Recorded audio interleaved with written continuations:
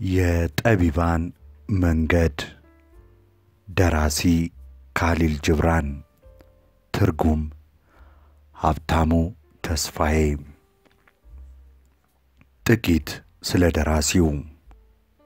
ካሊል ጅብራን እንደ ኤሮፓውያን አቆጣጠር ጥር 6 ቀን 1883 ዓ ም የማሮናይት ካቶሊክ እምነት ተከታይ ከሆኑት ቤተሰቦቹ በከፊል ራስ ገዝ የኦቶማን ቱርክ ግዛት አካል በነበረችውና በሰሜናዊ ሊባኖስ ተራራ አቅራቢያ በምትገኘው ታሪካዊቷ ቢሻሪ ከተማ ዘመናዊቷ ሊባኖስ ሰሜናዊ ክፍል ላይ በምትገኘው ቦታ ላይ ተወለደ።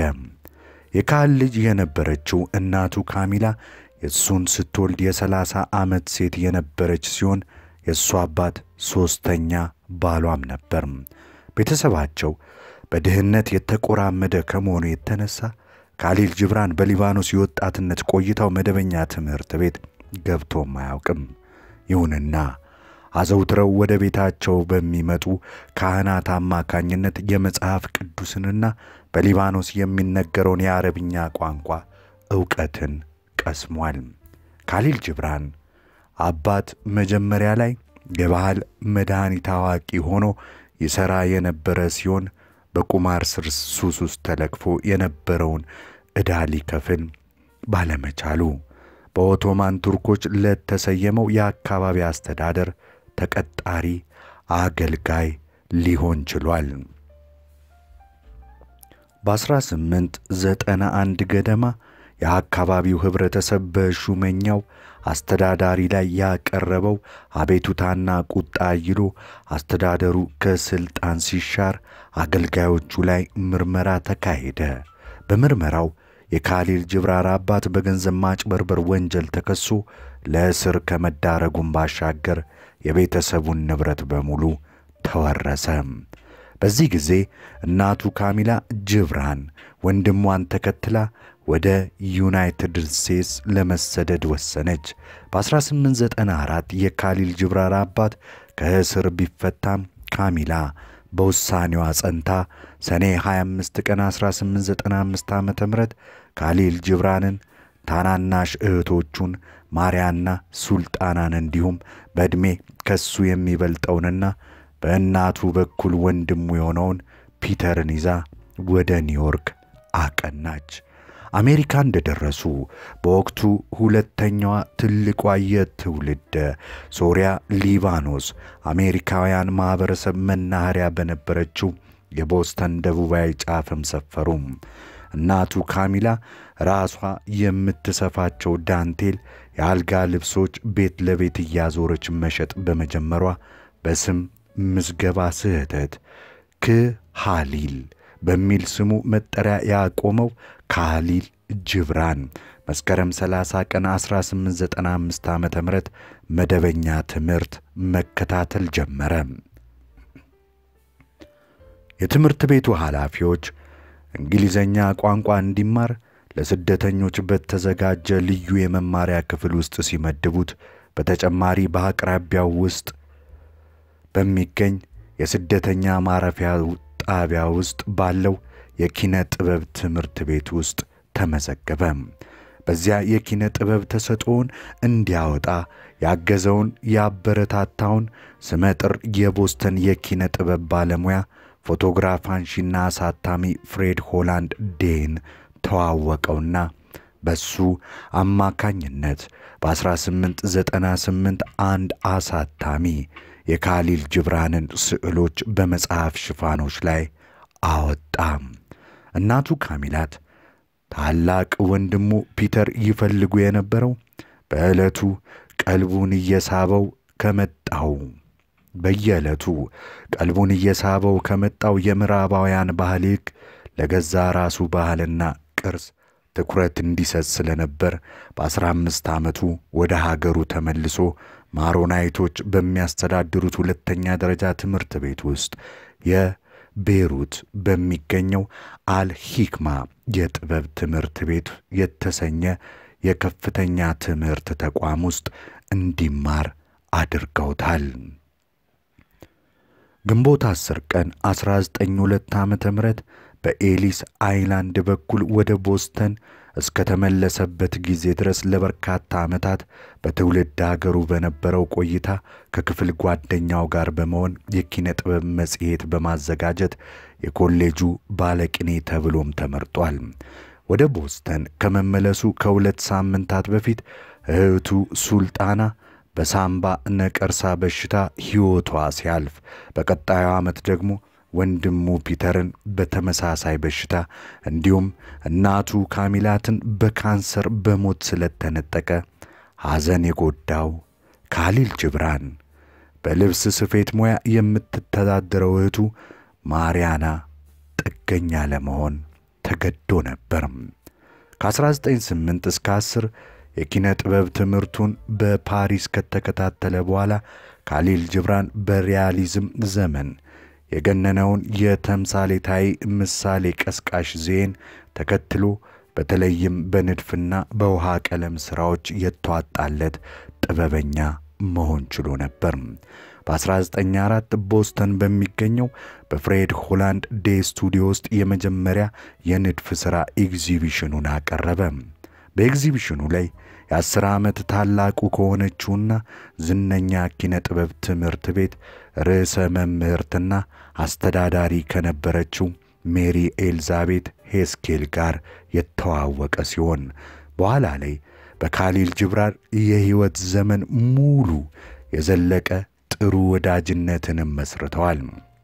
የሁለቱ ግንኙነትን በተመለከተ በግልጽ የታወቀ ነገር ባይኖር አንዳንዶች የፍቅር ግንኙነት እንደነበራቸው እና በእሷ ቤተሰቦች ፈቃደኛ ያለመሆን ለጋብቻ ያለመብቃታቸውን ሲጽፉ፣ ሌሎች ደግሞ ግንኙነታቸው በዚያ ደረጃ እንዳልነበር ገልጸዋል።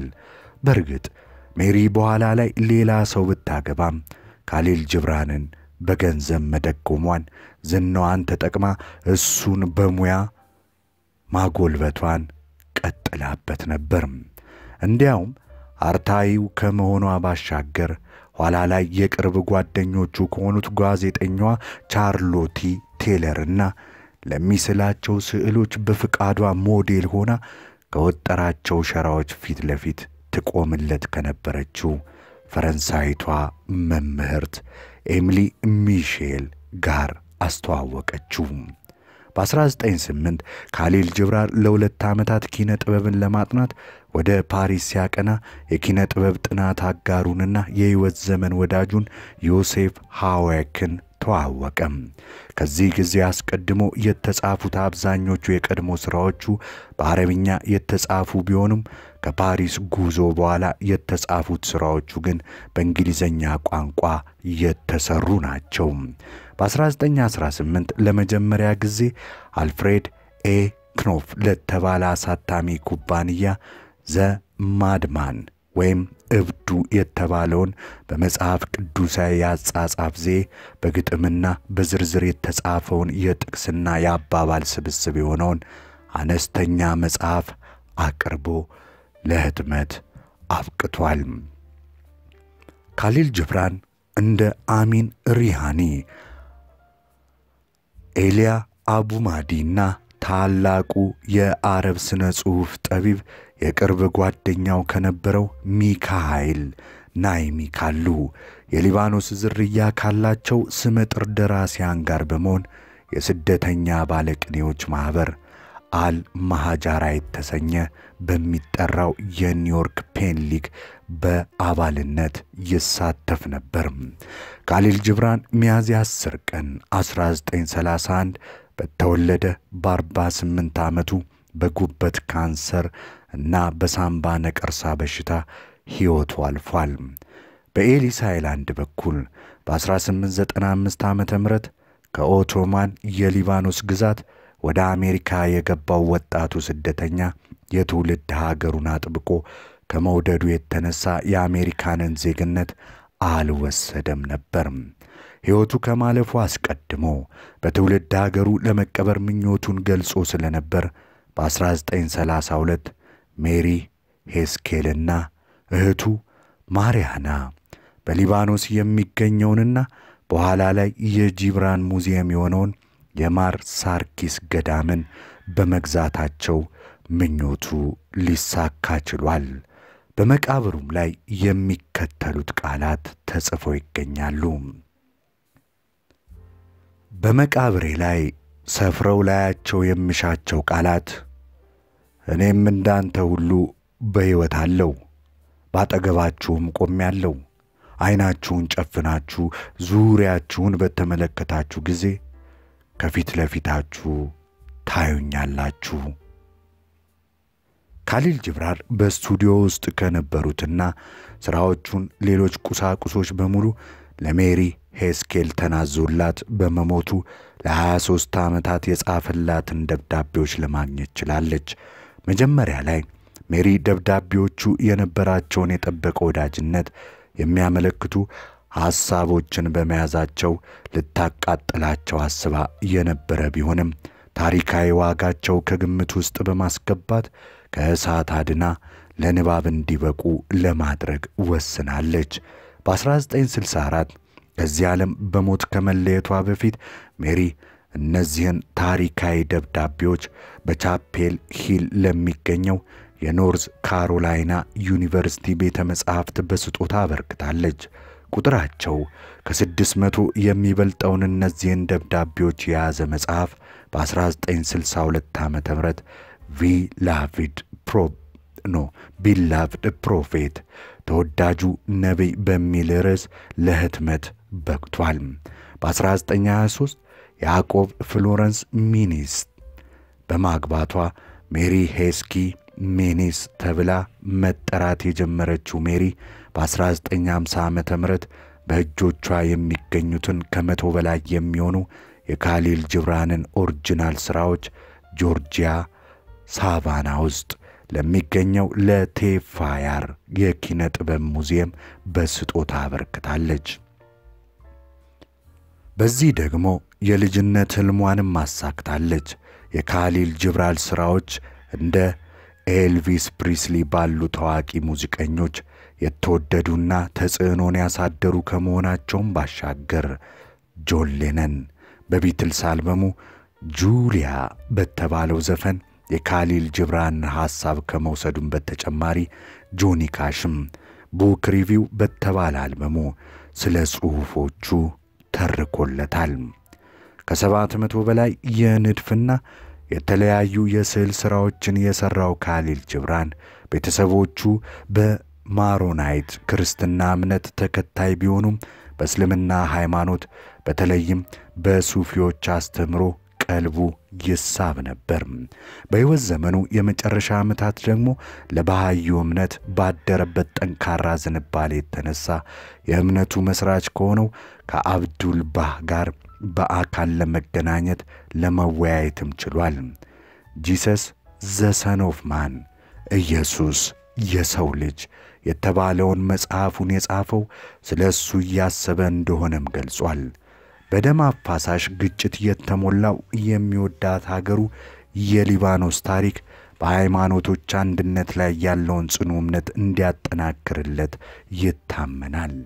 ካሊል ጅብራን በሕይወት ዘመኑ ከፖለቲካ የራቀ ሲሆን ብዙ ጊዜ እኔ ፖለቲከኛ አይደለሁም፣ ልሆንም አልሻም፣ መላው ዓለም ሀገሬ፣ የዓለም ሕዝቦች ሙሉ የሀገሬ ልጆች ስለሆኑ ፖለቲካ የሥልጣን ሽኩቻ ለጊዜ ይቅሩብኝ ይል ነበር። ይሁንና አረብኛ በወቅቱ ፖለቲካዊ ዕውቅና ያላገኘችው የሶሪያ ብሔራዊ ቋንቋ እንዲሆን አጥብቆ ይከራከርም ነበር።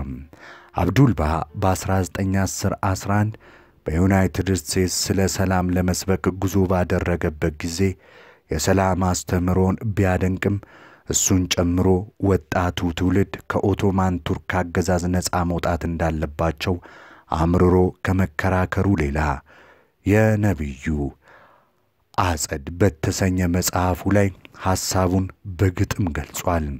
በአንደኛው የዓለም ጦርነት ኦቶማን ቱርኮች ከሶሪያ ሲባረሩም ነፃይቱ ሶሪያ የተባለ ስዕልን ሰርቷል። ካሊል ጅብራን ዘመናዊ ሽሬ የሥነ ጽሑፍ ሌሎች ሥራዎችን ለዓለማችን ያበረከተ ሁለገብ የኪነ ጥበብ ባለሙያ ነበር። ቻናላችንን subscribe፣ like፣ comment፣ share ያድርጉ። የጠቢባን መንገድ የሚለውን መጽሐፍ እያነበብን ነው። መልካም ቆይታ። ነቢዩ The Prophet ፍቅር ራሱን እንጂ ሌላ ምንም አይሰጥም። ከራሱ እንጂ ከሌላ ምንም አይቀበልም። በዘመኑ ንጋት የነበረው ከሁሉ የተመረጠውና የተወደደው አልሙስጠፋ ወደ ትውልድ ደሴቱ የምትወስደውን መርከብ ተመልሳ እስክትመጣ ድረስ በኦርፋሌስ ከተማ ለአስራ ሁለት ዓመታት ጠበቃት። በአስራ ሁለተኛ ዓመት ኢየሉል በተባለ የመኸር ወቅት በሰባተኛው ቀን ከከተማ ውጪ ወዳለው ጋራ ላይ ወጥቶ ወደ ባሕሩ ተመለከተ። መርከቧም ከጭጋጉ ጋር እየመጣች ነበርም። ይህኔ የልቡ በሮች ወለል ብለው ተከፈቱ። ደስታው ከባሕሩ በላይ ርቆ በረረ። ዐይኖቹንም ጨፍኖ ጸጥታ በሰፈነበት ነፍሱ ውስጥ ጸለየ። ይሁንና ከጋራው ላይ ሲወርድ ሐዘን አጠላበት። በልቡም እንዲህ ሲል አሰበ፣ እንዴት ያለ ሐዘን በሰላም ይሄዳለሁ? የለም መንፈሴ በሐዘን ሳይቆስል ይህንን ከተማ ትቼ አልሄድም። በከተማው የግንብ አጥሮች ውስጥ ሆኜ ያሳለፍኳቸው የመከራ ቀናት ረዣዥሞች ናቸው፣ የብቸኝነት ሌሊቶቹም እንደዚሁ። እናስ ቅሬታ ሳይሰማኝ ከመከራና ብቸኝነቱ መለየት የሚቻለው ማን ነው? ቅሬታ ሳይሰማው ከመከራና ብቸኝነቱ መለየት የሚቻለው ማን ነው? እሱ በእነዚህ መንገዶች ላይ የበተንኳቸው የደመነፍሴ ፍርፋሪዎች አያሌ ናቸው። እርቃናቸውን በእነዚህ ጋራዎች መካከል የሚመላለሱ የምኞቴ ልጆችም እንዲሁ በርካቶች ናቸው። እናም ያለ ቀንበርና ሕመም ልለያቸው አልችልም። በዚህ ቀን አውልቄ የምጥለው ልብሴን አይደለም፣ በገዛ እጆቼ ቆዳዬን እገፋለሁ እንጂ ከኋላዬ ትቼ የሚሄደው ሐሳብን አይደለም፣ በረሃብና በጥም የጣፈጠ ልብን እንጂ። ሆኖም አሁን ከዚህ በላይ ልቆይ አይቻለኝም።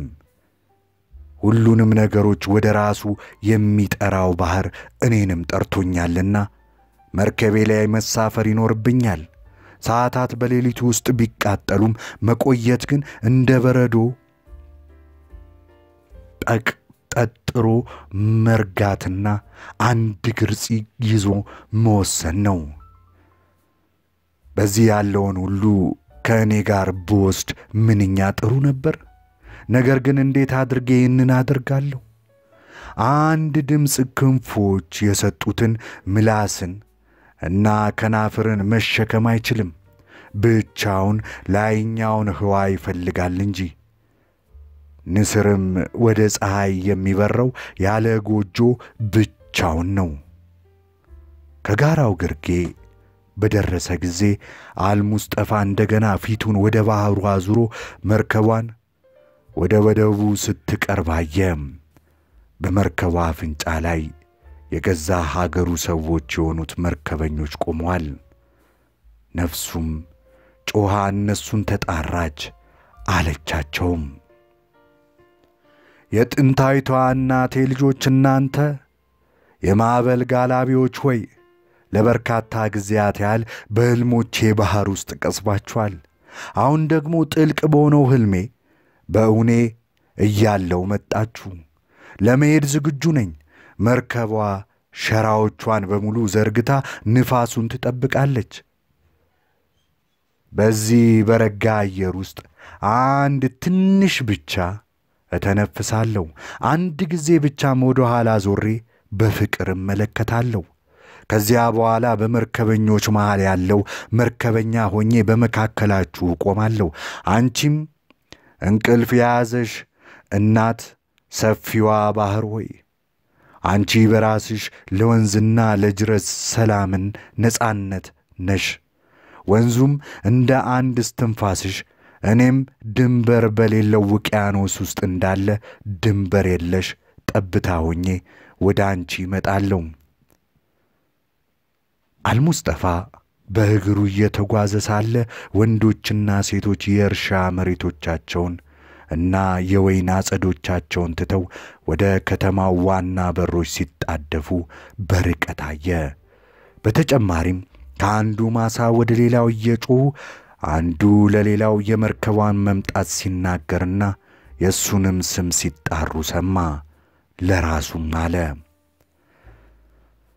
የመለያየት ቀን የመሰባሰቢያ ቀን ይሆናልን?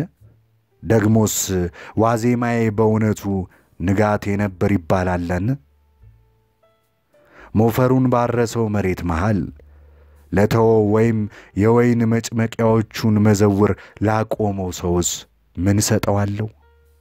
ለቅሜ እሰጣቸው ዘንድ ልቤ ያፈራው ፍሬ እንደ ከበደው ዛፍ ይሆንብኝ ይሆን? ጽዋዎቻቸውንስ እሞላላቸው ዘንድ ምኞቶቼ እንደ ፏፏቴ ይንዠቀዠቁልኝ ይሆን? የኃያሉ እጅ ጣቶች የሚነካኝ በገና ወይም ትንፋሹ በውስጤ የሚያልፍ ዋሽንት ነኝ። ጸጥታን ፈላጊ ነኝና በጸጥታዎቹ ውስጥ በልበ ሙሉነት የማድለው ምን ዋጋ ያለው ነገር አግኝቻለሁ? ይህ የምርት መሰብሰቢያ ቀኔ ከሆነ ዘሩን በየትኛው የእርሻ መሬት ላይ ነው የዘራሁትስ? የዘራሁበት የማላስታውሰው ወቅትስ የቱ ይሆን? በእርግጠኝነት ፋኖሴን ከፍ አድርጌ የማነሳበት ሰዓት ይህ ከሆነ ከውስጡ የሚነደው የእኔ ነበልባል አይደለምን? ይሁንና ባዶ እና ጨለማውን ፋኖሴን አነሳለሁ፣ የሌሊቱን ጠባቂም በዘይት ይሞላዋልና እሳት ለኩሶ ያበራዋል። እነዚህን ነገሮች በቃላት ተናገራቸው። ግና በልቡ ውስጥ ያለው አብዛኛው ሳይነገር ቀረ። ምክንያቱም እሱ ራሱም ቢሆን ጥልቅ ምስጢሩን ሊናገር አይቻለውምና ነው። ወደ ከተማው በዘለቀ ጊዜ ሁሉም ሰው እርሱን ለማግኘት መጡ። ድምፃቸው አንድ የሆነ እስኪመስል ያለቅሳሉ። የከተማው አዛውንት ቀረብ ብለው ከፊቱ ቆም አሉ። አሉትም ከእኛ ዘንድ አትሂድብን በጨለመብን ጊዜ ቀትር ሆነህናል። ወጣትነትህም ለሕልማችን ሕልሞችን ሰጥቶናል። አንተ በእኛ ዘንድ ልጃችንና በጣም የምንወድህ እንጂ አዲስ መጤ ወይም እንግዳ አይደለህም። ስለዚህ ዐይኖቻችን የፊትህን ገጽታ ተርበው እንዲሰቃዩ አትፍቀድ አሉት። መነኮሳትና መነኮሲያት እንዲህ አሉት ከእንግዲህ የባሕር ሞገዶች አይለያዩንም። ከእኛ ዘንድ ያሳለፍካቸው ዓመታት ትዝታ አይሁኑ። በመካከላችን እንደ መንፈስ ሆነ ተመላልሰሃል። ጥላህም በፊታችን ላይ የሚያበራ መብራት ሆኗል። አጥብቀን ወደንሃል። ሆኖም ፍቅራችን ቃል አልባ በዐይነ ርግብ የተጋረደ ነበር። አሁን ግን ፍቅራችን ድምፁን ከፍ አድርጎ ወደ አንተ ይጮኻል። ከፊት ለፊትህም በግልጽ መቆም ይመኛል።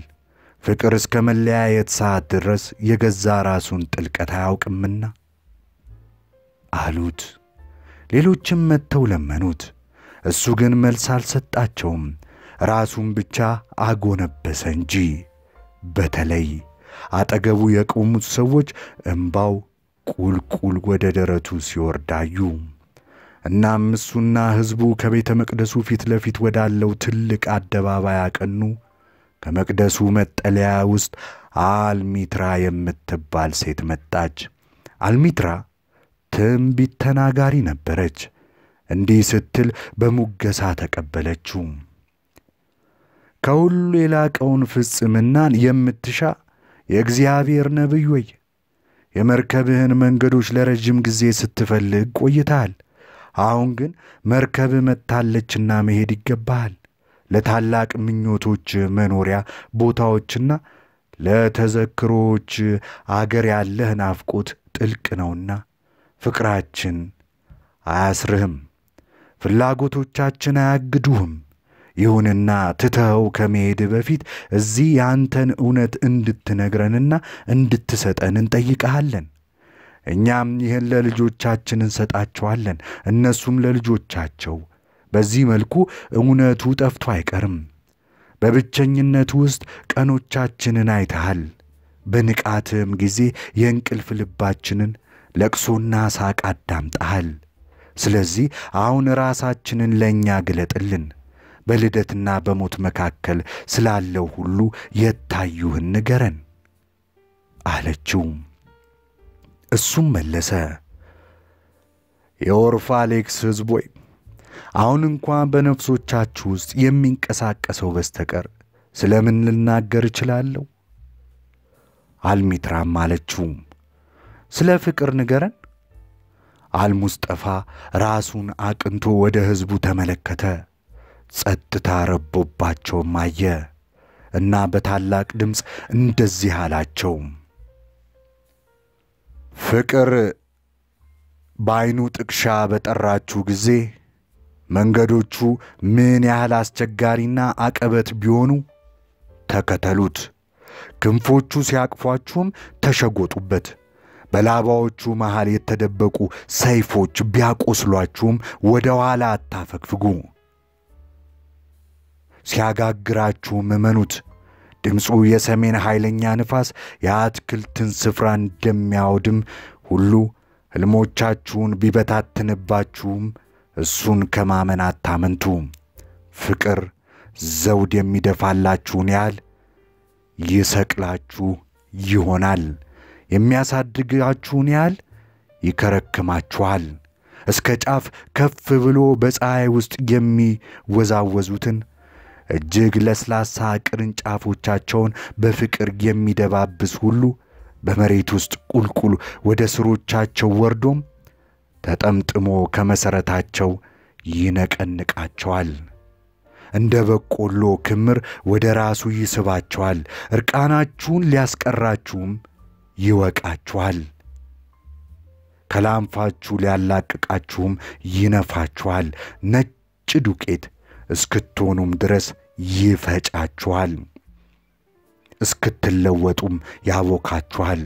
ከዚያ ለእግዚአብሔር ቅዱስ ድግስ የምትቆሉ ቅዱስ ዳቦዎች ትሆኑ ዘንድ ወደ ተቀደሰው እሳቱ ውስጥ ይጨምራችኋል። ፍቅር እነዚህን ሁሉ ነገሮች የሚያደርግባችሁ የልባችሁን ምስጢራት እንድታውቁና በዚያ ዕውቀትም የሕይወት ልብ አንድ ግማድ እንድትሆኑ ነው። ይሁንና ፍርሃት አድሮባችሁ የፍቅርን ሰላም እና የፍቅርን ደስታ ብቻ የምትሹ ከሆነ ዕርቃናችሁን ሸፍናችሁ ከፍቅር የመውቂያ ውድማ ወጥታችሁ ብትሄዱ ይሻላችኋል። ወደዚያ የሄዳችሁበት ወቅቶች የማይፈራረቁበት ወቅት አልባ ዓለም ውስጥም ትስቃላችሁ፣ ትደሰታላችሁ። ነገር ግን ሳቃችሁን ሁሉ አትስቁትም፣ ታለቅሳላችሁም፣ ግን እንባችሁን ሁሉ አታፈሱትም። ፍቅር ራሱን እንጂ ሌላ ምንም አይሰጥም፣ ከራሱ እንጂ ከሌላ ከማንም ምንም አይቀበልም። ፍቅር ለፍቅር በቂ ነውና። ፍቅር ምንም ንብረት የለውም፣ የማንም ንብረትም አይሆንም።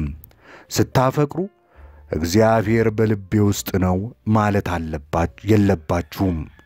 ስታፈቅሩ እግዚአብሔር በልቤ ውስጥ ነው ማለት የለባችሁም። እኔ በእግዚአብሔር ልብ ውስጥ ነኝ በሉ እንጂ። ደግሞም የፍቅርን መንገድ አቅጣጫ ለመምራት የምትችሉ አይምሰላችሁ።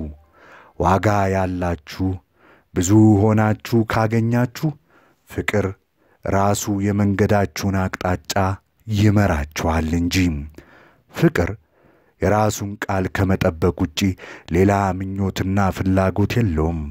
ይሁንና ካፈቀራችሁና ምኞቶች ሊኖራችሁ የግድ ካስፈለጋችሁ ምኞቶቻችሁ እነዚህ ይሁኑ። ቀልጦ በሌሊት ጣዕመ ዜማውን እንደሚያሰማ ትንሽ ወራጅ ወንዝ ለመሆን ከልክ ያለፈ ርኅራኄንና ስቃይን ለማወቅ በገዛ ራሳችሁ የፍቅር ግንዛቤ ለመቁሰልና በፈቃደኝነት በደስታ ለመድማት።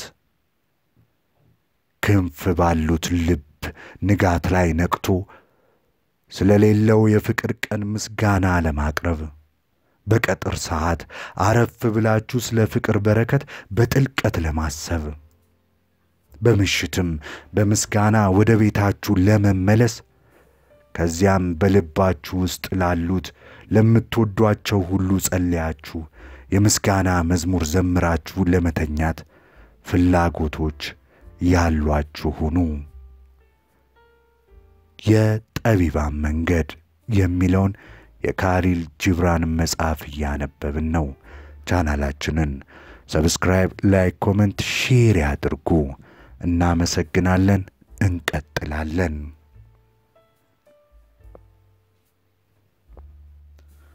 ሁለተኛ እርስ በርስ ተፋቀሩ እንጂ የፍቅር ሰንሰለት አታብጁ። ልባችሁን ስጡ እንጂ የሌላን ልብ አትያዙ። አልሚትራ እንደገና ተናገረች። አለችውም መምህር ሆይ ስለ ጋብቻስ ምን ትላለህ? እሱም አለ የተወለዳችሁት አብራችሁ ነው፣ አብራችሁም ለዘላለም ትኖራላችሁ። የሞት ነጫጭ ክንፎች ቀናችሁን ባጨለሙባችሁ ጊዜም አብራችሁ ትሆናላችሁ። አዎን ሌላው ቀርቶ በጸጥተኛው የእግዚአብሔር ዝክር ውስጥ እንኳ አብራችሁ ትኖራላችሁ። ነገር ግን በአብሮነታችሁ ውስጥ ክፍት ስፍራዎች ይኑሩ። እርስ በርስ ተፋቀሩ እንጂ የፍቅር ሰንሰለት አታብጁ። ይልቅስ በነፍሶቻችሁ ዳርቻዎች መካከል የሚንቀሳቀስ ባሕር ይኑር። እርስ በርሳችሁ ጽዋችሁን ተሞላሉ እንጂ ከአንድ ጽዋ አትጠጡ። ከዳቦዎቻችሁ አንዳችሁ ለሌሎቻችሁ ስጡ እንጂ ከአንድ ቁራሽ ዳቦ አትብሉ። በአንድነት ዘምሩ፣ በአንድነት ጨፍሩ፣ ደስም ይበላችሁ። ነገር ግን እያንዳንዱ ለብቻው ይሁን። የክራር ክሮች እንኳ በአንድ ሙዚቃ አብረው ቢርገበገቡም የታሰሩት ለየብቻቸው አይደለምን? ልቦቻችሁን ስጡ እንጂ አንዳችሁ ቁሙ እንጂ በጣም ተቀራርባችሁ አትቁሙ። የቤተ መቅደስ ምሰሶዎችም ተራርቀው ነውና የሚቆሙት። ደግሞ የባሉጥ ዛፍ ጽድ አንዳቸው በሌላቸው ጥላ ስር ተሸፍነው ያድጋሉን? ሦስተኛ ፍቅርን እንጂ ሐሳቦቻችሁን አትስጧቸው። በደረቷ ሕፃን ያቀፈች አንዲት ሴት አለች፣ ስለ ሕፃናት ንገረን። እሱም አለ፣ ሕፃናት ልጆቻችሁ የእናንተ ልጆች አይደሉም። ሕይወት ለራሷ ላላት ናፍቆት ሲባል የተወለዱ ወንድና ሴቶች ልጆች ናቸው እንጂ በእናንተ በኩል መጡ እንጂ ከእናንተ አልመጡም። ከእናንተ ጋር ቢኖሩም የእናንተ ንብረት አይደሉም። እናንተ ፍቅርን እንጂ ሐሳቦቻችሁን ልትሰጧቸው አትችሉም፣ የየራሳቸው ሐሳቦች አሏቸውና። እናንተ ለሥጋቸው መጠለያ ቤት ትሆኗቸው ይሆናል እንጂ ለነፍሶቻቸው ቤቶች አይደላችሁም። ነፍሶቻቸው የሚኖሩት እናንተ ልታዩት በማትችሉት በሕልማችሁ እንኳ ልትጎበኙት በማይቻላችሁ በነገ ቤት ውስጥ ነውና እናንተ እንደ እነርሱ ለመሆን ሞክሩ እንጂ እነሱ እንደ እናንተ እንዲሆኑ አትፈልጉ። ሕይወት ወደ ኋላ ይመለሳልን? ትናንትና ላይ ቆሞስ ይቀራልን? እናንተ ሕፃናት ልጆቻችሁ ሕይወት እንዳላቸው ቀስተኞች ሆነው ወደፊት የሚመነጠቁባቸው ደጋኖቻቸው ናችሁ። ቀስት ወርዋሪ መጨረሻ በሌለው ጎዳና ላይ ያለውን ኢላማውን ያተኩራል። ቀስቶቹ ተወናጭፈው ርቀት ይሄዱ ዘንድ በታላቅ ኃይል እናንተን ያጎብጧችኋል። በቀስት ወርዋሪው እጅ መጉበጣችሁን በደስታ ተቀበሉት። ለበጎም ይሁን። እሱ የሚወነጭፈውን ቀስት የሚያፈቅረውን ያህል የረጋውን ደጋን አያፈቅረውምን? አራት የመስጠቱ ወቅት የእናንተ እንጂ የወራሾቻችሁ እንዳይሆን አሁኑኑ ስጡ። ቀጥሎ አንድ ባለጸጋ ሰው እንዲህ ሲል ጠየቀ፣ ስለ መስጠት ንገረን። እሱም መለሰ፣ የምትሰጡት ካላችሁ ጥቂቱን ብቻ ነው። ነገር ግን እውነት እውነት እላችኋለሁ ሰጣችሁ የምትባሉት ራሳችሁን ስትሰጡ ነው። ሀብቶቻችሁስ ቢሆኑ ለነገ ያስፈልጉናል ብላችሁ ከመፍራት የተነሳ ተንከባክባችሁ የምታስቀምጧቸው ነገሮች እንጂ ሌላ ምንድን ናቸው? ደግሞስ ነገስ ብትሆን አንድን ወደ ቅዱስ ከተማ የሚሄድን መናኝ ሲከተል ዱካ በሌለው አሸዋማ በረሃ ውስጥ አጥንቶችን ለሚቀብረው ከልክ ያለፈ ጥንቁቅ ለሆነ ውሻ ነገ ምን ታመጣለታለች? ካላቸው ከብዙ ጥቂት የሚሰጡ አሉ። የሚሰጡትም ሰጡ ተብለው ለመታወቅ ሲሉ ነውና ይህ ድብቅ ፍላጎታቸው ስጦታቸውን ያልተሟላ ያደርግባቸዋል። ጥቂት ብቻ ያላቸውና ከዚያውም ሁሉንም የሚሰጡም አሉ። እነዚህ በሕይወትና ልግስና የሚያምኑቱ ናቸው። የገንዘብ ሳጥናቸውን በፍጹም ባዶ አይሆንም። በደስታ የሚሰጡም አሉ። ይህ ደስታም ሽልማታቸው ነው። ሲሰጡ የሚያማቸው ስስታም አሉ። ለእነዚህ ይህ ሕመም ጥምቀታቸው ነው። ሲሰጡ ስስት የማያውቁ የማያማቸው ደስታን የማይፈልጉና ለደግነታቸው ትኩረት የማይሰጡም አሉ። እዚያ ማዶ ባለው ሸንተረር ላይ ያሉ አረንጓዴ እጽዋት ማራኪ መዓዛቸውን ያለ ስስት ወደ ህዋው እንደሚተነፍሱት ሁሉ እነዚህኞቹም የሚሰጡት በሰፊው ነው። እግዚአብሔር እንደዚህ ባሉ ሰጪዎች እጅ በኩል ይናገራል። ከዐይኖቻቸው ጀርባም ሆኖ በፈገግታ ወደ ምድር ያያል። በተጠየቃችሁ ጊዜ መስጠት መልካም ነው። ግን ግን ሳትጠየቁ መስጠት እንዳለባችሁ ተገንዝባችሁ መስጠቱ የተሻለ ነው። ደፍሮ የማይለምን ተቀባይ መፈለግም እጁን ዘርግቶ ለሚጠባበቀው ከመስጠት የበለጠ ደስታ አለው። ደግሞስ የምትነፍጉት ነገር አላችሁን? ያላችሁ ነገር በሙሉ አንድ ቀን መሰጠቱ ሲቀራልን? ስለዚህ የመስጠቱ ወቅት የእናንተ እንጂ የወራሾቻችሁ እንዳይሆን አሁኑኑ ስጡ። ብዙውን ጊዜ እሰጣለሁ፣ ነገር ግን የምሰጠው መስጠት ስለሚገባኝ ብቻ ነው ትላላችሁ። በአትክልት ስፍራዎቻችሁ ውስጥ ያሉት ተክሎችም ሆኑ በግጦሽ መሬቶቻችሁ ያሰማራችኋቸው መንጋዎች ግን እንዲህ አይደሉም። መንፈግ ያጠፋችኋልና ይኖሩ ዘንድ ይሰጧችኋል። በእርግጥ በምድር ላይ የኖረባቸውን ቀናትና ሌሊት ያሳለፋቸው ዘንድ ዕድል የተቸረው ሰው የተቀረውን ሁሉ ነገር ከእናንተ ይቀበል ዘንድ ይገባል። ከሕይወት ውቅያኖስ ለመጠጣት የተገባውም ሰው ከእናንተ ትንሽ ጅረት ጽዋውን ይሞላ ዘንድ ይገባዋል። ደግሞስ በመቀበል ውስጥ ካለ ድፍረትና በራስ መተማመን ከዚያ አልፎ ልግስና የላቀ ምን ነገር ይኖራል? ሰዎች ጠቀሜታቸውን አራቅተውና ክብራቸውን አጋልጠው ያሳዩአችሁ ዘንድ ኩራታቸውን የሚያጋልጡላችሁ እናንተ ማናችሁና ነው? በመጀመሪያ ደረጃ እናንተ ራሳችሁ የተገዛችሁና የመስጠት መሳሪያ መሆን እንደሚገባችሁ ወቁ። እውነታውስ እናንተ ራሳችሁን እንደ ሰው እንደ ሰጪ የምትቆጥሩት ሕይወት ለሕይወት መስጠቱን የምትመሰክሩ ምስክሮች መሆናችሁ አይደለምን? እናንተ ተቀባዮች ብትሆኑ ሁላችሁም ተቀባዮች ናችሁና የሚመሰገን ጫና አይሰማችሁም። የማመስገንን ጫና አይሰማችሁም። አሊያም በራሳችሁ ላይ ሆነ በሚሰጣችሁ ላይ ቀንበር ትጭናላችሁ። ይልቅስ የሰጫችሁ ስጦታዎች ክንፎች እንደሆኑ ሁሉ ከሰጪያችሁ ጋር አብራችሁ ከፍ ከፍ በሉ። ስለ ዕዳችሁ አብዝታችሁ መጨነቅስ እናቱ ልበ ሰፊዋ ምድር አባቱ ደግሞ እግዚአብሔር የሆነውን ሰጫችሁን ልግስና መጠራጠርስ አይደለምን? አምስተኛ አንተን ያረደ ኃይል እኔንም ያርደኛል። ምግብ ቤት ያለው አንድ ሽማግሌ አለው። ስለ መብላትና ስለ መጠጣት ንገረን።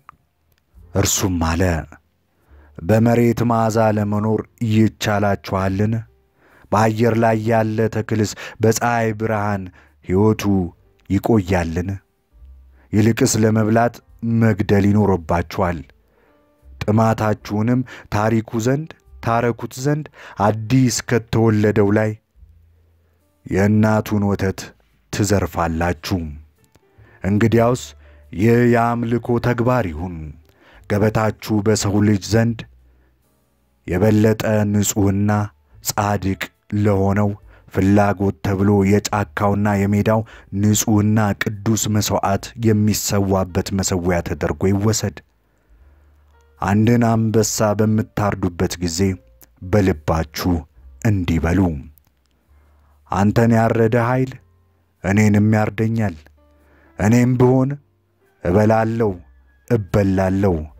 አንተን በእኔ እጅ ስር ያዋለህም ሕግ እኔንም የበለጠ ኃይል በሆነ እጅ ስር ያውለኛል። የእኔና የአንተ ደም የሰማዩን ዛፍ የሚመግብ ፈሳሽ ምግብ እንጂ ሌላ ምንም አይደለም። በጥርሶቻችሁ አንድን ፍሬ ስታደቁም በልባችሁ እንዲህ በሉ፣ እናንተ ዘሮች ሆይ በሰውነቴ ውስጥ ትኖራላችሁ። የነገ እምቡጦቻችሁም በልቤ ውስጥ ይፈካል፣ መዓዞቻችሁም እስትንፋሴ ይሆናሉ። እናም አብረን በመሆን በሁሉም ወቅቶች እንደሰታለን። በበልግም ለወይን መጭመቂያችሁ ከወይን ተክሎቻችሁ ላይ የወይን ዘለላዎችን ስትሰበስቡ በልባችሁ እንዲህ በሉ እኔ ራሴ የወይን ተክል ነኝ፣ ፍሬዎቼም ለወይን መጭመቂያው ይሰበሰባሉ። ልክ እንደ አዲስ ወይንም በዘላለማዊ ዕቃዎች ውስጥ እቀመጣለሁ። በክረምት ወይኑን ስትቀዱም ለእያንዳንዱ ዋንጫ በልባችሁ ዘምሩ። በመዝሙራችሁ ውስጥ ለመኸሩ ወራት እንዲህ ለወይን ተክሉ እና ለወይን መጭመቂያው መታሰቢያ ይኑር። ስድስት ሥራ ጎልቶ እንዲታይ የተደረገ ፍቅር ነው። አንድ ገበሬም አለ፣ ስለ ሥራ ንገረን። እሱም እንዲህ ብሎ መለሰ፣ የምትሠሩት ከምድርና ከምድር ነፍስ መንስኤ ጋር ለመራመድ አይደለምን? ሥራ መፍታትስ በወቅቶች ዘንድ እንግዳ መሆን እንዲሁም በግርማ ሞገስ ከሚሄድና በኩራት እየታዘዘ ወሰን ወደ ሌለው ዓለም ከሚኖግድ የሕይወት ሰልፍ መውጣት አይደለምን? ስትሰሩ የሰዓታት ሹክሹክታ በልቡ ውስጥ ወደ ዜማነት የሚቀየርበት ዋሽንት ናችሁ። የተቀረው ሁሉ በአንድ ላይ በኅብረት እየዘመረ እያለ ጸጥተኛ መቃ ለመሆን የሚፈልግ ከእናንተ ማን ነው?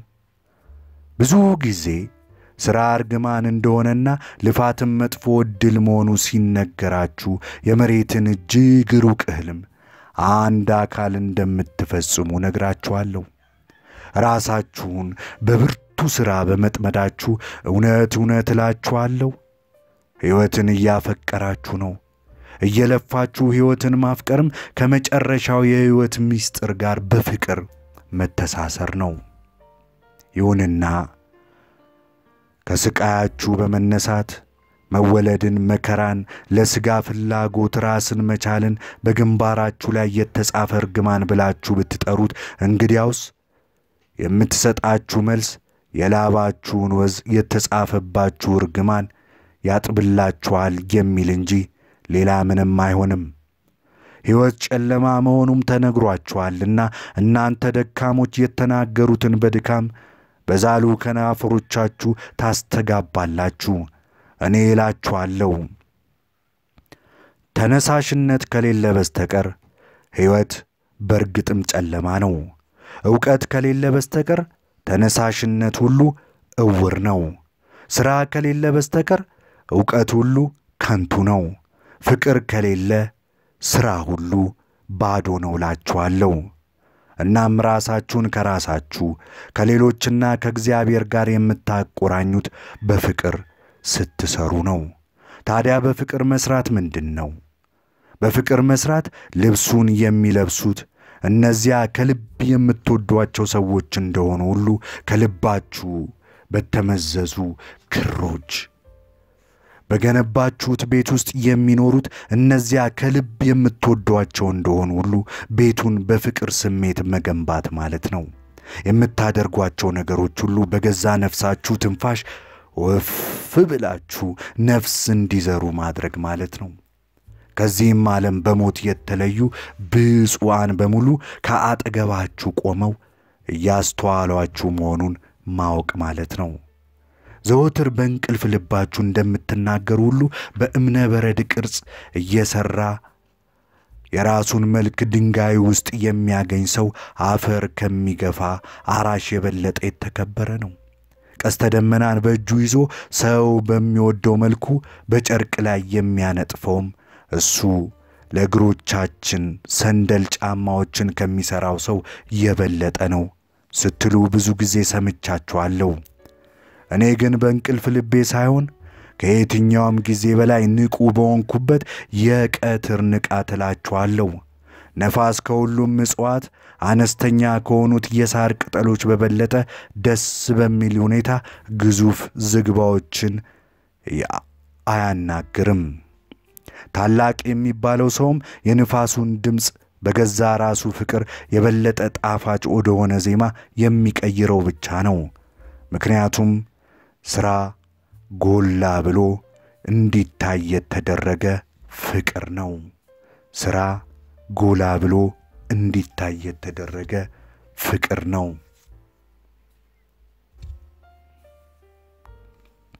በጥላቻ ብቻ እንጂ በፍቅር መሥራት ካልቻላችሁ ሥራችሁን ትታችሁ ከቤተ መቅደስ ደጅ በመቀመጥ በደስታ ከሚሠሩት ምጽዋትን መቀበል ይሻላችኋል። በጥላቻ ብቻ እንጂ በፍቅር መሥራት ካልቻላችሁ ሥራችሁን ትታችሁ ከቤተ መቅደስ ደጅ በመቀመጥ በደስታ ከሚሠሩት ምጽዋትን መቀበል ይሻላችኋል።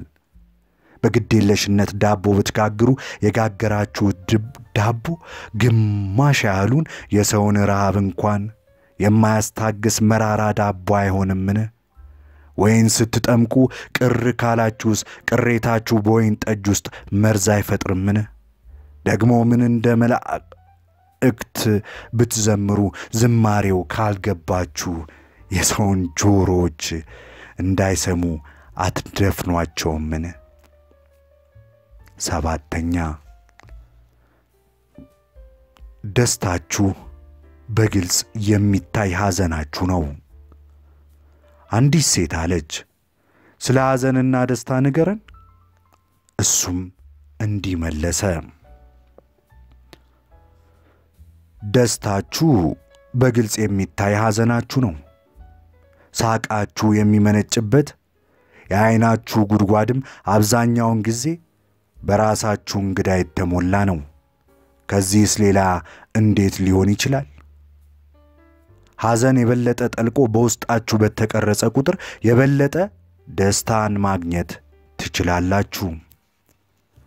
ወይናችሁን የያዘው ጽዋስ ቢሆን በሸክላ ሰሪው እቶን ውስጥ ተለብጦ የወጣ ራሱ አይደለምን? መንፈሳችሁን የሚያረጋጋው ክራርስ በቢላዋዎች ተፈልፍሎ የተሠራ እንጨት ራሱ አይደለምን? ደስ ሲላችሁ ዘልቃችሁ ወደ ልባችሁ ውስጥ ተመልከቱ። የዚያኔ ደስታን እየሰጣችሁ ያለው ያ ሐዘን ሰጥቷችሁ የነበረ ነገር ብቻ እንደሆነ ትደርሱበታላችሁ። የሚመጡትም አብረው ነው። አንዱ ለብቻው ገበታችሁ ላይ ሊቀመጥ፣ ሌላኛው ባልጋችሁ ላይ መተኛቱን አስታውሱ። እውነት እውነት እላችኋለሁ ልክ እንደ ሚዛን በሐዘናችሁና በደስታችሁ መካከል ተንጠልጥላችኋል። ሳታጋድሉ ሚዛናችሁን ጠብቃችሁ የምትቆዩበት ቦታ በሆናችሁ ጊዜ ብቻ ነው። ባለሀብቱ ወርቅና ብሩን ሊመዝንባችሁ ባነሳችሁ ጊዜ ግን ሐዘናችሁ ወይም ደስታችሁ ከፍ አሊያም ዝቅ ሊል የግድ ይሆናል። ስምንተኛ ከሁሉ በላይ ቤታችሁ ይህ ታላቅ አካላችሁ ነው። ቤታችሁ ሙታን በሕይወት ላሉት በቆፈሯቸው መካነ መቃብሮች ውስጥ አይደለም። ከዚህ በኋላ አንድ ግንበኛ ወደፊት መጣ፣ አለውም ስለ ቤቶች ንገረን። እሱም እንዲህ አለ፣ በከተማው ግንብ አጥሮች ውስጥ ቤት ከመገንባታችሁ በፊት በአእምሮአችሁ ዋሻ ውስጥ ያለውን ጎጆ ስሩ። ምድሪቷ ስትጨላልም ወደ ቤታችሁ የመመለስ ናፍቆት እንዳላችሁ ሁሉ በውስጣችሁ ያለው ዘወትር ሩቅና ብቸኛ ሆነው ዘዋሪም እንዲሁ ነው። ይበልጥ ቤታችሁ ይህ ታላቅ አካላችሁ ነው። በፀሐይ ውስጥ የሚያድገው በሌሊቱ ርጭታም ጸጥታም የሚተኛው ይህ ታላቅ የሆነ አካላችሁ ነው። ደግሞም ሕልም አልባ አይደለም። ቤታችሁ ሕልም አያይምን? በሕልሙስ ከተማውን ለቆ ወደ ዋሻው ወይም ወደ ጋራው ጫፍ አይሄድምን? ቤቶቻችሁን በአንድ ላይ ሰብስቤ በመያዝ እንደ ገበሬ በጫካና በሳር ምድር ውስጥ ልዘራችሁ ብችል በወደድኩ። ሸንተረሮቹና አረንጓዴ ለምለም መስኮቹ እርስ በርሳቸው የምትፈላለጉባቸው እርስ በርሳችሁ የምትገናኙባቸውና በልብሶቻችሁ የመሬቱን ውብ ጠረን ይዛችሁ የምትመጡባቸው መንገዶቻችሁ ቢሆኑ እወድ ነበር። ይሁንና እነዚህ ነገሮች ገና እውን አልሆኑም። የቀደሙት አባቶቻችሁ በጣም ስጋት ስላደረባቸው እርስ በርሳችሁ አቀራርበው ነው የሰበሰቧችሁ። ያም ፍርሃታቸው ለጥቂት ጊዜ እንደዚያ ሆኖ ይቆያል። እንዲያውም የከተማችሁ የግንብ አጥሮች ገና ልቦኖቻችሁን ከእርሻ መስኮቻችሁ ይነጥሏቸዋል። የኦርፋሌስ ሕዝብ ሆይ በእነዚህ ቤቶቻችሁ ውስጥ ምን እንዳላችሁ እስኪ ንገሩኝ። በራችሁን ከርችማችሁት እንዳይወሰድባችሁ የምትጠብቁትስ ምንድን ነው? ኃይላችሁን በግልጽ የሚያሳየውን ያ ጸጥተኛውን አነቃቂ ሰላምንስ አላችሁ? የአእምሮአችሁን ቁንዲዎች ደግፈው ያቆሙት አንጸባራቂ የሆኑ ቅስቶች የሆኑት መታሰቢያዎቻችሁስ አሏችሁ? ልባችሁን ከእንጨት ከድንጋይ ከተሠሩ ነገሮች ወደ ቅዱስ ተራራ የሚመራ ውበትስ አላችሁ? ንገሩኝ እስኪ እነዚህ ሁሉ በቤታችሁ ውስጥ አሏችሁን? ነይ ወይስ ምቾት ብቻ ነው ያላችሁ? ቤታችሁ ውስጥ እንግዳ ሆኖ በመዝለቅ ከዚያ አስተናጋጅ ቆይቶም አለቃ የሚሆነው ያ ሸንጋይና ሚስጥር የሆነው ምቾትና የምቾት ጉጉት ብቻ ነው በቤታችሁ ውስጥ ያላችሁ። እሳ ይሄ ምቾት የኋላ ኋላ ባሪያችሁ ሆኖ በመንጠቆና በመቅሰፍት ታላላቅ ምኞቶቻችሁን ጸጥ ለጥ ብለው የሚገዙት አሸንጉሊቶች አያደርጓቸውምን? አዎን ምቾት እጆቹ እንደ ሐር ቢለሰልሱም ልቡ ግን ከብረት የተሠራ ነው። እሹሩሩ እያለ እያስተኛችሁ ከአልጋችሁ አጠገብ ሕዋሶቻችሁ ላይ እያላገጠ እንደ ተሰባሪ ዕቃ በብናኝ እሾሆች ውስጥ ያኖራችኋል። እውነት እውነት እላችኋለሁ የምቾት ጉጉት ጥማት የነፍስን ጥልቅ ስሜት ይገድላል። በኋላም በቀብር ሥርዓቱ እየገለፈጠ ይንጎማለላል። ነገር ግን እናንተ የውሃ ልጆች፣ እናንተ በዕረፍት ውስጥ የምታርፉ ቁንጥንጦች ሆይ በወጥመድም አትያዙም አትገሩምም። ቤታችሁም የመርከብ ምሰሶ እንጂ መልሕቅ አይሆንም። ዓይንን ከአደጋ የሚጠብቅ የዓይን ቆብ እንጂ ቁስላችሁን የሚሸፍን አብረቅራቂ አይደለም። በበሮቹ በኩል ትገቡ ዘንድ ክንፎቻችሁን አታጥፉም፣ ጭንቅላታችሁም ኮርኒሱን እንዳይገጩ ብላችሁ አታጎነብሱም። ግድግዳዎቹ ተሰንጥቀው እንዳይወድቁ በማለት መተንፈስንም አትፈሩም። ሙታን በሕይወት ላሉት በቆፈሯቸው መካነ መቃብሮች ውስጥ አትኖሩም። ደግሞም ቤታችሁ የቱን ያህል ግዙፍ የቱን ያህል ማራኪና ግርማ ያለው ቢሆን ምስጢራችሁን አይደብቅምና ናፍቆታችሁንም አያስጠልልም። በውስጣችሁ ያለው ድንበር የለሹ ነገር ሁሉስ ተጠብቆ የሚኖረው በሩ የጠዋቱ ጭጋግ፣ መስኮቱ ደግሞ የሌሊቱ ዝማሬዎችና በጸጥታዎች በሆኑት የሰማዩ ትልቅ ማደሪያ ውስጥ አይደለምን? ሸማኔውም አለው፣ ስለ ልብሶቻችን ንገረን። እሱም እንዲህ አለ፣ ልብሶቻችሁ ከውበቶቻችሁ የሚበዛውን ቢሸፍኑም ውብ ያልሆነውን ነገራችሁን አይሸሽጉም። ልብሶቻችሁ ውስጥ የግል ነገራችሁን የመሰወር ነፃነታችሁን ለማግኘት ብትሹም በውስጣቸው ግን ልጓምና ሰንሰለት ታገኙባቸዋላችሁ። ገላችሁ ፀሐይና ንፋስ ሊያገኝ የሚችለው በፀሐይ ብርሃን ውስጥ አይደለምን? የሕይወት እጅስ ቢሆን በንፋስ ውስጥ አይደለምን? አንዳንዶቻችሁ የለበስናቸው ልብሶች ያበጀልን የሰሜን ንፋስ ነው ትላላችሁ። እኔም አዎን ልብሶቻችሁን ያበጀላችሁ የሰሜን ነፋስ ነው እላችኋለሁ። ይሁንና የሸመና ዕቃው ኀፍረት ነው፣ ድርና ማጉም የጅማቶች መላላት ነው። ሥራውንም ሲያጠናቅቅ ከጫካው ውስጥ ሆኖ ይስቃል። ትሕትናና ክፍት ከተሞላባቸው ዐይኖች የሚከልል ጋሻ መሆኑንም አትርሱ። ታዲያ ንጹሕ ያልሆኑ ዐይኖች ክፉዎች በሌሉበት ትሕትና የአእምሮ ጉድፍና የእግር ብረት እንጂ ሌላ ምንድን ነው? ደግሞም መሬት በባዶ እግራችሁ ደግሞም መሬት በባዶ እግራችሁ መረገጥ ደስ እንዲያሰኛት ንፋስም በፀጉራችሁ ሊጫወትበት እንደሚናፍቅ ትረሳላችሁን? ቻናላችንን subscribe፣ like፣ comment፣ share ያድርጉ። የጠቢባን መንገድ የሚለውን የካሊል ጅብራንን መጽሐፍ እያነበብን ነው። መልካም ቆይታ። እንቀጥላለን።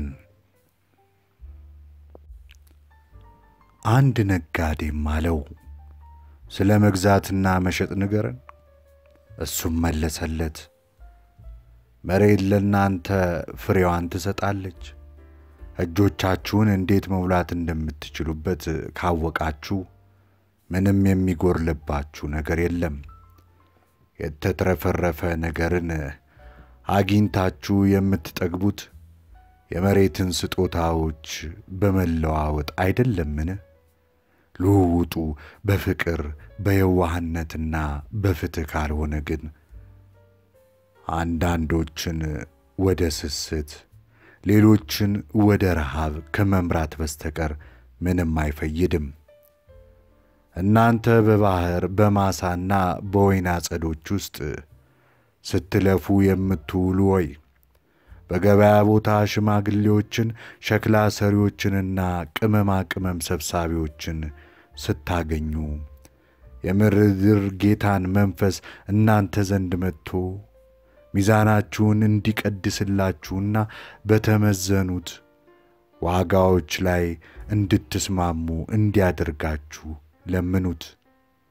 በአፈጮሌነታችሁ ልፋታችሁን የሚገዙትን ባለጠፍ እጆች ግን በንግድ ልውውጣችሁ ውስጥ እንዲሳተፉ አትፍቀዱላቸው። ለእንዲህ ዐይነቶቹ ሰዎች እንዲህ ልትሏቸው ይገባችኋል።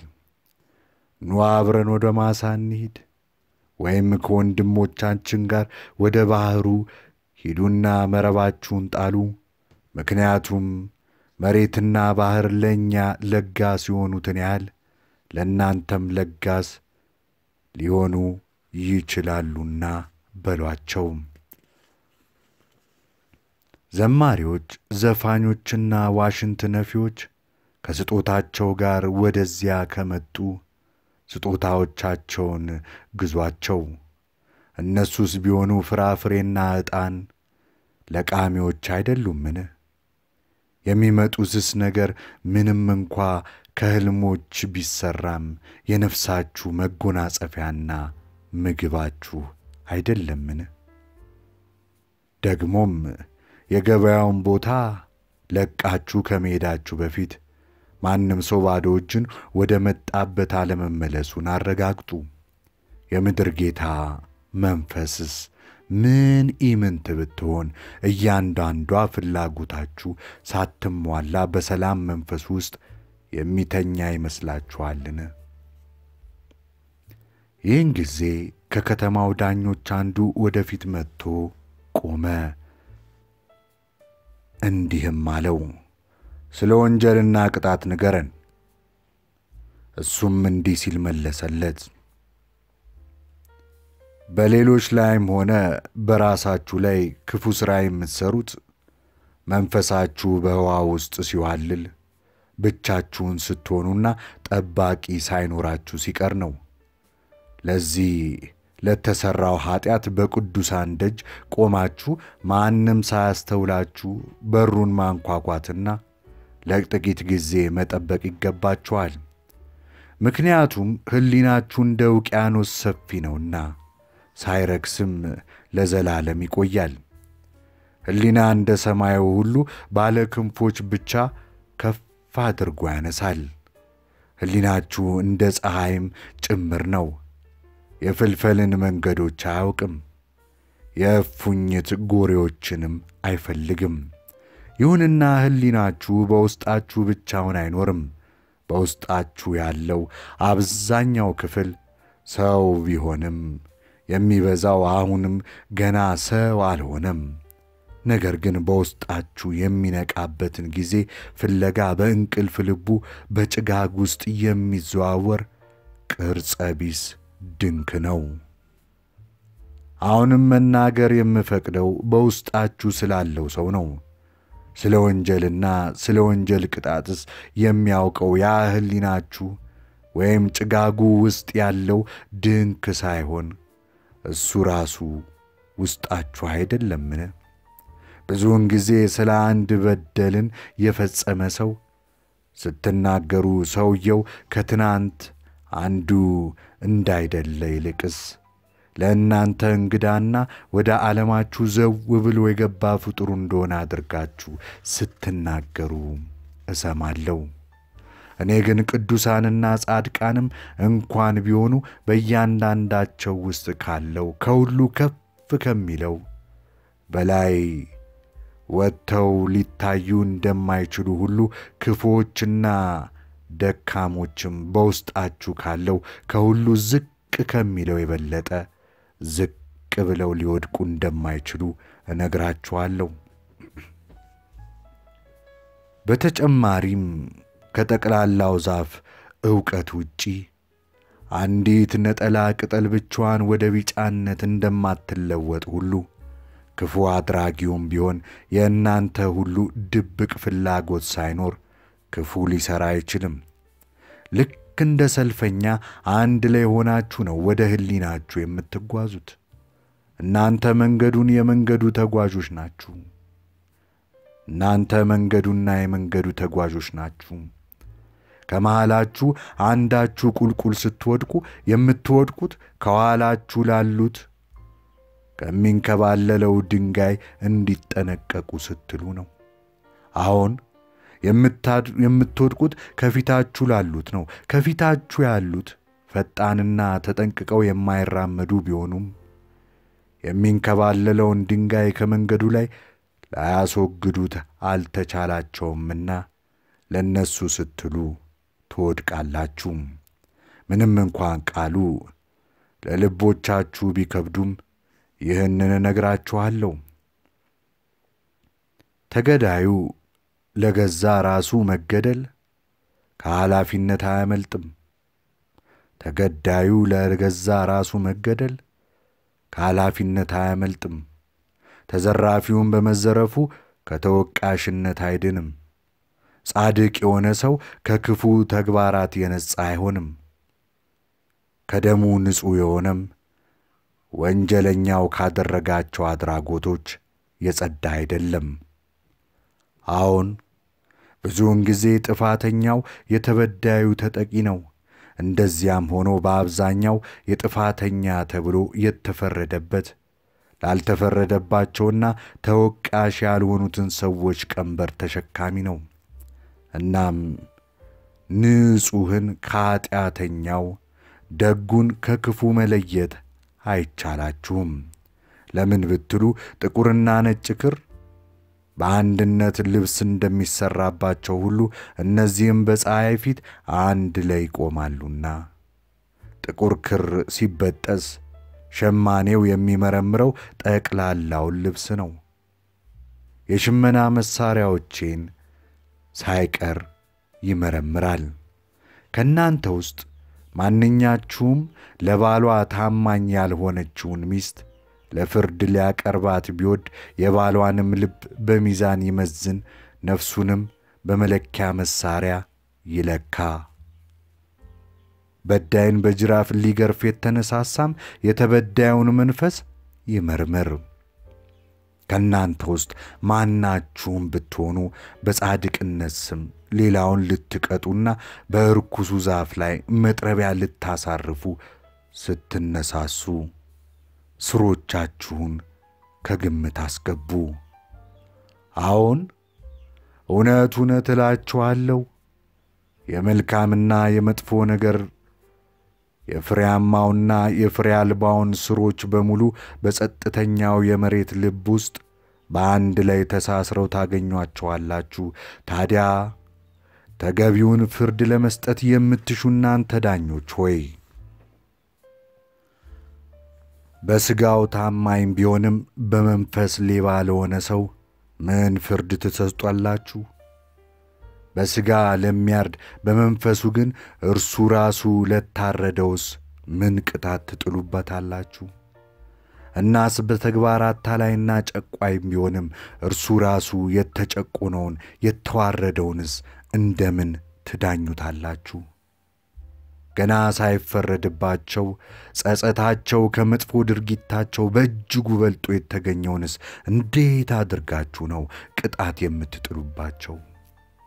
በአግባቡ እያገለገላችሁት የምትገኙት ያ ሕግ በራሱ የሚሰጠው ፍትሐዊ ብይንስ ጸጸት አይደለምን? እንደዚያም ሆኖ በንጹሐን ላይ ጸጸት ልታሳድሩ ወይም ከጥፋተኞች ልብ ላይ ጸጸት ነቅላችሁ ልታወጡ አይቻላችሁም። ሳይታዘዝ ከተፍ በሚለው ሌሊት ሰዎች ከእንቅልፋቸው ሲነቁና ራሳቸውን አተኩረው ሊመለከቱ ይችላሉና። ታዲያ እናንተ የቀን ደማቅ ብርሃን ባለበት ሁሉንም ድርጊት ካልተመለከታችሁ በስተቀር እንዴት ፍትሕን ልታውቁ ይቻላችኋል? አንድ ሰው ይቁምም ይውደቅም የምታውቁትስ በድንክዬ እሱነቱ አይደለምን? ደግሞስ የቤተ መቅደስ ማዕዘን ድንጋይ መሠረት ከታችኛው ድንጋይ የበለጠ ከፍ ያለ ይሆናልን? ከዚያን አንድ ጠበቃ አለው፣ መምህር ሆይ ስለ ሕጎቻችንስ ምን ትላለህ? እሱም እንዲህ መለሰ፣ ሕጎችን ስትደነግጉ ደስ ትሰኛላችሁ። ይበልጥ ደስ የምትሰኙት ግን ሕጎችን በመጣስ ነው። በውቅያኖስ ደረጃ ዳርቻ ላይ እየተጫወቱ በቀናነት የአሸዋ ግንቦችን እንደሚገነቡና በኋላም እየሳቁ እንደሚፈርስባቸው ሕፃናት ናችሁ። ነገር ግን የአሸዋ ግንቦቻችሁን ስትገነቡ ውቅያኖስ ተጨማሪ አሸዋ ወደ ዳርቻ ያመጣላችኋል። እየሳቃችሁ ስታፈርሷቸውም ውቅያኖሱ ይስቅባችኋል። እውነት እውነት እላችኋለሁ ውቅያኖስ ሁልጊዜም የሚስቀው ከንጹሕ ጋር ነው። ይሁንና ለእነዚህ ሕይወት ውቅያኖስ ላልሆነላቸው ሰው ሠራሽ ሕጎቿም የአሸዋ ግንብ ላልሆኑላቸውስ ነው ጥያቄው። ሕይወትን አለት ሕግን ደግሞ አለቱን እንደ የገዛ ምስላቸው እንደሚቀርጹበት መሮ የሚቆጥሩትስ ነው። ጨፋሪዎችን የሚጠሉት ሽባዎችስ? ቀንበሩን የሚያፈቅረውና የጫካን አጋዘን ሚዳቋን እንደ ልቅና አውደልዳይ የሚቆጥረው በሬስ? እርቃኑን መከለል ያልቻለውና የሌሎች እርቃናቸውን የቀሩ ኀፍረተ ቢስ ብሎ የሚጠራው ሽማግሌ ባብስ? ወደ ሰርጉ ድግስ ማልዶ ከደረሰ በኋላ ከልክ በላይ በልቶ ሲደክመውና ወደ ቤቱ ሲሄድ ድግሱ ሕገ ወጥ ተግባር፣ ደጋሾቹ ደግሞ ሕግን የጣሱ ሰዎች መሆናቸውን የሚለፈልፈውስ? እነዚህን ፀሐይ ላይ ቢቆሙም ጀርባቸውን ለፀሐይ ሰጥተው እንደቆሙ ከመናገር ሌላ ምን እላችኋለሁ? የሚያዩት ጥላቸውን ነው። ጥላዎቻቸውም ሕጎቻቸው ናቸው። ደግሞስ ጀንበር ጥላችን የምታጠላ ከመሆኗ ውጪ ለእነዚህ ምንድን ነች? ሕጎቹን ሲያጸድቁስ አጎንብሰው በመሬት ላይ ጥላዎቻቸውን ረሰሱ እንጂ ሌላ ምን አደረጉ? ይሁንና ፊታችሁን ወደ ፀሐይ አዙራችሁ የምትጓዙት እናንተ በመሬት ላይ ትኩረታችሁን የሚስብ ምን አይነት ምስል ሊሳል ይችል ይሆን? እናንተ ከነፋሱ ጋር የምትጓዙስ አቅጣጫችሁን የሚመራችሁ እንዴት ያለው የንፋስ አቅጣጫ ጠቋሚ ይሆን? ማንም ሰው የወይን ቤት በር አይሁን እንጂ ሰው የሌለበት የእስር ቤት ያህል የሆነባችሁን የራሳችሁን ቤት በር ብትሰብሩት የማን ሰብአዊ ፍጡር ሕግ ይጠይቃችኋል? የሰውን የብረት ሰንሰለቶች አይታችሁ ካወቃችሁ እንጂ ምንም የማታውቁ ጨፋሪዎች ብቻ ከሆናችሁ የትኞቹን ሕጎች ትፈራላችሁ? በማንም ሰው መተላለፊያ መንገድ ላይ ካልጣላችኋቸው በስተቀር ልብሶቻችሁን በመቅደዳችሁ ማን ለፍርድ ያቀርባችኋል? የኦርፋሌክስ ሕዝብ ሆይ ከበሮአችሁን ልታፍኑት በገናችሁን ክሮችም ልታላሏቸው ትችላላችሁ። ነገር ግን የሰማዩን ዘማሪ ወፍ እንዳይዘምር ሊያዘው የሚችል ማን ነው? አንደበተ ርቱዕነቱ የታወቀ አንድ ተናጋሪ እንዲህ አለ፣ ስለ ነጻነት ንገረን። እሱም እንዲህ ሲል መለሰ፣ በከተማው መግቢያ በርጋ እና ከምታነዱት እሳት ዳር ሆናችሁ ራሳችሁን ስትዘርሩ እና ለገዛ ራሳችሁ ነጻነት ስትሰግዱ ካየኋችሁ ቆይቻለሁ። ባሮች ከጨካኝ ገዢ ፊት ሲቆሙ ራሳቸውን ትሑት አድርገው እንደሚሽቆጠቆጡና ገዢ ቢያርዳቸውም እንኳ እንደሚያመሰግኑት ሁሉ እናንተም እንደዚያ ናችሁ። ከመካከላችሁ እነዚያ በቤተ መቅደስ ጓዳና በጨለማው ምሽግ ውስጥ ያሉትን እጅግ ነፃ ሰዎች እንኳን ሳይቀሩ ነፃነታቸውን እንደ ቀንበር ተሸክመውት እና እንደ እጅ ካቴና ታስረውበት አይቻቸዋለሁ። በዚህም ልቤ በውስጤ በእጅጉ ደምቷል። እናም ነፃነትን የመሻት ፍላጎታችሁ ልጓም እየሆነባችሁ ነፃነትን እንደ ግብና የመጨረሻ መድረሻ አድርጋችሁ ማሰብ እስካላቆማችሁ ድረስ ነፃ ልትሆኑ አትችሉም። ቀኖቻችሁን ያለ ሐሳብ ካሳለፋችሁ፣ ሌሊቶቻችሁንም ያለ ስጋት ከገፋችሁ በርግጥም ነፃ ትሆናላችሁ። ይሁንና እነዚህ ነገሮች ሕይወታችሁን ቢተበትቡትም ቢያራቁቷችሁም ከእነዚህ በላይ ወደ ላይ ወጥታችሁ ያለ ገደብ ከፍ ከፍ ማለት ትችላላችሁ። ታዲያ በማስተዋላችሁ ንጋት ላይ በቀትር ጊዜያችሁ ዙሪያ ያሰራችሁትን ሰንሰለት ሳትበጥሱ እንዴት አድርጋችሁ ከቀኖቻችሁና ከሌሊቶቻችሁ ባሻገር ከፍ ከፍ ልትሉ ይቻላችኋል? እውነት እውነት እላችኋለሁ ይህ ነፃነት ብላችሁ የምትቆጥሩት ምን ቀለበቶቹ በፀሐይ ብርሃን ቢያንጸባርቁም ዐይኖቻችንን ቢያጥበረብሩም ከእነዚህ ሰንሰለቶች ሁሉ የላቀውና ጠንካራው ነው። ደግሞስ ነፃ ትሆኑ ዘንድ የምታስወግዱት የገዛ ራሳችሁን ፍርፋሪ እንጂ ሌላ ምንድን ነው? ለመሰረዝ የምትፈልጉት ተገቢ ያልሆነን ሕግ ከሆነ ይህ ሕግ በገዛ እጆቻችሁ የገዛ ግንባሮቻችሁ ላይ ተጽፎ የነበረ ነው።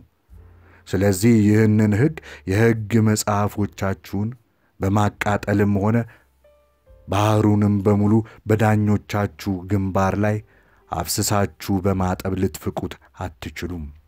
ከዙፋኑ የምታወርዱት አንድን ማን አለብኝ ባይን ከሆነም መጀመሪያ በውስጣችሁ የነገሰው የእሱ ዙፋን መወገዱን ይው። አንድ ጨቋኝ ገዢስ ቢሆን ነፃና ኩሮዎችን በገዛ ነፃነታቸው ውስጥ ባለው የተጨቋኝነት መንፈስና በገዛ ክብራቸው ውስጥ ባለው የኮሳሳነት ስሜት ካልሆነ በስተቀር እንዴት አድርጎ ሊገዛቸው ይቻለዋል?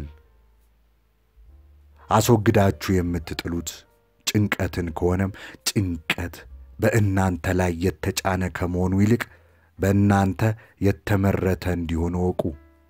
ነቅላችሁ ልታስወጡት የምትሹት ፍርሃትን ከሆነ ፍርሃታችሁ መንበርን በልባችሁ ውስጥ ነው እንጂ በምትፈሯቸው እጆች ውስጥ አይደለም። እውነት እውነት እላችኋለሁ የምትናፍቁትም ሆነ የምትሰጉት የምትሰጡትም ሆነ ከፍተኛ ዋጋ የምትሰጡት የምትከተሉትም ሆነ የምትሸሹት ብቻ ሁሉም ነገር በከፊል በእቅፋችሁ ውስጥም ሆነ ያለማቋረጥ በሕሊናችሁ ውስጥ እንደሚመላለሱ ተረዱ።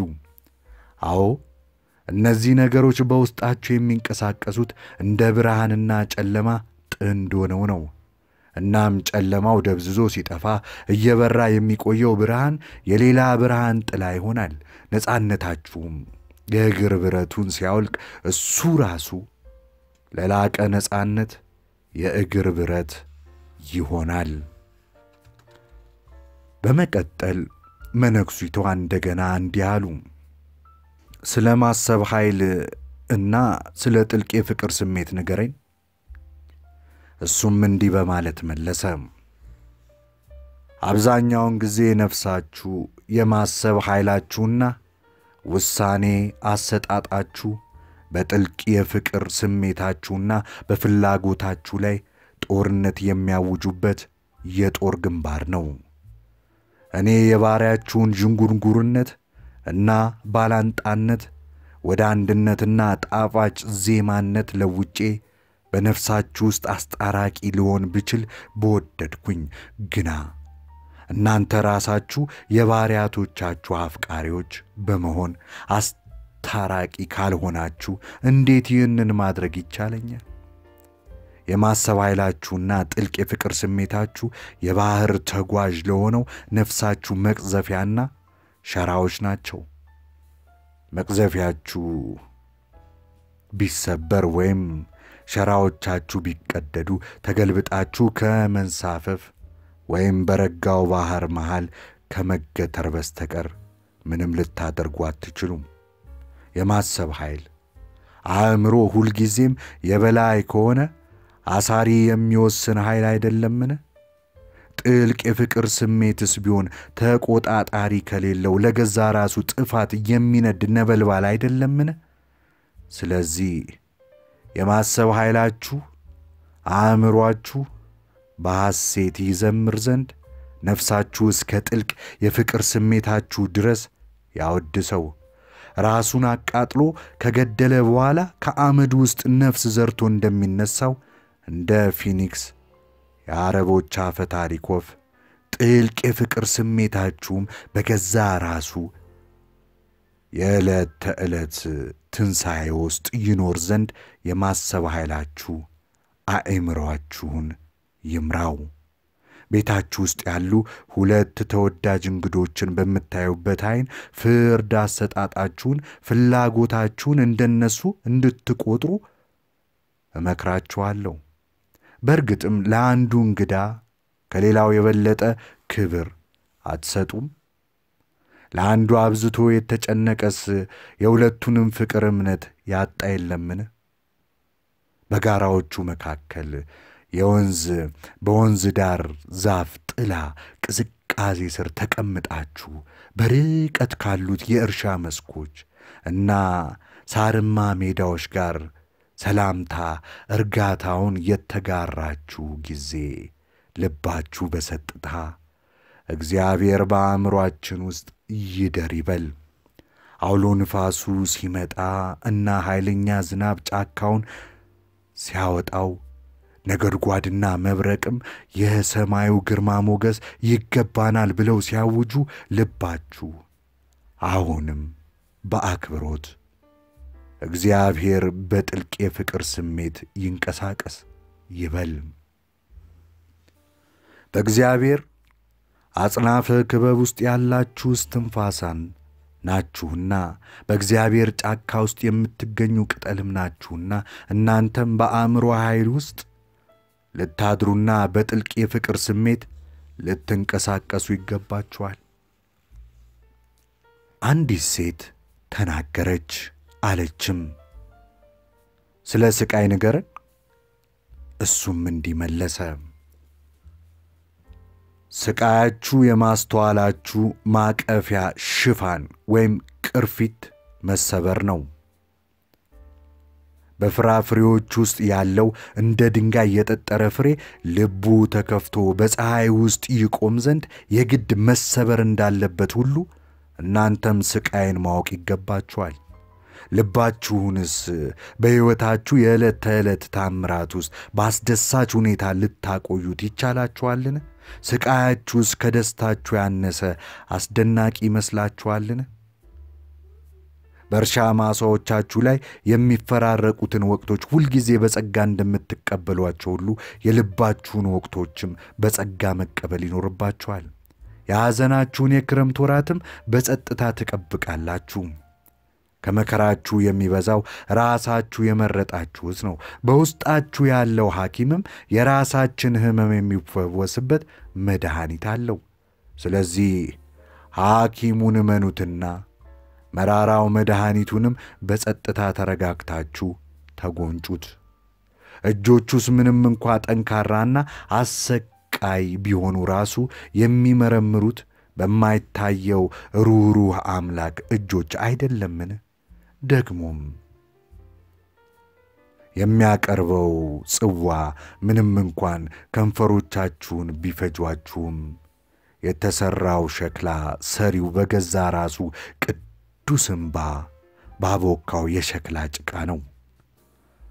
እውነቱን አግኝቼዋለሁ ሳይሆን አንድ እውነት አግኝቻለሁ በሉ። አንድ ሰውዬም አለ፣ ስለ የራስ ዕውቀት ንገረን።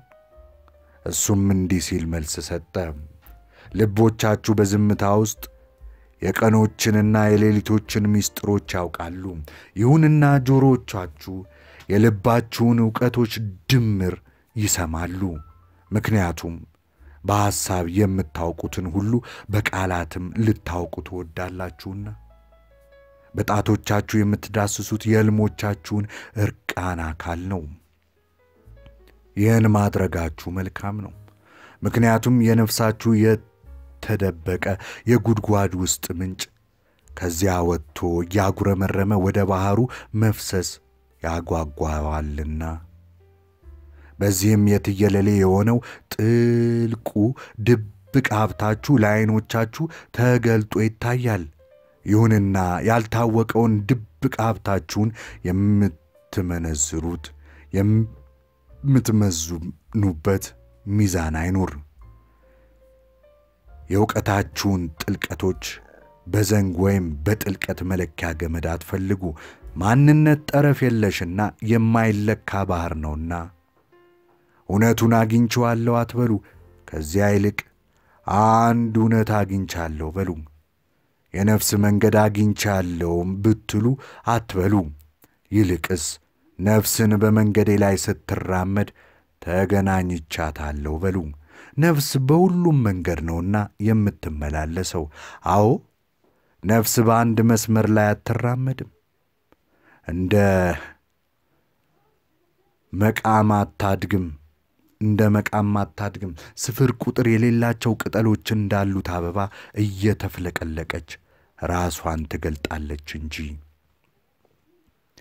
በመቀጠል አንድ መምህር ተናገረ። ስለ ማስተማር ንገረን አለው። እሱም እንዲህ አለ። ማንም ሰው ቢሆን ገና ድሮ በእውቀታችሁ መክፈቻ ንጋት ላይ በከፊል እያንቀላፋ ተጋድሞ ካለው በስተቀር ሌላ ምንም ነገር ሊገልጥላችሁ አይቻለውም።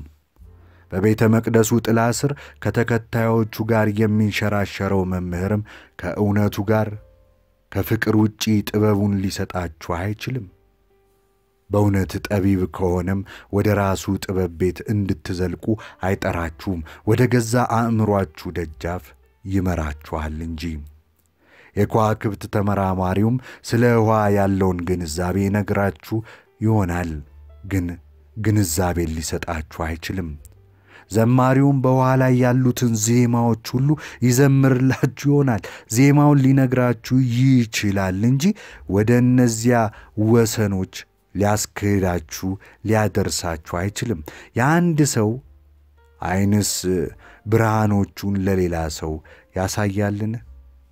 እናም በእግዚአብሔር ዕውቀት ውስጥ እያንዳንዳችሁ ለየብቻ እንደምትቆሙት ሁሉ ስለ እግዚአብሔር ባላችሁ ዕውቀትና ስለ ዓለም ባላችሁ ግንዛቤ ውስጥም ለየብቻችሁ መቆም ይገባችኋል። አንድ ወጣት ጠየቀ፣ ስለ ጓደኝነት ንገረን። እሱም እንዲህ በማለት መለሰ፣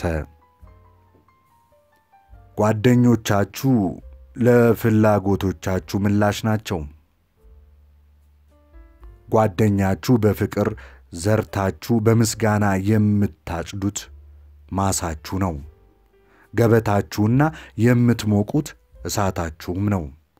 በራባችሁ ጊዜ ወደ እሱ የምትሄዱትን ያህል በሰላም ጊዜስ አትፈልጉትምን?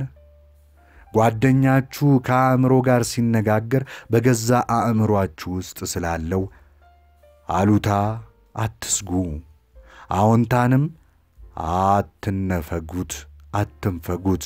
ዝም ባለ ጊዜ ልባችሁ ምኞታችሁን፣ ተስፋችሁን ሁሉ ቃላትን መጠቀም ሳያስፈልግ ያለ ሆታና ጭብጨባ ተወልደው በወዳጅነት የምትጓሯቸው ነገሮች ናቸው። ከጓደኛችሁ ስትለያዩ አትዘኑ።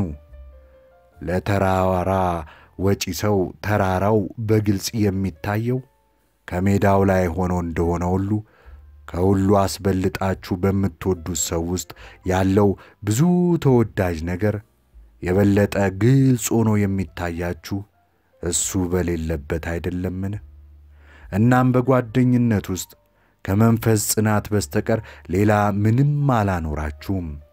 የገዛ ራስን ምስጢር ምኞት ለመፍታት ከመሻት በስተቀር ሌላን የማይፈልግ ፍቅርስ ዋጋ ቢስ ነገሮችን ብቻ ለማጥመድ ወደ ባሕር የተወረወረ መረብ እንጂ ፍቅር ሊሆን ይችላልን? ደግሞም ለጓደኛችሁ የተቻላችሁን ያህል መልካም ሁኑለት። የልባችሁን ባሕር የማዕበል ሞገድ ማወቅ ካለበት የውሃ ሙላቱን ጎርፍንም ጭምር ይወቅ። በጣረ ሞት በመቀበሪያ ጊዜ ልትፈልጉ የሚገባችሁ የቱን ጓደኛችሁን ነው ነው ጥያቄው። ሁልጊዜም በፍስሐ በሕይወት ጊዜያት ፈልጉት። ባዶነታችሁን ሳይሆን ፍላጎታችሁን መሙላት የሚገባ እሱ አይደለምን? በጓደኝነት ጣፋጭ ጊዜያት ውስጥ ሳቅና ደስታን መጋራት ይኑር።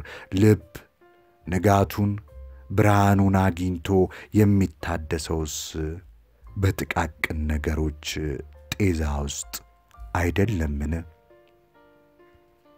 ከዚህ ቀጥሎ አንድ ሊቅ ተናገረ። ስለ ንግግር ንገረን። እሱም እንዲህ ባለት መለሰ። የምትናገሩት ከሐሳባችሁ ጋር ሰላም መፍጠር ሲያቅታችሁ ነው። በልባችሁ ውስጥ ባለው ጭር ያለ ስፍራ መኖር ሳትችሉ ስትቀሩ በከናፍሮቻችሁ ውስጥ ትኖራላችሁ። ንግግርም አቅጣጫን የሚያዛንፍ ጊዜ ማሳለፊያና መደሰቻ ድርጊት ነው። እናም በአብዛኛው ንግግራችሁ፣ ወሬያችሁ ውስጥ የማሰብ ችሎታችሁ በከፊል ይሞታል። ሐሳብም በውኃ ላይ እንደምትበር ወፍ አይደለችምን? በፍርግርግ ብረት በተሠራ የቃላት መረብ ውስጥ ከተዘጋባትስ ክንፎቿን ትዘረጋ እንደሆነ እንጂ ልትበር ይቻላታልን? በእናንተ መካከል ለብቻቸው መሆንን በመፍራት ወሬኞችን የሚፈልጉ አሉ። ምክንያቱም የብቸኝነት ጸጥታ ለዐይኖቻቸው ዕርቃኑን የቀረውን ራሳቸውን አጋልጦ ያሳያቸዋልና ሁሌም ከእሱ ለመሸሽ ይፈልጋሉ። ደግሞም ሳያውቁት ወይም ቀደም ብለው ሳያስቡት የሚያወሩና በዚህ ንግግራቸው ራሳቸው እንኳን የማያውቁትን እውነት ገልጠው የሚያሳዩም አሉ። በውስጣቸው እውነትን የያዙ ነገር ግን በቃላት የማይናገሩትም አሉ። እንደዚህ ባሉት ሰዎች ልብ ውስጥ የእውነት መንፈስ ዜማ በሚደረድር ትርታዊ ጸጥታ ውስጥ ይኖራል። ጓደኞቻችሁን በመንገድ ዳር ወይም በገበያ ቦታ ስታገኟቸው ውስጣቸው ያለው መንፈስ ከናፍራችሁን ያንቀሳቅሳል። ምላሳችሁን ይምራ፣ ድምፆቻችሁ ድምፅም ለጆሮአቸው ጆሮ ይናገር። የወይን ጣዕም እንደሚታወስ ሁሉ የጓደኞቻችሁ ነፍስ በልባችሁ እውነት ጠልቆ ይቆያል አይደለምን? ቀለሙ፣ ጣዕሙ በተረሳ ጊዜ ግን ዕቃውም አይታወስም። አንድ የከዋክብት ተመራማሪ እንዲህ አለ። መምህር ሆይ ስለ ጊዜስ ምን ትለናለህ? እሱም እንዲህ አለ። መለኪያ የሌለውንና ሊለካ የማይችለውን ጊዜ መለካት ትወዳላችሁ። እንደየጊዜያቱና ወቅቶቹም ጠባያችሁን፣ ተግባራችሁን ትቀያይራላችሁ። ሌላው ቀርቶ የመንፈሳችሁንም አቅጣጫ እንኳ ልትመሩ ትሻላችሁ። ጊዜን ከዳር ተቀምጣችሁ አፈሳሰሱን እንደምታስተውሉት ጅረት ታደርጉት ዘንድ ትመኛላችሁ።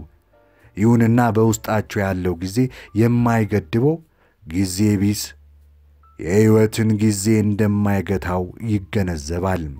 ደግሞም ትናንት የዛሬ ትዝታ እንጂ ሌላ ለመሆኑን ነገ የዛሬ ሕልም እንጂ ሌላ ምንም እንዳልሆነ ያውቃል።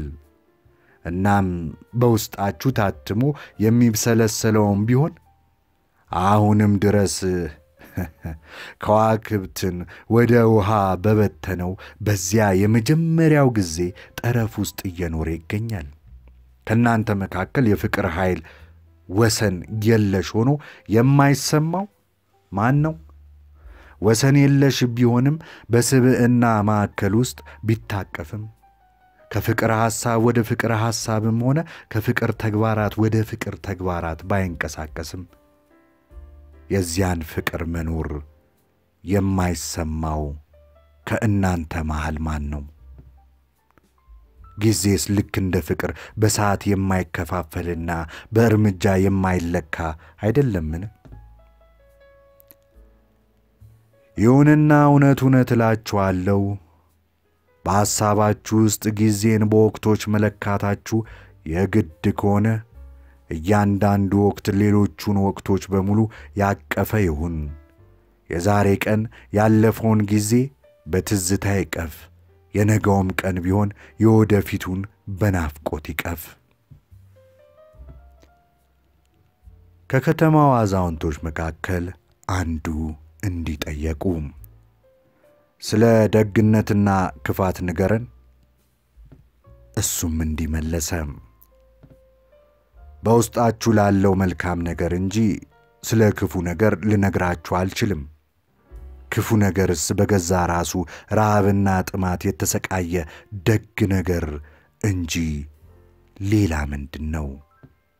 እውነት እውነት እላችኋለሁ መልካም ነገር ሲራብ በጨለማዎቹ ዋሻዎች ውስጥ እንኳን ቢሆን ይጠጣል። እናንተ ከገዛ ራሳችሁ ጋር ስትስማሙ ነው ደግ የምትሆኑት። ይሁንና ከገዛ ራሳችሁ ጋር ያልተስማማችሁ ብትሆኑ ክፉ አይደለምን? መቅዘፊያ ወይም አቅጣጫ መሪ የሌለው መርከብስ ቢሆን የሚሄድበትን ለይቶ ሳያውቅ በአደገኛ ደሴቶች መካከል ይዋልል ይሆን እንደሆነ እንጂ ቁልቁል ወደ ጥልቅ ባሕር አይሰምጥም። መልካም የምትሆኑት የገዛ ራሳችሁን ጥቅም አሳልፋችሁ ለመስጠት ስትጥሩ ነው። ሆኖም ለራሳችሁ ጥቅም ወይም ትርፍ ለማግኘት በፈለጋችሁ ጊዜም ቢሆን ክፉዎች አይደላችሁም። ጥቅም ለማግኘት ስትጣጣሩ ከመሬት ጋር ተጣብቃችሁ የመሬትን ጡት የምትጠቡ ስሮች ሆናችሁ እንጂ ሌላ ምን ሆናችሁ? በእውነት ፍሬው ለስሩ እንደ እኔ በስለት እደግና ዝንተ ዓለም አትረፍርፈ ስጥ ሊለው አይችልም። ምክንያቱም የፍሬው ፍላጎት መስጠት እንደሆነ ሁሉ የስሩ ፍላጎት ቢሆን መቀበል አይደለምን? በምትናገሩበት ጊዜ ሙሉ በሙሉ ንቁ ከሆናችሁ መልካም ናችሁ። ምላሳችሁም ያለ ምክንያት በዘፈቀደ እየተንተፋተፈ በመተኛታችሁ ክፉዎች አይደላችሁም። በዚህ ላይ የሚደነቃቀፍ ንግግርም እንኳን ቢሆን ደካማ ምላስን ሊያጠናክር ይችላል። ቀጥ ባለ ደፋር እርምጃና በእርግጠኝነት በተሞላ ጽናት ወደ ግባችሁ ስትራመዱ መልካም ናችሁ። እያነከሳችሁ ወደ ሌላ አቅጣጫ ብትሄዱም ክፉዎች አይደላችሁም። የሚያነክሱትም እንኳ ወደ ኋላ አይሄዱም። ይሁንና ብርቱና ፈጣን የሆናችሁት እንደ ቸርነት ቆጥራችሁት ከሽባዎች ፊት እያነከሳችሁ አትሂዱ። ስፍር ቁጥር በሌላቸው መንገዶች መልካሞች ናችሁ። መልካም ባለመሆናችሁ ክፉዎች አትሆኑም። የምትሆኑት ሰነፍና ቀውላሎች ዳተኞች ነው የምትሆኑት። አጋዘኖች ለኤሊዎች ፍጥነት ማስተማር አለመቻላቸው ያሳዝናል። መልካምነታችሁ ያለው ግዙፉን እናንተነታችሁን በመናፈቅ ውስጥ ነው። የናፍቆትም በሁላችሁ ውስጥ አለ።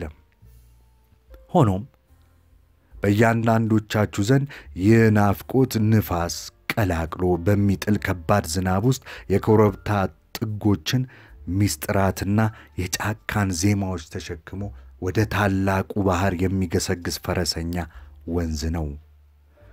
በሌሎቻችሁ ውስጥ ደግሞ ይህ ናፍቆት መፍሰስ አቅቶት በየጥጋ ጥጉ የሚቀር ወይም ወደ ዳርቻው ለመድረስ እጅግ የሚንቀራፈፍ የረጅም ጅረት ደለል ነው።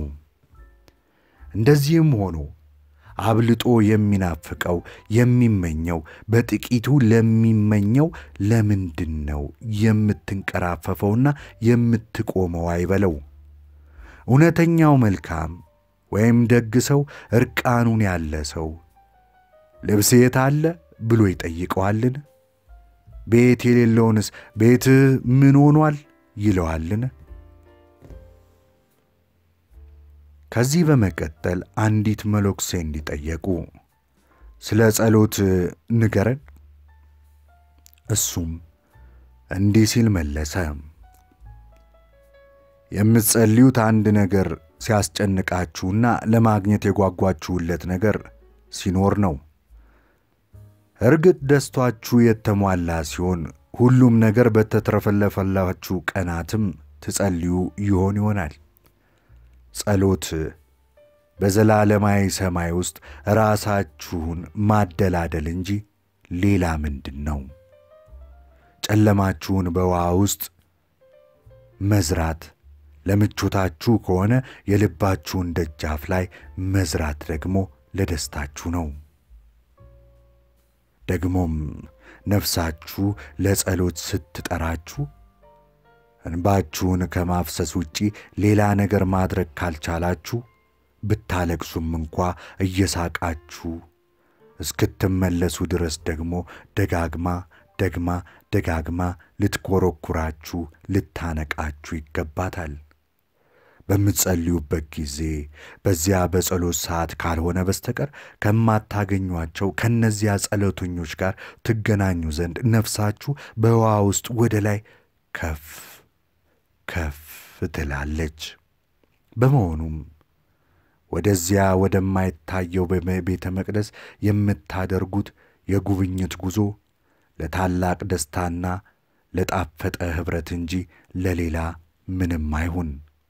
ወደ መቅደሱ መዝለቅ ያለባችሁ የማትቀበሉትን ለመጠየቅ ካልሆነ በስተቀር ምንም ዓላማ የሌለው እንኳን ቢሆን ወይም ወደዚያ መዝለቅ ያለባችሁ ከፍ ከፍ ሳትሉ ራሳችሁን በትሕትና ዝቅ ለማድረግ ከሆነ አሊያም ወደ መቅደሱ ውስጥ መዝለቅ ያለባችሁ ጸሎታችሁ ባይሰማ እንኳ ለሌሎች መልካም ነገርን በጎነትን ለመመኘት ቢሆን ብቻ ወደማይታየው ስውሩ ቤተ መቅደስ መግባታች በራሱ በቂ ነው።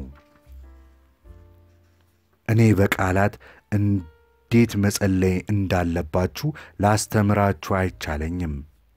እሱ እግዚአብሔር ራሱ ቃላቶቻችሁን በከናፍሮቻችሁ በኩል ሲናገር ካልሆነ በስተቀር ቃላቶቻችሁን አያዳምጥም። የባሕሮቹን፣ የጫካዎቹን፣ የተራሮቹን ጸሎት ላስተምራችሁ አልችልም። እናንተ ከተራሮቹ፣ ከጫካዎቹ፣ ከባሕሮቹ የተወለዳችሁት ግን ጸሎታችሁን በልባችሁ ውስጥ ልታገኙት ትችላላችሁ። እናም በሌሊቱ እርጭታ ውስጥ ጸጥታ ውስጥ ብታዳምጡ በጸጥታ ውስጥ እንዲህ ሲሉ ትሰሟቸዋላችሁ። የባለ ክንፉኛነታችን ጌታ የሆንክ አምላክ ሆይ በውስጣችን ያለው ፍላጎታችን የሚፈቅደው የውስጣችንን ፍቃድህን ነው። በውስጣችን ያለው ከፍተኛ ምኞትም የአንተ ምኞት ነው። የአንተ የሆኑትን የእኛ ሌሊቶች የአንተ ወደ ሆኑት ቀናት የሚለውጠውም በውስጣችን ያለው የአንተ አነሳሽነት ነው። እኛም አንተን ምንም ነገር ልንጠይቅህ አይቻለንም። አንተ ፍላጎቶቻችንን በእኛ ውስጥ ከመወለዳቸው በፊት ታውቃቸዋለህና ፍላጎታችን አንተ ነህ። ራስህን በይበልጥ በመስጠትህም ሁሉንም ትሰጠናለህ ይሏችኋል። ከዚያም ከተማውን በየዓመቱ አንድ ጊዜ እየመጣ የሚጎበኝ ባህታዊ ወደ ፊት መጣ። እንዲህም አለ፣ ስለ ደስታ ንገረን። እሱም እንዲህ መለሰ፣ ደስታ የነጻነት መዝሙር ነው። ይሁንና በራሱ ነጻነት አይደለም። የጽኑ ምኞቶቻችሁ ማበብ መፍካት ነው። ግን ደግሞ የፈኩት ያበቡት ምኞቶቻችሁ ፍሬ አይደሉም፣ ፍሬም አይደለም። የጽኑ ምኞቶቻችሁ ማበብ መፍካት ነው። ግን ደግሞ የፈኩት ያበቡት ምኞቶቻችሁ ፍሬ አይደለም። ወደ ከፍታ የሚጣራ ጥልቀትም ነው ደስታ። ይሁንና ጥልቀቱንም ሆነ ከፍታውን አይደለም። በፍርግርግ ብረት በተሠራ ጎጆ ውስጥ የተያዘና የሚዘረጋ ክንፍም ነው። ነገር ግን የታሰረ ስፍራ አይደለም፣ የታጠረም ቦታ አይደለም። አዎን በእውነት ደስታ የነጻነት መዝሙር ነው። በልበ ሙሉነት እንድትዘምሩ ትመኝላችኋለሁ። እንደዚያም ሆኖ ግን በመዘመር ልቦቻችሁን እንድታጡ አልመኝም። ከወጣቶቻችሁ አንዳንዶቹ ደስታን ሁሉን ነገር እንደሆነ አድርገው በመቁጠር በብርቱ ያስሱታል። በዚህም ይወቀሳሉ፣ ይኮነናሉ። እኔ ግን አልፈርድባቸውም፣ አልገስጻቸውምም። የበለጠ እንዲፈልጉት አደርጋቸዋለሁኝ እንጂ እነሱ ደስታን ያገኟታል። የሚያገኟት ግን ብቻዋን አይደለም፣ ሰባት እህቶች አሏትና ከሁሉም በዕድሜ ትንሿ ከደስታ ከራሱ እንኳን በጣም ውብ ነች።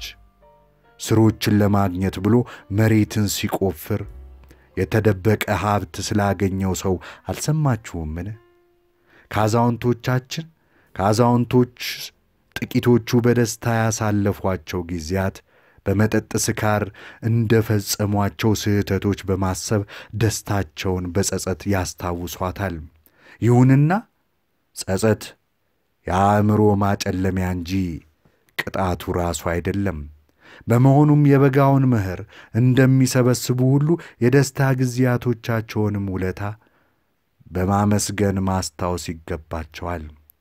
እንደዚያም ሆኖ መጸጸት መጽናናት የሚሰጣቸው ከሆነ ይጽናኑ፣ ተዋቸው። ደግሞም በመካከላችሁ ደስታን ለመፈለግ እጅግ ወጣት የሆኑና ለማስታወስም ዕድሜያቸው የገፋባቸው አሉ። መንፈሱን እንዳይንቁ ወይም እንዳይበድሉ ሲያስቡ በሚያድርባቸው ኃይለኛ ፍርሃት የተነሳ ደስታን ለመፈለግም ሆነ ለማስታወስ አይሹም። የደስታ ጊዜያትንም በሙሉ ይሸሻሉ። ይሁንና ከዚህ በፊት ባለፉት ሕይወታቸው ውስጥ ደስታቸው አለ። ደግሞም እነሱም ቢሆኑ የሚንቀጠቀጥ እጆቻቸው ስሮቹን ለማግኘት መሬት ቢቆፍሩ የተደበቀ ሀብትን ያገኛል። የሆነስ ሆነና ንገሩን እስኪ ማን ነው እሱ መንፈሱን ቅር ሊያሰኝ የሚችል?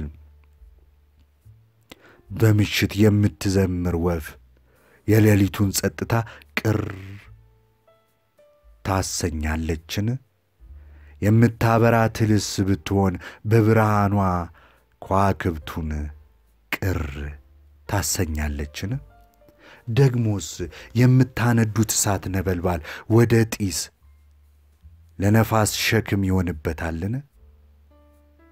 መንፈሱንስ ልክ በዘንግ ልታውኩት እንደምትችሉ የረጋ የገንዳ ውሃ ይመስላችኋል? አብዛኛውን ጊዜ ለራሳችሁ ደስታ በመንፈጋችሁ ጽኑ ፍላጎቶቻችሁን በስብዕናችሁ ጓዳዎች ውስጥ ታከማቻላችሁ እንጂ ሌላ ምንም ነገር አታደርጉም። ዛሬ የተረሳ የመሰለን ነገር ይጠብቅ እንደሆነስ ማን ያውቃል? አካላችሁም እንኳ ቢሆን ውርሱንና ሕጋዊ ፍላጎቱን ያውቃልና አይታለልም። አካላችሁ የነፍሳችሁ ክራር ነውና። እናም ከውስጡ ጣፋጭ ጣዕመ ዜማ ወይም አዋኪ ድምፆችን ይዞ እንዲወጣ ማድረግ የእናንተ ፋንታ ነው። አሁን እንግዲህ በልባችሁ በደስታ ውስጥ መልካም የሆነውን መልካም ካልሆነው እንዴት እንለያለን ብላችሁ ጠይቁ። ወደ እርሻ መሬታችሁ፣ ወደ አትክልት ስፍራችሁ ሂዱ። እዚያ ከአበቦች ማር መሰብሰብ ለንብ ደስታን እንደሚሰጣት ትማራላችሁ። አበባውም ቢሆን ለንቧ ማሩን በመስጠቱ ደስታን እንደሚያገኝ አስታውሱ። ለንቧ አበባ የሕይወት ምንጯ ነው። ለአበባው ደግሞ ንቡ የፍቅር መልእክተኛው ነች። እናም ለንቧም ሆነ ለአበባው ደስታን መስጠትና መቀበል መሠረታዊ ፍላጎቱና ታላቅ ትፍስህት ነው። የኦርፋሌስ ሕዝቦች ሆይ እንደ አበቦቹና እንደ ንቦቹ ሁሉ ደስ በሚሏችሁ ተግባራት ውስጥ ደስ እየተሰኛችሁ ኑሩ። አንድ ባለቅኔም እንዲህ ጠየቀ፣ ስለ ውበት ንገረን። እሱም እንዲመለሰ ውበትን የምትፈልጓት የት ነው? እሷ መንገድና መሪ ካልሆነቻችሁስ በስተቀር እንዴት ታገኟታላችሁ? ደግሞስ እሷ የንግግራችሁ ሸማኔ ካልሆነች በስተቀር እንዴት ስለ እሷ ትናገራላችሁ? የተበደሉና የቆሰሉት ውበት ደግና ቸር ነች። በራሷ ግርማ ሞገስ መጎናጸፍ በከፊል እንደምታፍር በካር እናት በመካከላችን ትዘዋወራለች ይላሉ። የጋለ ስሜት ያላቸው ደግሞ አይ ውበት ኃይልና አስፈሪ ነገር ነች። ልክ እንደ ኃይለኛ ንፋስ ምድርን ከስራችን ሰማይን ደግሞ ከላያችን ትንጣቸዋለች ይላሉ። የተዳከሙና የዛሉት ደግሞ ውበት ለስላሳ ሹክሹክታ ናት፣ መንፈሳችንንም በእርጋታ ታነጋግረዋለች። ድምጿም ጨለማውን ፈርቶ ድንግዝግዝ እንደሚል ብርሃን በጸጥታዎቻችን ውስጥ ይሸጎጣል ይላሉ። ይሁንና ቁንጥንቶች በተራሮቹ መሃል ስትጮ ሰምተናታል። ከጩኸቷ ጋር አብሮ የሸኮናዎች ፍትጊያ ድምፅ፣ የክንፎች ማራገብና የአንበሶች ግዛት ይሰማል ይላሉ። የከተማው የሌሊት ዘበኞች ውበት ከንጋት ፀሐይ ጋር በምስራቅ በኩል ትወጣለች ይላሉ። ቀትርም ላይ ለፍቶ አዳሪዎች መንገድ ሂያጆች ፀሐይ ስትጠልቅ በመስኮቶቻቸው በኩል ወደ መሬት አጎንብሶ ስታጮልቅ አይተናታል፣ አጎንብስ አይተናታል ይላሉ። በክረምት ወራት የበረዶ ክምር መንገድ የከለላቸው ደግሞ ከጸደይ ወራት ጋር በጋራዎቹ ላይ እየዘለለች ትመጣለች ይላሉ። በሞቃቶች የበጋ ወራት አጫጆቹ ከመኸር ወራት ቅጠሎቹ ጋር አብራ ስትጨፍር አይተናታል። ከጸጉሯ ላይም ደቃቅ በረዶ ሽንፍር ይረግፍ ነበር ይላሉ። አዎን ስለ ውበት እነዚህን ሁሉ ነገሮች ብላችኋል። ሆኖም ስላልተሟሉ ምኞቶቻችሁ እንጂ ስለ እሷ አለመናገራችሁ እውነት ነው። ምክንያቱም ውበት ፍላጎት ሳትሆን ታላቅ ሐሴት ናት። የተጠማች አፍ ወይም ወደፊት የተዘረጋች ባዶ እጅም አይደለችም። ይልቁንስ የነደደች ልብና በደስታ የተዋጠች ነፍስ ናት። በዐይናችሁ የምታዩት ምስል ወይም በጆሮአችሁ የምትሰሟት ዝማሬ አይደለችም። ዐይኖቻችሁን ጨፍናችሁ የምታዩት ምስልና ጆሮአችሁን ዘግታችሁ የምትሰሟት መዝሙር ነች እንጂ በተቦረቦረ ግንድ ውስጥ ያለች የእጽዋት ፈሳሽ ውሃ ወይም ከወፍ ጥፍር ጋር የተጣበቀች ክንፍ አይደለችም። ዘላለም የምትፈካ አጸድ እና ዘላለም እየበረረች ያለች የመላእክት መንጋ ነች እንጂ። የኦርፋሌስ ሕዝብ ወይ ውበት የቅዱስ ፊቷን ዐይነ ርግብ ገልጣ የምታሳይ ሕይወት ነች። እናንተም ሕይወት ናችሁ፣ ዐይነ ርግቧም እናንተ ናችሁ። ውበት የገዛ ራሷን በመስታወት ውስጥ አተኩራ የምትመለከት ዘላለማዊ ሕይወት ናት።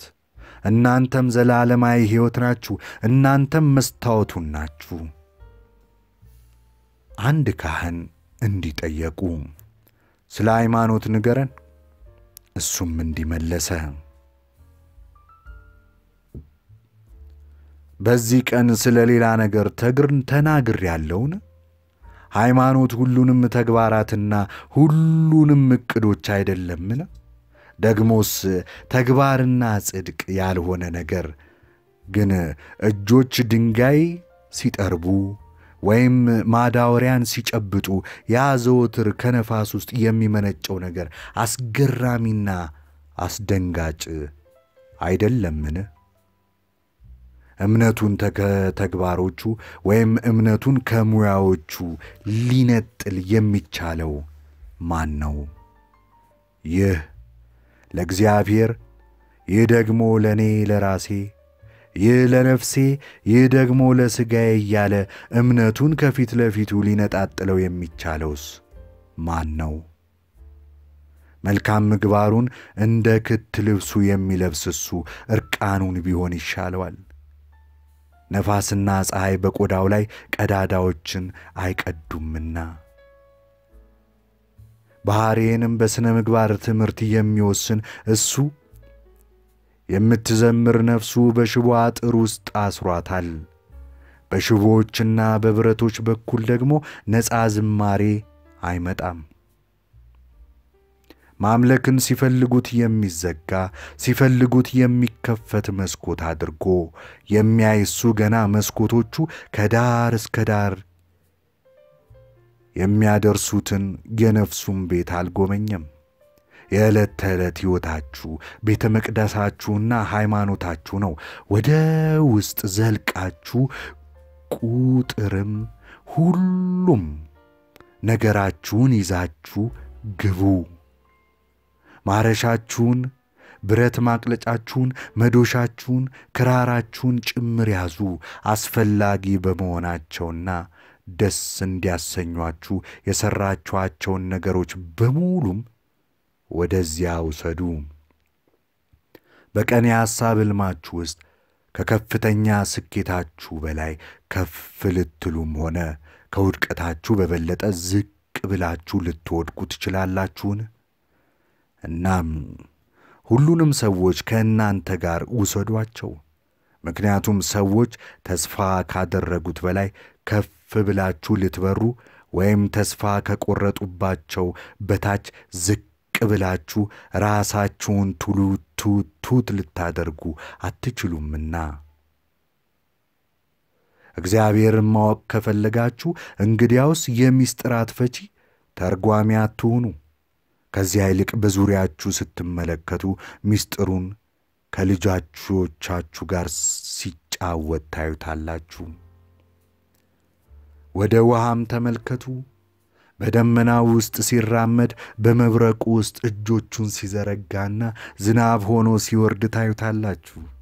ሲነሳና በዛፎች ውስጥ ሆኖ እጆቹን ሲያውለበልብላችሁ ታዩታላችሁ። ከዚያ አልሚትራ ተናገረች አለችም፣ አሁን ደግሞ ስለ ሞት ልንጠይቅህ እንወዳለን። እሱም እንዲመለሰ ስለ ሞት ምስጢር ማወቅ ትሻላችሁን? ይሁንና በሕይወት ልብ በሕልውና ውስጥ ካልፈለጋችሁት በቀር እንዴት ታገኙታላችሁ? የሌሊት ጨለማ የማይበግራቸው ነገር ግን በቀን ብርሃን የሚታወቁ ዐይኖች ያሏት የብርሃን ምስጢር እንዴት አድርጋ ልትገልጥ ይቻላታል? በእርግጠኝነት የሞት መንፈስ ካያችሁት ለሕይወት አካል ልባችሁን በሰፊ ክፈቱ። ወንዝ ባሕር አንድ እንደሆኑ ሁሉ ሕይወትና ሞትስ አንድ አይደሉምን? በተስፋዎቻችሁና በፍላጎቶቻችሁ ጥልቀት ውስጥ ከዚያ ባሻገር ያለው የወዲያኛው ጸጥተኛው ዕውቀታችሁ ይገኛል። ከደቃቅ በረዶ ስር ሆነው እንደሚያልሙ አዝዕርት ልባችሁም ስለ ጸደይ ወራት ያልማል፣ ይናፍቃል። በእነሱ ውስጥ ወደ ዘላለማዊ ሕይወት የሚያስገባው በር ተደብቆ ይገኛልና ሕልሞቻችሁን እመኗቸው። ሞትን መፍራታችሁ ለክብሩ ሲል የወይራ ቅጠል ዘውድ በራሱ ላይ በሚጭንበት ንጉሥ ፊት እንደሚርገደገድ እረኛ መሆናችሁ እንጂ ሌላ ምንም አይደለም። እረኛው የንጉሡን ምልክት ሊሸከም በመሆኑ የሚንቀጠቀጠው አካሉ ስር ደስተኛ አይደለምን? እንደዚያም ሆኖ ታዲያ የሰውነቱ መንቀጥቀጥ ይበልጥ ይሰማው ያስጨንቀው የለምን? ደግሞስ መሞት ዕርቃንን ሆኖ በንፋስ ውስጥ መቆምና በፀሐይ ውስጥ መቅለጥ እንጂ ሌላ ምንድን ነው? መተንፈስን ማቆምስ ቢሆን እስትንፋስ ወደ ላይ ወጥቶ በመስፋፋት ያለምንም እገዳ እግዚአብሔርን ይፈልግ ዘንድ ኀፍረት ከሌላቸው ከውካታና ከማዕከሎቹ ነፃ እንዲወጣ ማድረግ እንጂ ሌላ ምንድን ነው? በእርግጠኝነት የምትዘምሩት ከጸጥታ ወንዝ ቀርታችሁ ስትጠጡ ብቻ ነው። እናም ከተራራው አናት ላይ ስትደርሱ የዚያን ጊዜ ወደ ተራራው መውጣት ትጀምራላችሁ።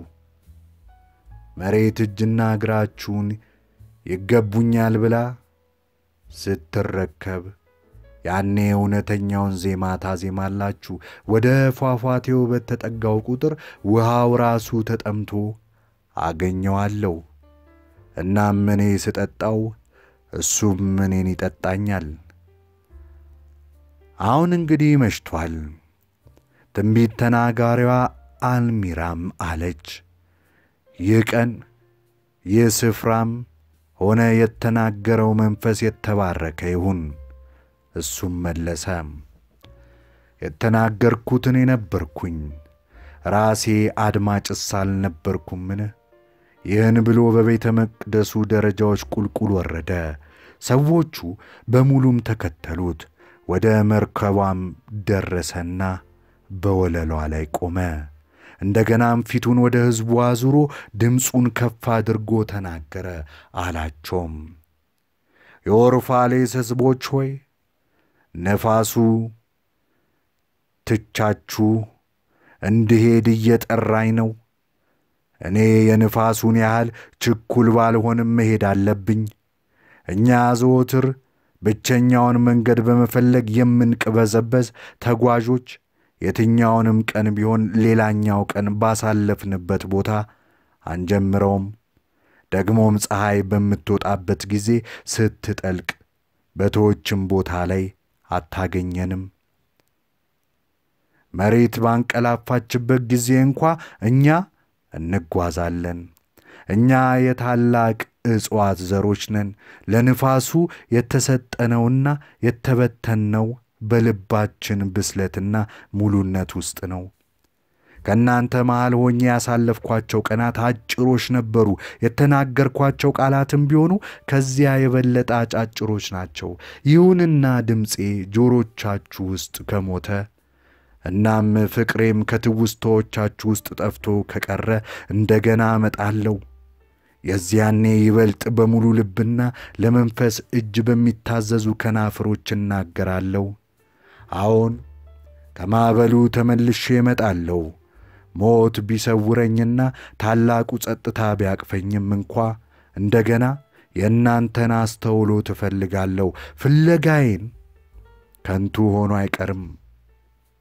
የተናገርኩት ነገር ሁሉ እውነት ከሆነም ይህ እውነት የበለጠ በጠራ ድምፅ ለሐሳቦቻችሁ ቅርብ በሆነ ቃላት ራሱን ይገልጻል። ይህ ቀን የፍላጎቶቻችሁና የፍቅሬ ውለታ ካልሆነም እስከ ሌላ ቀን ድረስ ቃል ኪዳን ይሁን።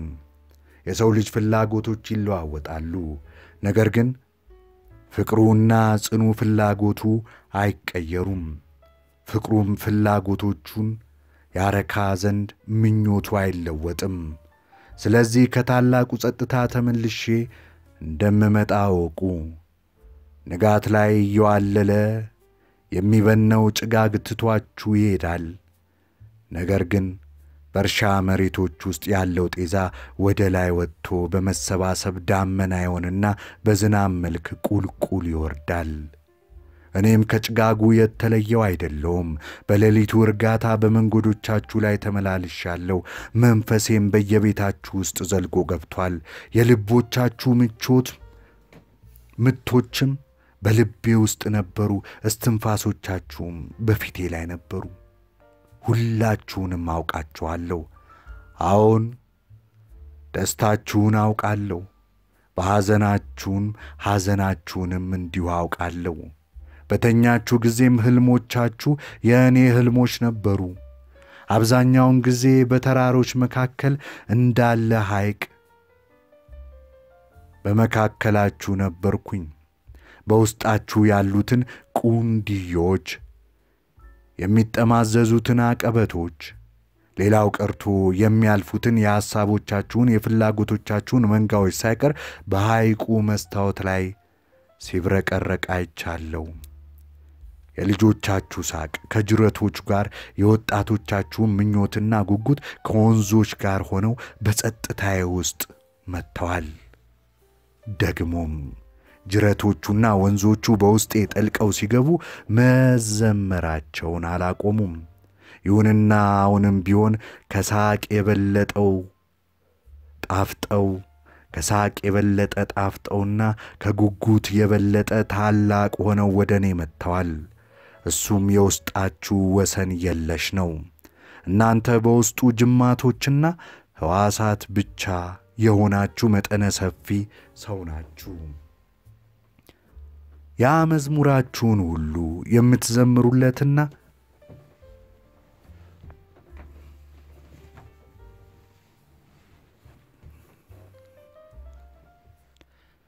ያ መዝሙራችሁን ሁሉ የምትዘምሩለትም የእናንተ ድምፅ አልባ ትርታ ብቻ ነው። መጠነ ሰፊ ሰው ያደረጋችሁም መጠነ ሰፊው ነው። እናም እሱን በማየታችሁ እኔም እናንተን አየኋችሁ፣ አፈቀርኳችሁም። በዚህ በመጠነ ሰፊ ክበብ እቅፍ ውስጥ ያሉ ፍቅር የማይደርስባቸው ርቀቶች የትኞቹ ናቸው? የትኞቹ ራእዮች፣ የትኞቹ ተስፋዎች፣ የትኞቹ ግምቶች ናቸው ከዚያ በራሪ ስፍራ በበለጠ መመንጠቅ የሚችሉት? ኃያልነቱ ከመሬት ጋር ያስተሳስራችኋል። መዓዛውም ወደ ህዋ ከፍ አድርጎ ያሳያችኋል። በሕያውነቱም እናንተ የማትሞቱ ናችሁ። እንደ ሰንሰለት ብትሆኑም እንኳን ከሁሉ በላቀ ደካማ እንደሆነው የሰንሰለታችሁ ቀለበት ደካማ መሆናችሁ ተነግሯችኋል። ይህ ግን የእውነቱ ከፊል እውነታ ብቻ ነው። እናንተ የጠንካራው ሰንሰለታችሁን ያህል ጠንካሮች ናችሁ። እናንተን በዚያች እጅግ ኢምንት በሆነች ተግባራችሁ መለካት ማለት የውቅያኖስን ኃይል እንደሚደፍቀው አረፋ ደካማ አድርጎ መቁጠር ነው። በውድቀቶቻችሁ እናንተን መዳኘት ወቅቶችን ተለዋዋጭ በመሆናቸው ምክንያት መውቀስ ነው። አዎ እናንተ እንደ ውቅያኖስ ናችሁ።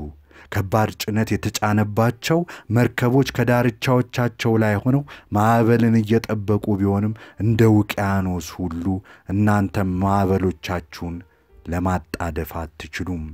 ደግሞም እንደ ወቅቶችም ናችሁ። በክረምት ወራቶቻችሁ ጸደያችሁን ብትክዱትም ጸደይ ግን በውስጣችሁ በሰላም እረፍት አድርጋ እያንጎላጀች ትፈልጋለች። እናም ቅርም አትሰኝም። ይህም የምላችሁ እርስ በርሳችሁ በጣም አወደሰን እኮ ከውስጣችን በጎም ብቻ ነው ያየው እንድትባባሉ ብዬ እንዳይመስላችሁ። እኔ የማነጋግራችሁ እናንተው ራሳችሁ በሐሳብ ውስጥ በምታውቃቸው ቃላት ነው። ደግሞስ የቃላት ዕውቀት የቃላት አልባ ዕውቀት ጥላ እንጂ ሌላ ምንድን ነው? የእናንተ ሐሳቦችና የእኔ ቃላት የትናንትናዎቻችንን መዛግብት ከሚያስቀምጡ የታተሙ ትውስታዎች የወጡ ሞገዶች ናቸው። መሬት ራሷንም ሆነ እኛን በምታውቅባቸው የጥንት ቀናት እና በግራ መጋባት ትታመስባቸው በነበሩት ሌሊቶች ውስጥ ከነበሩት ተዘክሮዎች ውስጥ የወጡ ሞገዶች ናቸው። ጠቢባን አዋቂዎች ከጥበባቸው ሊሰጧቸው ወደ እናንተ መጥተዋል። እኔም ዕውቀታችሁን ልወስድ ነው የመጣሁት። እነሆም ከእውቀት የበለጠ ነገር እንዳገኘው ተረድቻለሁ። ዘወትር የገዛ ራሴን የሚሰበስበው የውስጣችሁ ነበልባል መንፈስ ነውም። እናንተ መስፋፋቱን ልብ ብላችሁ ሳታተኩሩበት ለቀኖቻችሁ መጠውለግ ስታዝኑ እሱ መቃብርን በሚፈሩ አካላት ውስጥ ያለው ሕይወትን የሚፈልግ ሕይወት ነው። እዚህ ምንም መቃብሮች የሉም። እነዚህ ተራሮችና ሜዳዎች የሕፃን ልጅ አልጋና መወጣጫ ድንጋዮች ናቸው። አያት ቅድመ አያቶቻችሁ ባረፉበት መሬት በኩል ስታልፉ ሁልጊዜ በደንብ ወደዚያ ተመልከቱ። ራሳችሁንና ልጆቻችሁን እጅ ለእጅ ተያይዛችሁ ስትጨፍሩ ታያላችሁ። እውነት እውነት እላችኋለሁ ብዙውን ጊዜ ሳታውቁት ደስ ትሰኛላችሁ።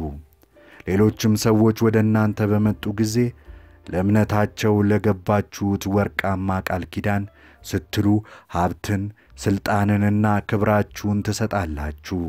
እኔ ግን ከቃል ኪዳን ያነሰ ነገር ነው የሰጠኋችሁ።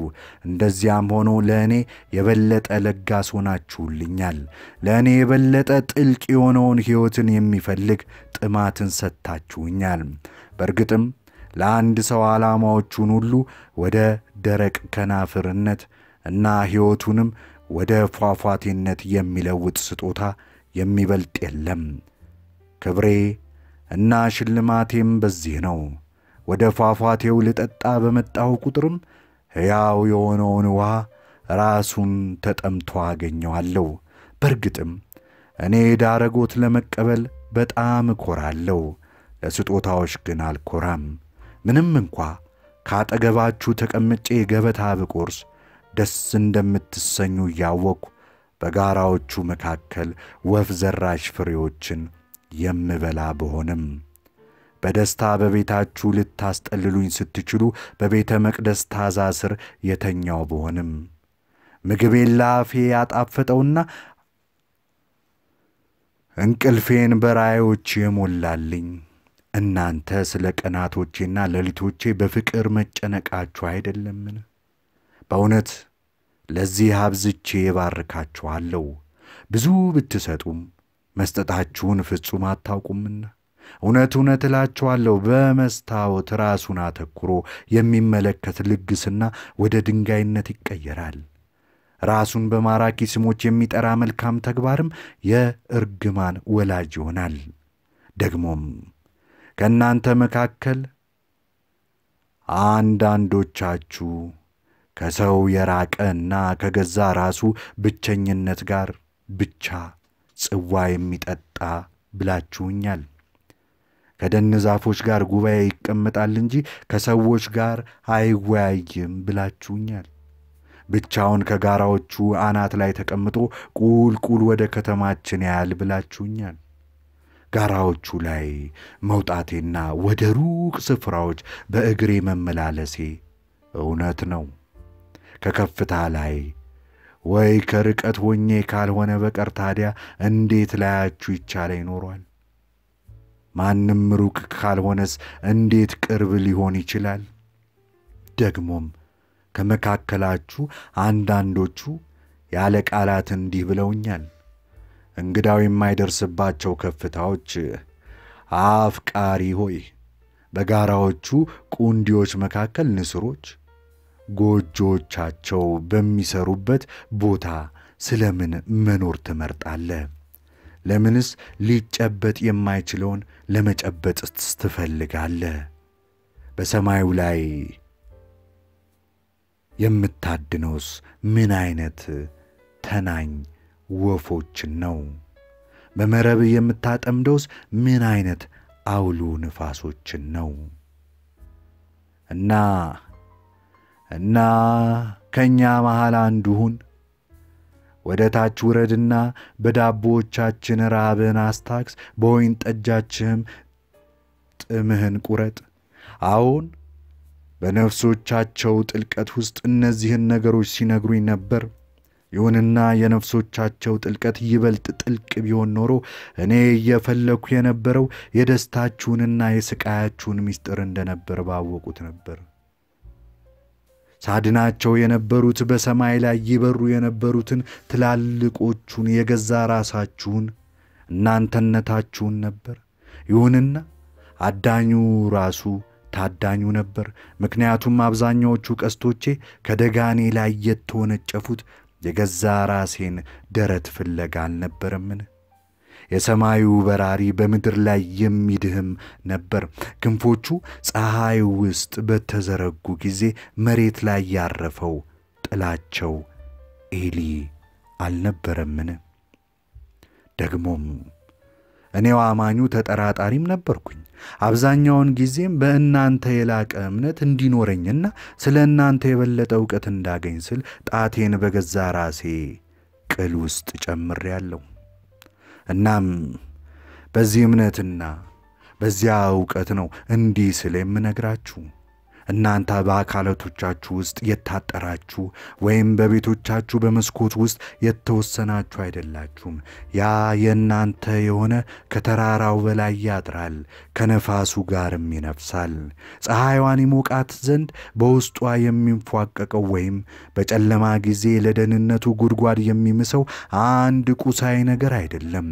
ይልቅስ ከቁሳዊ ነገር ነፃ የሆነ ምድርን ዙሪያዋን የሚከብ ብርሃንና በላይኛው ህዋ ላይ የሚንቀሳቀስ መንፈስ ነው።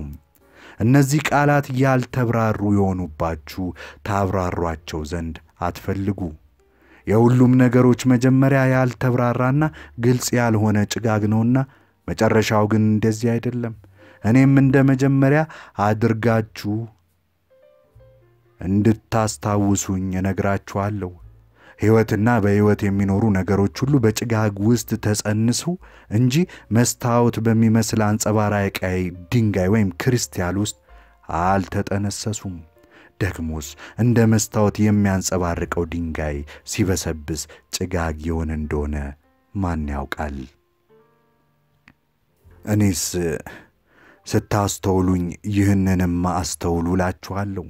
በውስጣችሁ ካለው ሁሉ እጅግ ደካማና ግራ የተጋባው እስትንፋሳችሁ አይደለምን? ከተማችሁን የገነባውና በውስጡ ያለውን ነገር በሙሉ የሠራውስ አንዳችሁም እንኳ እንዳለማችሁት የማታስታውሱት ሕልም አይደለምን? እንዳለማችሁት የማታስታውሱት ሕልም አይደለምን? የዚያን እስትንፋስ ማዕበል ማየት ብትችሉ ኖሮ ሌሎች ነገሮች በሙሉ ማየት ታቆሙ ነበር። የሕልሙንም ሹክሹክታ መስማት ብትችሉ ኖሮ ሌላ ምንም አይነት ድምፅ መስማት ትተዉ ነበር። ይሁን እንጂ አታዩም፣ አትሰሙም። ይህ በመሆኑም መልካም እጆች ይገለጣሉና ጆሮቻችሁን የደፈነው ሸክላም ባቦኩት ጣቶች ይበሳልና የዚያን ጊዜ ታያላችሁ፣ ደግሞም ትሰማላችሁ። ነገር ግን ዐይነ ስውርነትን በመቅመሳችሁ አትቆጩም፣ ደንቁራችሁ ስለ ነበር አትጸጸቱም። በዚያን ቀን የሁሉንም ነገሮች ስውር ዓላማዎች ትገነዘባላችሁና።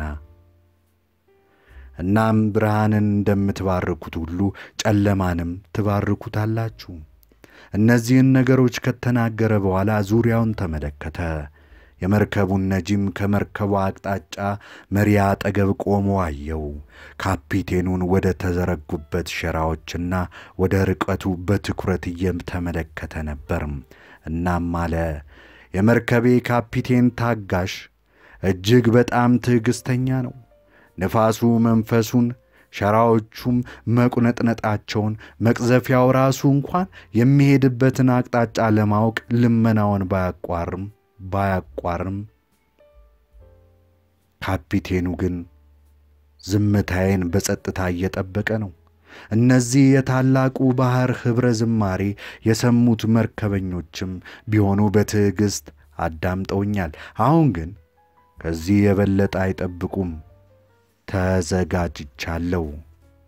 ወንዙ ከባሕሩ ደርሷል። ታላቁ እናትም ታላቋ እናትም እንደገና ልጇን ደረቷ ላይ አቅፈዋለች። የአርፋሌስ ሕዝቦች ሆይ ሰላም ለእናንተ ይሁን። ይህ ቀን አልቋል። የውሃ ላይ አበባ በገዛ ቀኗ ላይ እንደምትከደን ሁሉ ቀኑም በእኛ ላይ እየተዘጋብን ይገኛል። በዚህ የተሰጠንን ጠብቀን እናቆያለን። የተሰጠን ካልበቃንም እንደገና በአንድ ላይ ተሰባስበን እጆቻችንን ወደ ሰጪው እንዘረጋለን። ወደ እናንተ ተመልሼ እንደምመጣ አትርሱ።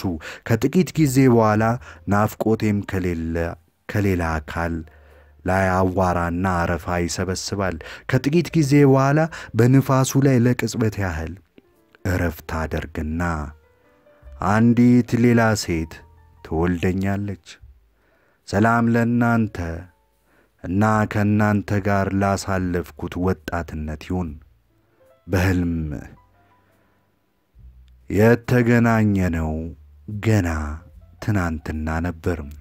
በብቸኝነቴ ውስጥ እዚህ አዚማችሁልኛልና እኔም ለምኞቶቻችሁ ስል በሰማዩ ላይ ማማ ገንብቼላችኋለሁ። አሁን ግን እንቅልፋችሁ በኗል፣ ሕልማችሁም አብቅቷል። ከእንግዲህ ጎህ አይቀድም። የቀጥር ፀሐይ በላያችን ላይ ወጥቷልና ከፊል ንቃታችን የበለጠ ወደ ሙሉ ቀንነት ተቀይሯል። እናም መለያየት ይገባናል። በተዘግሮ ድንግዝግዝታ ውስጥ እንደገና መገናኘት ካለብን እንደገና አብረን እናወራለን። እንንተም የበለጠ እናንተም የበለጠ ጥልቅ የሆነ ዜማ ታዜሙልኛላችሁ። እጆቻችንም በሌላ ሕልም ውስጥ ቢገናኙ በሰማይ ውስጥ ሌላ ማማ እገነባለን እንገነባለን። ይህንን ብሎ ለበርከመኞቹ ምልክትን አሳየ። እሱም ወዲያውኑ መልሕቁን አላቀቁና እነሱም መርከቧን ከታሰረችበት ፈተው ወደ ምሥራቅ አቀኑ። ሰዎቹ ልባቸው አንድ እንደሆነ ሁሉ በአንድ ላይ አምርረው አለቀሱ። የዋይታቸውም ድምፅ ወደ ጨለማው ሰማይ ከፍ ብሎ ወጥቶ እንደ ታላቅ የመለከት ድምፅ ከባሕሩ በላይ አስተጋባ።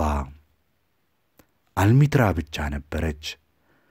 መርከቧ ጭጋግ ውስጥ ገብታ ከዐይን እስክትሰወር በጸጥታ አፍጥጣ ትመለከት የነበረችው።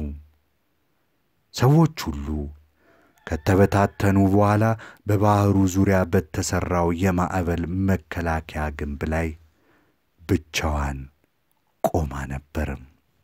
ከጥቂት ጊዜ በኋላ በንፋሱ ላይ ለቅጽበት ያህል እረፍት አደርግና አንዲት ሌላ ሴት ትወልደኛለች ብሎ የተናገረውን በልቧ አስታወሰች። ቻናላችንን subscribe፣ like፣ comment፣ share ያድርጉ። The Prophet የሚለውን የካሊል ጅብራንን ጽሑፍ እንዲህ አንብበን ጨርሰናል። ነቢዩ በሚል የተተረጎመውን ማለት ነው። የጠቢባን መንገድ የሚለውን መጽሐፍ ማንበባችንን ቀጥለናል። አመፀኛ ነፍሳት የማዳም ሮዝ ሃኒ ክፍል አንድ አንዲት ሴትን ያፈቀረና በእግሮቹ ላይ የገላውን ወዝ የሰውነቱን ደም እንዲሁ የልቡን ሕይወት እያንጠፋጠፈ የልፋቱን ፍሬና የድካሙን ዋጋ በእጆቹ ላይ እያኖረ ሴቲቱን ሚስቱ ያደረገ ወንድ ቀስ በቀስ ፍቅርን ያገኝ ዘንድ በነጻና በቀናነት ሌላ መስጠቱን ይደርስበታልና እሱ መከረኛ ወንድ ነው። በቸልተኛና ቅብጥብጥ የወጣትነት ዘመኗ በመነሳት ድንገት በሚያንጸባርቅ ወርቅና በውድ ስጦታዎች በሚያጥለቀልቃት እንዲሁም ከመጠን በላይ አዝናንቶ ክብርን፣ ውበትን በሚያጎናጽፋት ወንድ እቅፍ ውስጥ ራሷን ያገኘች ነገር ግን እግዚአብሔር ከወንድ ዐይኖች ወደ ሴት ልብ ውስጥ በሚያንቆረቁረው የኤደን ገነት ወይን ጠጅ ነፍሷን ማርካት ያልቻለች እሷ መከረኛ ሴት ናት። ከወጣትነቴ ጀምሮ ራሺድ ቤ ነአ ናማአንን አውቀዋለሁ። በቤይሩት ከተማ ውስጥ ተወልዶ ያደገ ሊባኖሳዊ ነው። የአያት ቅድመ አያቶቹን ባህልና ክብር ጠብቆ የአንድ ጥንታዊና ባለጸጋ ቤተሰብ አባል በመሆኑ በአብዛኛው የቀድሞ አባቶቹን ታላቅነት የሚዘክሩ አጋጣሚዎችን መጥቀስ ይወድ ነበር። በየዕለት ሕይወቱም በዚያን ዘመን በመካከለኛው ምስራቅ ተስፋፍቶ የነበረው እምነታቸውንና ልማዶቻቸውን ይከተላል። ራሺድ ቤ ናማን ለጋስና ልበቀና ቢሆንም እንደ ብዙ ሶርያውያን ከእውነታ ይልቅ የነገሮችን የላይኛውን ገጽታ ብቻ የሚመለከት ነበር። በጭራሽ የልቡን ፈቃድ አይሰማም። እናም በዙሪያው ላሉ ድምፆች በመታዘዝ ራሱን ባተላ ያደርጋል። የሕይወትን ምስጢራት እንዳያዩ ዐይኖቹን ልቡን ባሳወሩት ብልጭልጭታ ነገሮች ራሱን ያስደስታል። ነፍሱ የሕይወትን ሕግ ከመረዳት ይልቅ ወደ ጊዜያዊ የራስ እርካታ አፈንግጣለች። ፍቅር ወይም ጥላቻቸውን ለመናዘዝ ከሚቸኩሉ ከዚያም ለመመለስ በጣም ከዘገዩ በኋላ በጥድፊያቸው ከሚጸጸቱ ሰዎች መካከል አንዱም ነው። የዚህ ዐይነቶቹ ሰዎች ከይቅርታ ወይም ከምሕረት ይልቅ ኀፍረትና ውርደትን ይከናነባሉ። ራሽድ ቤ ናማአንን ውርደትን ገነት በሚያደርገው የእውነተኛ ፍቅር ጥላ ስር ነፍሷ ነፍሱን ከመቀበሉ በፊት ሮዝ ሃኒን እንዲያገባት ያነሳሱት እነዚያ ባሕርያት ናቸው። ለጥቂት ዓመታት ጠፍቼ ከሰነበትኩ በኋላ ወደ ቤሩት ከተማ ተመለስኩ። ራሽድ ቤ ለመጠየቅ በሄድኩበት ጊዜ ገርጥቶና ከስቶ አገኘሁት። በፊቱ ላይ የከፋ የብስጭት መንፈስ ማየት ይቻላል። በሐዘን የተሞሉ ዐይኖቹ ስለ ደቀቀ ልቡና ስለ ተከፋው ነፍሱ ይናገራሉ። ለገጠመው ክፉ ነገር መንስኤውን ለማወቅ ጉጉት ስላደረብኝ ማብራሪያ ለመጠየቅ አላመነታውም። ራሺድ ወዳጄ ምን ገጠመ? ከልጅነት ጀምሮ ተለያይቶ የማያውቀው ብሩህ ፈገግታ እና ደስተኛ ፊትህ ከምን ደረሰ? ነው ወይስ በደጉ ዘመን ያከማቸውን ወርቅ ክፉ ዘመን ነጠቀ? ስለ ወዳጅነታችን ብለህ ይህንን ሐዘንና የአካል ድካም ያመጣብህን ነገር ንገረኝ አልኩትኝ። የሆኑ የተጋረዱ የውብ ቀን ምስሎችን እንደገና እንዳስታወስኩት ሁሉ በመገረም ተመለከተኝ እና በተጨነቀና በሚንተባተብ ድምፅ እንዲህ ሲል መለሰልኝ። አንድ ሰው አንድ ወዳጁን ቢያጣ ከጎኑ ባሉት ሌሎች ብዙ ወዳጆቹ ይጽናናል። ለረጅም ዘመን ያጠራቀመው ወርቅ ቢጠፋበት ለትንሽ ጊዜ ያህል በጥልቀት ያስብና ጤነኛና በጉጉት የተሞላ መሆኑን ሲያውቅ ከአእምሮ ውስጥ የደረሰበትን ክፉ አጋጣሚ ያወጣል። ነገር ግን አንድ ሰው በልቡ ውስጥ የሚሰማውን የምቾት ስሜት ካጣ፣ የሚሰማውን የምቾት ስሜት ካላገኘ የት ቦታ ሊመቸው ይችላል? ያጣውን ስሜት በምን ሊተካ ይቻለዋል? ሞት በአቅራቢያ ድንገት ብልጭ ሲል ትሰቃያለህ።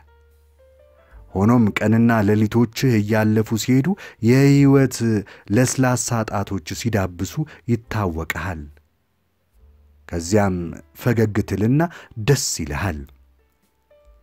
ዕድል ድንገት ሳይታሰብ ጭንቀትን ይዛ ከተፍ ትላለች። በአስፈሪ ዐይኖቿ አፍጥጣብህ በሹል ጠዋቶቿ ጉሮሮህን ፈጥርቃ ከያዘች በኋላ በመሬት ላይ ታንደባልልህና በብረት ለበስ እግሮቿ ትረግጥሃለች። ከዚያ ስቃብህ ትታ ትሄዳለች። ነገር ግን የኋላ ኋላ በድርጊቷ ተጸጽታ በጥሩ ዕድል በኩል ይቅርታን ትጠይቅሃለች። እንደ ሐር የለሰለሰ እጇን ወደ ፊት ዘርግታ ወደ ላይ ታነሳህና የተስፋ መዝሙር እየዘመረች ግድ እንዳይሰጥህ ሰበብ ትሆንሃለች። በራስህ እንድትተማመንና ጉጉት እንዲያድርብህ በውስጥህ አዲስ ደስታን ትፈጥርልሃለች። በሕይወት ውስጥ ዕድልህ በጣም የምትወደውን ውብ ወፍ መሆን ቢሆን በደስታ የውስጣዊ አንተነት ፍሬዎች ታበላዋለህ። ይሁንና አንተ በፍቅር ስሜት እያደነቅከውና በውዴታ ዐይኖች እየተመለከትከው ሳለ ከእጆችህ አምልጦ ከፍ ብሎ ይበርብሃል። ቀጥሎም ዝቅ ብሎ በመብረር ሌላ ጎጆ ውስጥ ዘልቆ ይገባል። በጭራሽ ተመልሶ አይመጣም። ይህን ጊዜ አንተ ምን ማድረግ ትችላለህ? የተናወጠ ልብህን ሊያረጋልህ የሚችለውስ ምን አይነት ኃይል ነው? በታፈነ ድምፅና በሚሰቃይ መንፈስ ይህን ብሎ ሲያበቃ ራሽድቤ ከሰሜንና ከደቡብ አቅጣጫ የሚነፍስ ነፋስ እንደሚያወዛውዘው ሸምበቆ ወዲያ ወዲህ እየተወዛወዘ ቆመ። በጎበጡ ጣቶቹ አንድ የሆነ ጨምድዶ በመያዝ ድምጥ ማጡን የሚያጠፋው ነገር እንዳለ ሁሉ እጆቹን ወደፊት ዘረጋቸው። የተጨማደደውን ፊቱ በንዴት ከስሎ ለጥቂት ጊዜ ያህል ዐይኖቹን እያጉረጠረጠ አፈጠጠ። ከሆነ ከማይታወቅ ቦታ እርኩስ መንፈስ ሊወስደው ሲመጣን የሚታየው ይመስል ነበር። ዐይኖቹን በዐይኖቼ ላይ ተከላቸውና ገጽታው ድንገት ተለወጠ። ንዴቱ ወደ ከፍተኛ ሥቃይና ጭንቀት ተቀየረ። እናም ጮክ ብሎ መናገር ያዘ። ሰንገው ከያዟት የመከራ መዳፎች መሃል ፈልቅቄ አውጥቼ የታደግኳት ሴት ናት እንዲህ ያደረገችኝ።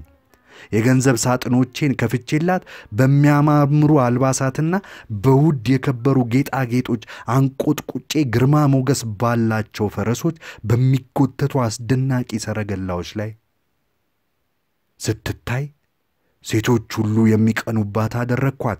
ልቤ ያፈቀራትና ጥልቅ መውደዴን በእግሮቿ ስር ያፈሰስኩላት መልካም ወዳጅ፣ ቅን አጋር እንዲሁም ታማኝ ባለቤት የሆንኩላት ሴት እኔን አዋርዳኝ በኀፍረት የተቦካና ከውርደት ጋር የተቀላቀለ እርጉም የሆነ ዳቦ ልትካፈለውና ችጋሩን ልትጋራው ለሌላ ወንድ ብላ ትታኝ ሄደች። ያፈቀርኳት ሴት ስመግባት የነበረችው ቆንጆ ወፍ ልቤን ማደሪያዋ ነፍሴን ጎጆዋ ያደረግኩላት ወፍ ከእጆቼ ላይ አምልጣ ወደ ሌላ ቤት ዘለቀች። በልቤ ገነት ውስጥ በፍቅር ትኖር የነበረችው ያቺ ሴት አሁን ለሠራችው ኀጢአት ዋጋ እንድትከፍል ቁልቁል ወደ ጨለማ የወረደች እና እኔንም በሠራችው ወንጀል እንድሰቃይ ያደረገች አስፈሪ አጋንንት ሆና ትታየኛለች። ራሱን የገዛ ራሱ ለመከለል እንደፈለገ ሁሉ ፊቱን በእጆቹ ሸፍኖ ለጥቂት ጊዜ ያህል በዝምታ ቆየ። እናም በረጅሙ ተንፍሶ በቃ ልነግርህ የምችለው ይህን ብቻ ነው። እባክን ከዚህ ያለፈ ምንም ነገር አትጠይቀኝ። ለደረሰብኝ መቅሰፍት አታልቅስልኝ። ይልቅስ መቅሰፍቱ ድምፅ የሌለው ክፉ አጋጣሚ ይሁን። ምናልባት በጸጥታው ውስጥ ያድግና መጨረሻው በሰላም እንዳርፍ ወዲያው ገድሎ ይገላግለኝ ይሆናል አለ። ዐይኖቼ እምባ አቅርረው ልቤ እያዘነ በጸጥታ ተሰናበትኩት።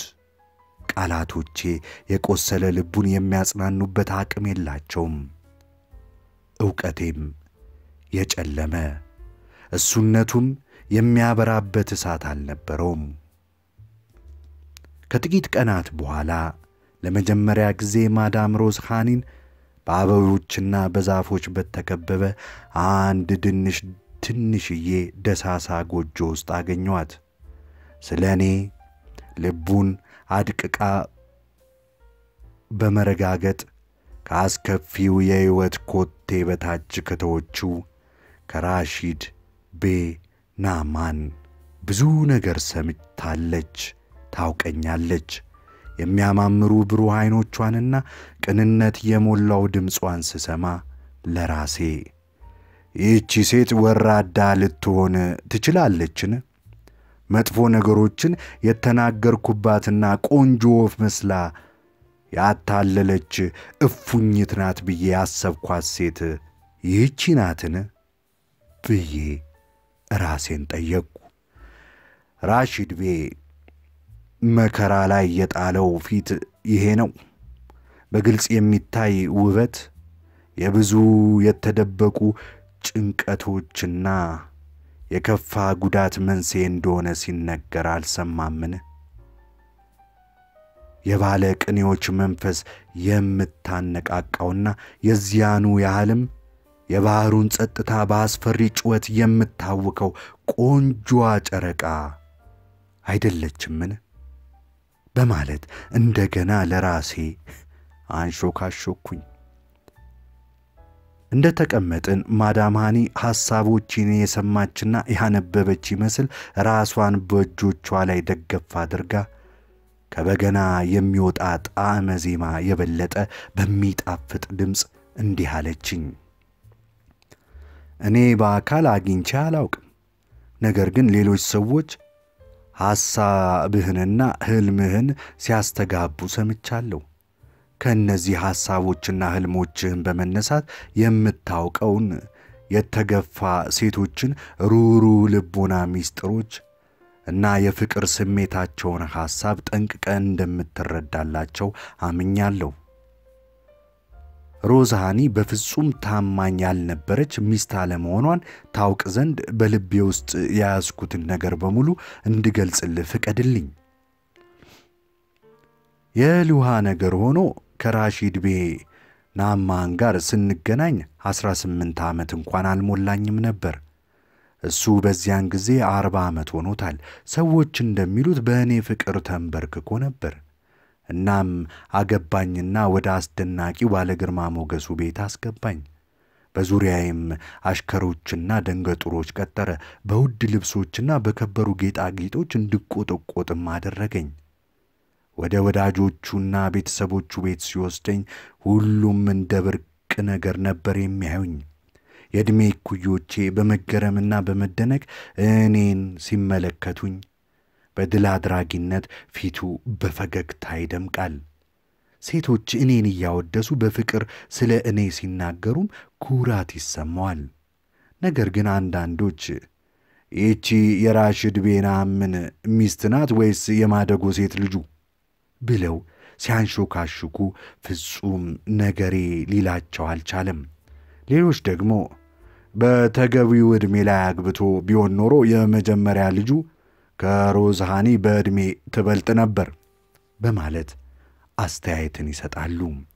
ይህ ሁሉ የሆነው ሕይወቴ ከጥልቁ የወጣትነት ዘመን ሕልም ከመንቃቱና እግዚአብሔር ልቤን በፍቅር እሳት ከማያያዙ እንዲሁም የፍቅር ዘሮች በውስጤ መብቀል ከመጀመራቸው በፊት ነበር። እኔም እውነተኛ ደስታ ካማሩ ልብሶችና አስደናቂ ከሆኑ የመኖሪያ ቤቶች እንደሚገኝ አምን በነበረባቸው ጊዜያት ይሄ ሁሉ ተነነ። ከልጅነት ሸለቆ በልቤ ውስጥ የሚነደው እሳት ነበልባል ፈጀኝ።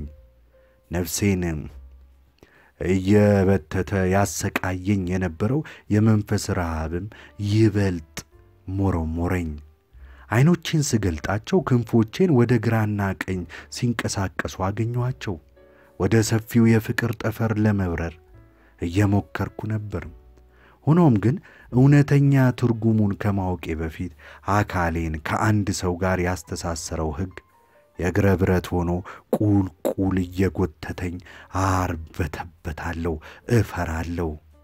እነዚህን ነገሮች ሁሉ ካሰብኳቸው በኋላ የአንዲት ሴት ደስታ የሚገኘው በወንድ ክብርና ዝና ወይም በእሱ ለጋስነትና በፍቅር ስሜት ሳይሆን ልባቸውንና ስሜታቸውን በማያያዝ በሕይወት አንድ አካል እንዲሁም በእግዚአብሔር ከንፈሮች እንደ አንድ ቃል በሚያደርጋቸው ፍቅር መሆኑን ተገነዘብኩኝ። እውነታው ሲገለጽልኝ ራሴን የዕለት ጉርሱን እየሰረቀ ሌሊቱን ጨለማው ውስጥ በማይታይበት አንዱ ጥግ የሚሸግሸግ ሌባ በሕግ በራሺድ ቤት ነአምን ግዙፍ የመኖሪያ ቤት ውስጥ የታሰርኮኝ ያገኘሁትኝ። በእሱ ከእሱ ጋር የማሳልፈው እያንዳንዱ ጊዜ ከእሳት በተሠሩ ፊደላት በግንባሬ ላይ በግልጽ ተጽፎ የሚታይ የከፋ ቅጥፈት መሆኑንም አወቅኩኝ። ለለጋስነቱና ለቀናነቱ ብዬ ፍቅርንና ጥልቅ የሆነ ስሜትን ልከፍለው አልችልም። ላፈቅረው መሞከሬ በከንቱ ነበር። ፍቅር ልቦናችንን የሚያሰራ ኃይል ቢሆንም ልቦናችን ግን ይህን ኃይል ማሰራት አይችልም። ጸጥታ በሰፈነባቸው ሌሊቶች እግዚአብሔርን በሕይወቴ አጋር የሆነኝ ዘንድ ከተመረጠልኝ ሰው ጋር በልቤ ውስጥ ጥልቅ የሆነ መንፈሳዊ ጥምረትን እንዲፈጥርልኝ ደጋግሜ ደጋግሜ በጸሎት ለመንኩት። ጸሎቴ ምላሽን አላገኘም። ምክንያቱም ፍቅር በነፍሳችን ላይ የሚያድረው በግለሰቦች ጥያቄ ወይም አቤቱታ ሳይሆን በእግዚአብሔር ፍቃድ ነው። ስለዚህ ጓደኞቼ በአስቀያሚዎቹ የወርቅ ሰንሰለቶቼ እየቀኑብኝ፣ እኔ ደግሞ በመስኩ ላይ በነፃነት በሚበሩት ወፎች እየቀናው ለሁለት ዓመታት ያህል በዚያ ሰው ቤት ውስጥ ቆየው። ከብቸኛ ልጇ እንደ ተነጠለች ሴት ፍቅርን ተነፍካ ሐዘን እንደ ተቀመጠች ልብም ነበርኩ። የሰዎች ሕግ ያመጣው ክፋት ምስኪን ሰለባም ሆኜ ነበር። መንፈሴን ባጠቃው ረሃብና ጥም የተነሳም ልሞት ተቃረብኩኝ። አንድ ቀን ጨለማ ውስጥ ሆኜ ወደ ጠቋቆረው ሰማይ እየተመለከትኩኝ ሳለው በሕይወት መንገድ ላይ በብቸኝነት ከሚጓዝ ሰው ዐይኖች ውስጥ በእርጋታ የሚንቆረቆር ብርሃንን አየው። ውስጤ ጨለማ ነውና ያንን ብርሃን ላለማየት አትስገብገብ አለ። ከዚያም ከሰማየ ሰማያት የመጣ በንጽሕና የቆሰለ ልቤን ዳግም ነፍስ የዘራበት ጣዕመ ዜማ ሰማው። እኔ ግን ጆሮቼን ደፍኜ ነፍሴ ሆይ ዕጣ ፋንታሽ የገደል አፋፍ ጩኸት ነውና ለሰማያ ሰማያቱ ዝማሬዎች ጆሮዎችሽን አትስጪ አልኩኝ። ማየት እንዳልችል ዐይኖቼን ጨፈንኩ። መስማት እንዳልችልም እንዳይቻለኝ ጆሮዎቼን ደፈንኩ። እንደዚያም ሆኖ ዐይኖቼ በእርጋታ የሚንቆረቆረውን የብርሃን ጅረት ማየታቸው አልቀረም። ጆሮዎቼም ያንን መለኮታዊ ድምፅ ይሰሙ ነበር። ያኔ ለመጀመሪያ ጊዜ ፍርሃት አደረብኝ። በአሚሩ በንጉሡ ቤተ መንግሥት አቅራቢያ ውድ የሆነ ጌጥ አግኝቶ እንዳያነሳው ፍርሃት የገባው እንዳይተወው የጸናበት ችግር ውል ያለው ለማኝ ሆንኩኝ። በአውሬዎች የተከበበ ምንጭ እንዳየና ፍርሃት ገብቶት ዙሪያ ገባውን እየገላመጠ እስኪሄዱለት ድረስ አድፍጦ እንደሚጠባበቅ እየተጠማ ነፍስ ጮክ ብዬ አለቀስኩኝ። ይህንን ከተናገረች በኋላ ፊት ለፊት እንዳታየኝ ያለፈው ጊዜ የሚያሳፍራት መሆኑን እንዳስታወሰች ሁሉ ፊቷን አዙራ ንግግሯን ቀጠለች። የሕይወትን እውነተኛ ጣፋጭ ጣዕም ለማጣጣም ከመቻላቸው በፊት ተመልሰው ወደ መጡበት የማያልፍ ዓለም የሚመለሱ ሰዎች የአንዲት ሴትን ሥቃይ ለመረዳት አይችሉም። በተለይም ነፍሷን በእግዚአብሔር ፍቃድ ላፈቀረችው ሰው ስታስገዛውና አካሏን ደግሞ በምድራዊ ሕግ አስገዳጅነት ለሚደባብሰው ሰው ለሌላ ሰው አሳልፋ ስትሰጠው ያለባትን መከራ አያውቁላትም። ይህ ወንድ የማይረዳውና እየሳቀ የሚያነበው በሴት ደምና እንባ የተጻፈ አሰቃቂ ታሪክ ነው። ቢረዳውም እንኳ ሳቁ የሴቷን ልብ እንደ እሳት ወደሚያቃጥል ነቀፌታና ንቀት ይለወጣል። ይህን እግዚአብሔር ለብቻ የሚሰጠውን ትርጉም ከመገንዘቧ በፊት በሥጋ ከወንድ ጋር በተሳሰረች ሴት ነፍስ መድረክ ላይ በእውነተኛ ፍቅር እንደዚሁም በውበት የተነሳ እንደ ፈጣሪ ካመለከችው ሰው በላይ ሲያንዣብብ ታገኘዋለች።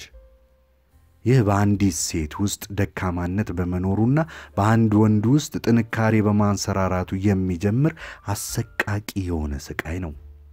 ጠንካሮች ደካሞችን በባርነት መግዛታቸውና በበላይነት መደቆሳቸው የሚወገድበት ዘመን እስካላበቃ ድረስም መጨረሻ የለውም። በነቀዘው ሰብአዊ ሕግና በልብ ቅዱስ ጥልቅ የፍቅር ስሜቶችና የተቀደሰ ዓላማ መካከል የሚደረግ አስፈሪ ጦርነትም ነው። ትናንትና በዚህ አይነት የጦር ግንባር ውስጥ ተንጋልዬ ነበር። ነገር ግን የቀረኝን የጥንካሬን ጥፍጣፊ አሰባስቤ የፍርሃት ሰንሰለቶቼን በመበጣጠስ ክንፎቼ የተጠቀለሉበትን ጨርቅ ፈትቼ ወደ ሰፊው የፍቅርና የነጻነት ሰማይ ከፍ ብዬ በረርኩኝ። ዛሬ የማፈቅረው ሰው ጋር ነው የምኖር ሴት ነኝ። ሁለታችንም ዓለም ሳይፈጠር በፊት በእግዚአብሔር እጅ ውስጥ እንደነበረ ችቦ እየተንቀለቀልን እንንቦንጎንቦጋለን። ከፀሐይ በታች ደስታን ሊወስድብኝ የሚችል ምንም ኃይል የለም። ምክንያቱም ደስታው በመግባባት ውስጥ ከሰጠሙ ከፍቅር ከሚያንጸባርቁና በሰማይ መላእክት ጥበቃ ከሚደረግላቸው ሁለት የተቃቀፉ ነፍሳት የሚፈነጥቅ ነውና ነው። ቃላቶች በልቤ ውስጥ ያሳረፉትን አሻራ ለማወቅ በዐይኖቿ ልቤ ውስጥ ዘልቃ ለመግባት ከውስጤ ድምጿን ሲያስተጋባ ለመስማት እንደፈለገች ዐይነት ሆና ተመለከተችኝ። እኔ ግን ዝምታዬን ገፋሁበት። እንደገና ስትናገር ድምጿ በትዝታ ምሬት እና በቀናነትና በነጻነት ጥፍጥና የተሞላ ነበር። ሰዎች ሮዝሃኒ የሕይወቱ አካልና የቤቱ ግርማ ሞገስ ያደረጋትን ሰው በመተው የሥጋ ፍላጎት መንገዷን የተከተለች ከሃዲና መናፍቅ መሆኗን ይነግሯል። በለስላሳ እጆቿ የተቀደሰ ጋብቻን የአበባ ጉንጉን አበላሽታ በሲኦል እሾሆች በተጎነጎኑበት የጎደለ ውህደት የተካች ዘማዊትና ሴተኛ አዳሪ መሆኗን ይነግሯል። የጨዋነት ሸማዋን አውልቃ የኀጢአትን ውርደት ካባ መደረቧንም ያወሩልሃል። የአባቶቻችን መናፍስት አሁንም ድረስ በአካሎቻቸው ውስጥ እየኖሩ ይገኛሉና ከዚያም በላይ ይሉህ ይሆናል። ትርጉማቸው የማይታወቅ የገደል ማሚቱ ድምፆች እንደሚያስተጋቡና ወና የተራራዎችና ዋሻዎች ድምፆች ናቸው። የእግዚአብሔርን ሕግም አይረዱትም። የእውነተኛው ሃይማኖትን ትክክለኛ ዓላማም አይገነዘቡትም። በኀጢአንና በጻድቃን መካከል ያለው ልዩነትም አይገባቸውም። የነገሮችን ምስጢር ሳያውቁ የላይኛውን ገጽታቸውን ብቻ ይመለከታሉ። ወንጀለኞችንና ንጹሐንን፣ ጥሩዎችንና መጥፎዎችን እኩል በማድረግ ድንቁርና ብይንን ይሰጣሉ። በጭፍን ይዳኛሉ። ሰዎችን የሚወነጅሉና የሚዳኙት እነሱ ወየውላቸው። በእግዚአብሔር ዘንድ ከሃዲና ዘማዊት የነበርኩት በራሺድ ቤን አምን ቤት በቆዩባቸው ጊዜያት ብቻ ነው።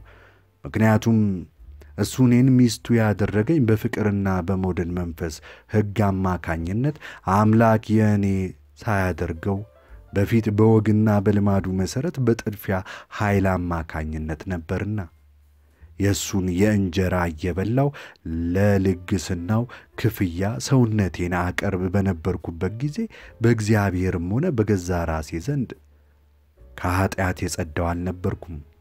የፍቅር ሕግ ነፃ አውጥቶኝ የተከበረና ታማኝ አድርጎኛል። አካሌን ለመጠለያ አካሌን ለመጠለያ የዕድሜ ዘመኔንም ለአልባሳትና ለሆድ ስል መሸጤን አቁሜያለሁ። አሁን ሰዎች ከማንም በላይ የተከበረችና ታማኝ የሆነች ሚስት አድርገው ይቆጥሩኛል።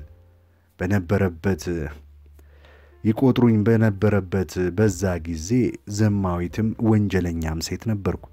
ዛሬ በእነሱ አመለካከት በኀጢአት የተበከልኩ ብሆንም በመንፈስ ግን ንጹሕና የተከበርኩ ነኝ።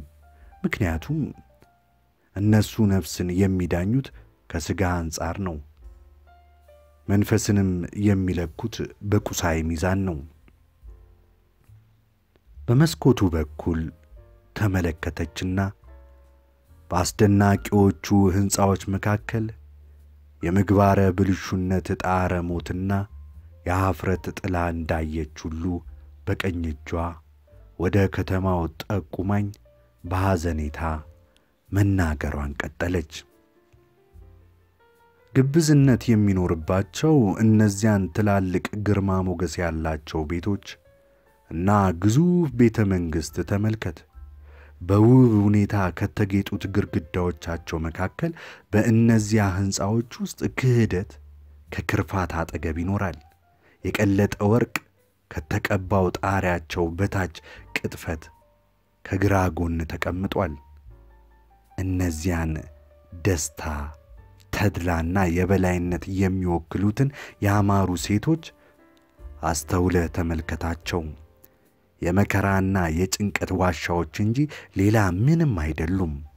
በደካማ ሴት ክህደት በኩል የተጠቆሩት ዐይኖቿ እና ብሩህ ቀለም ቀይ ቀለም የተቀቡት ከንፈሮቿ በስተጀርባ የሚደበቁባቸው የተለሰኑ የመቃብር ጉድጓዶች ናቸው።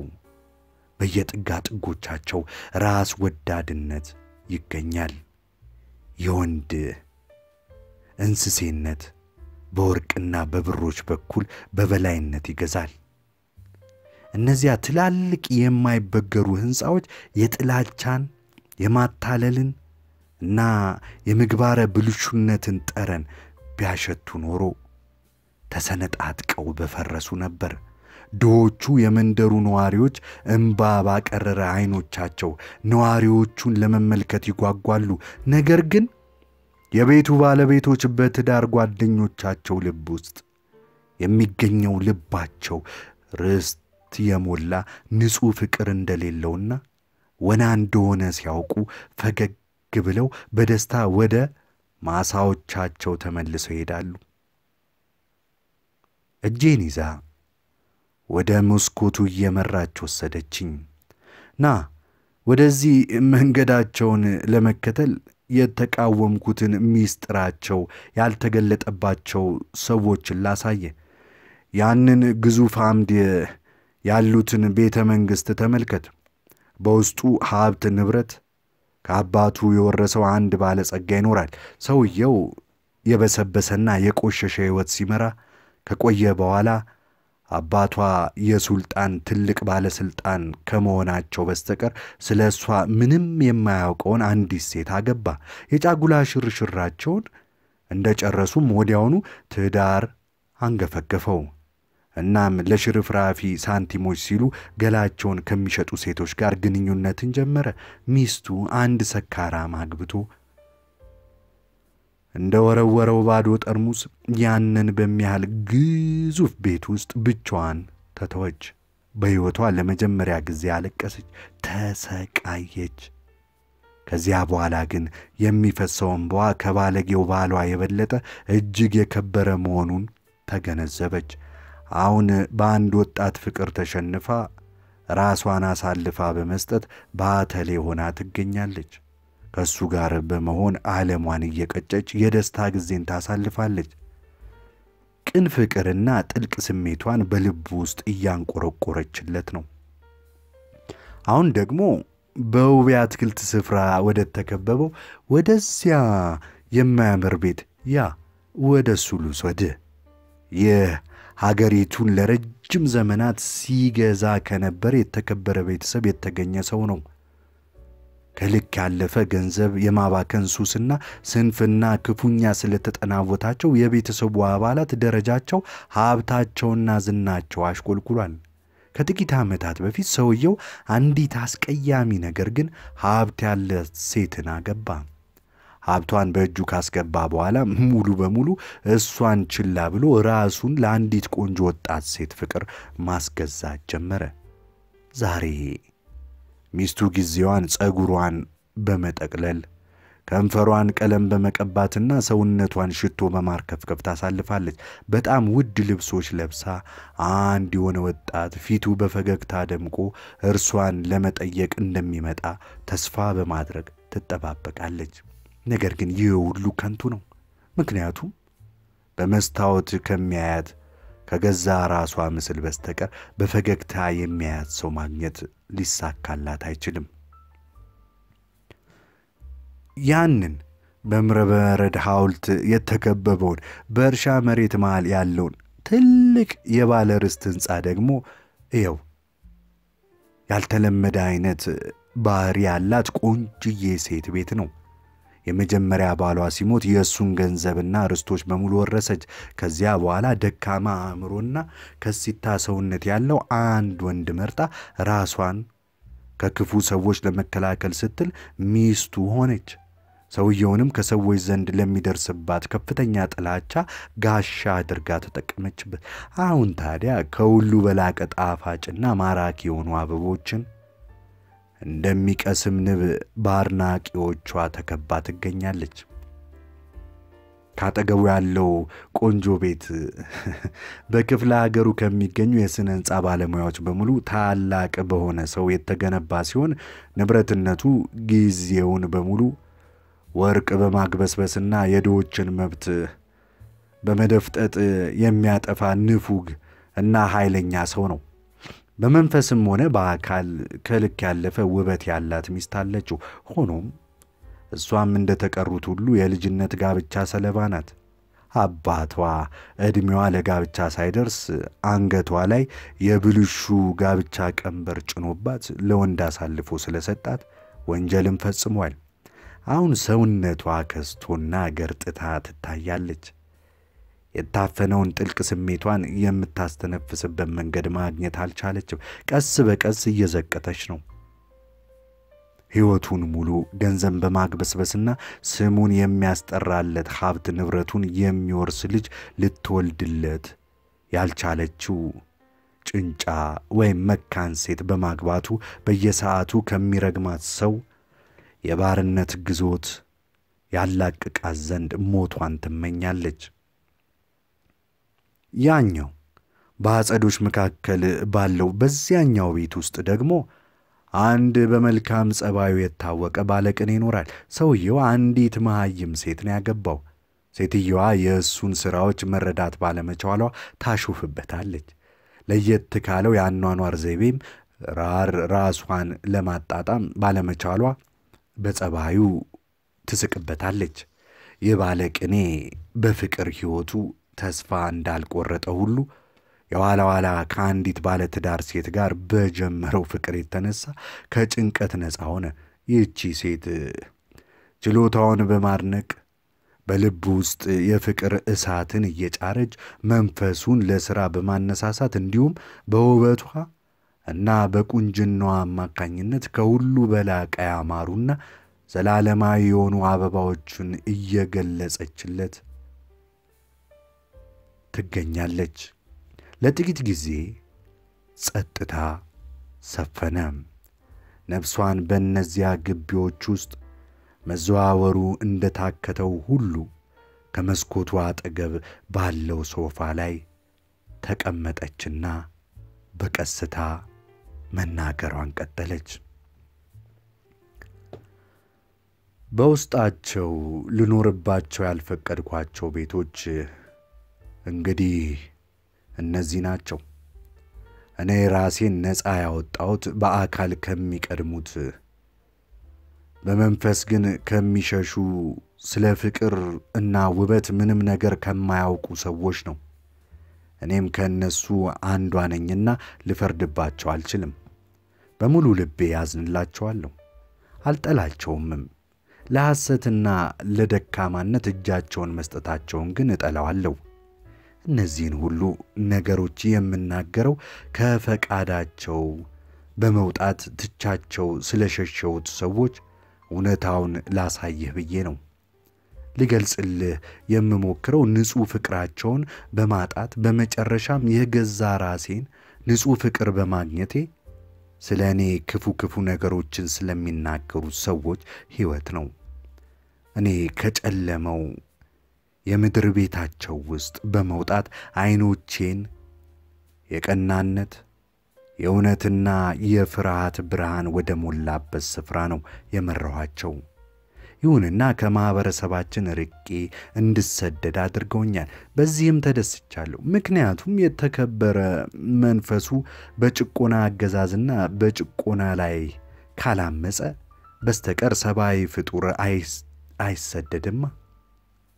ከባርነት ይልቅ ስደትን የማይመርጥ ሰው በየትኛው አይነት የነጻነት የእውነትና የተግባር መለኪያ ሰው ሊባልስ ይቻላል? ትናንትና ሁሉንም አይነት ጣዕም ያለው ምግብ እንደያዘ ትሪ ነበርኩኝ። ራሺድ ቤ ይህ ምግብ ካላሰኘው በስተቀር በጭራሽ አይቀርበኝም። የሁለታችንም ነፍሶች ልክ እንደ ሁለት ትሑትና ግርማ ሞገስ ያላቸው አገልጋዮች በጣም ተራርቀው ቆይተዋል። ራሴን ሰዎች ዕድለቢስ ብለው ቢጠሩት አጋጣሚ ጋር ለማስማማት ሞክሬያለሁ። ነገር ግን መንፈሴ መላው የዕድሜ ዘመኑን በጨለማ ዘመን ካቆመው ሕግ ከሚባለው አስቀያሚ ጣዖት ፊት መንበርከክን ተቃወመ። ፍቅር እስኪጠራኝና ድምፁን እስከምሰማው ድረስ ከታሰርኩበት ሰንሰለት ተጠባበቅኩት። እናም መንፈሴን ሲያኮበኩብ አየሁት። ከዚያም የታሰርኩበትን ሰንሰለት በጣጥሼ ልክ ከትንሿ ጎጆዋ ውስጥ እንደ ተለቀቀ ወፍ ውድ ጌጣጌጦቼን፣ ልብሶቼንና አገልጋዮቼን ከቤቱ ትቼለት ከራሽድ ቤ ቤት ወጥቼ ሄድኩኝ። ስለማደርገው ነገር ትክክለኝነት በእርግጠኝነት አውቅ ነበርና ከምወደው ፍቅሬ ጋር ለመኖር መጣው። አምላክ እንዳለቅስና እንድሰቃይ አይፈልግም። ብዙ ሌሊቶችን እስኪነጋ ድረስ እየጸለይኩ አሳልፌአለሁ። ሲነጋ ደግሞ ቀኑ እንዲመሽልኝ እጸልይ ነበር። እግዚአብሔር መከረኛ ሕይወት እንድገፋ ባለመፈለጉ ነው በልቤ ጉድጓዶች ውስጥ ደስተኛ የመሆን ጉጉትን ያስቀመጠልኝ። ክብርም በልቤ የሚገኘው ደስታ ውስጥ አርፏል። እንግዲህ ታሪኩ ይኸው ነው። በሰማይና በምድር ፊት የማቀርበው ተቃውሞም ይሄ ነው። ሰዎች እኔን ሰምተው መንፈሳቸው ተነሳስቶ ይህንን የሚውተረተረውን የማኅበረሰባቸውን መሠረት ወደሚፈረካክስ ዓመፅ እንዳያመሩ በመስጋት ጆሮዎቻቸውን እየደፈኑ ባሉበት በዚህ ጊዜ እኔ ደግሞ የምናገረውና የምዘምረው ይህንን ነው። ወደ ደስታ የተራራ ጫፍ እስከምደርስ ድረስ የወቀርኩት አስቸጋሪ የእግር መንገድ ይኸው ነው።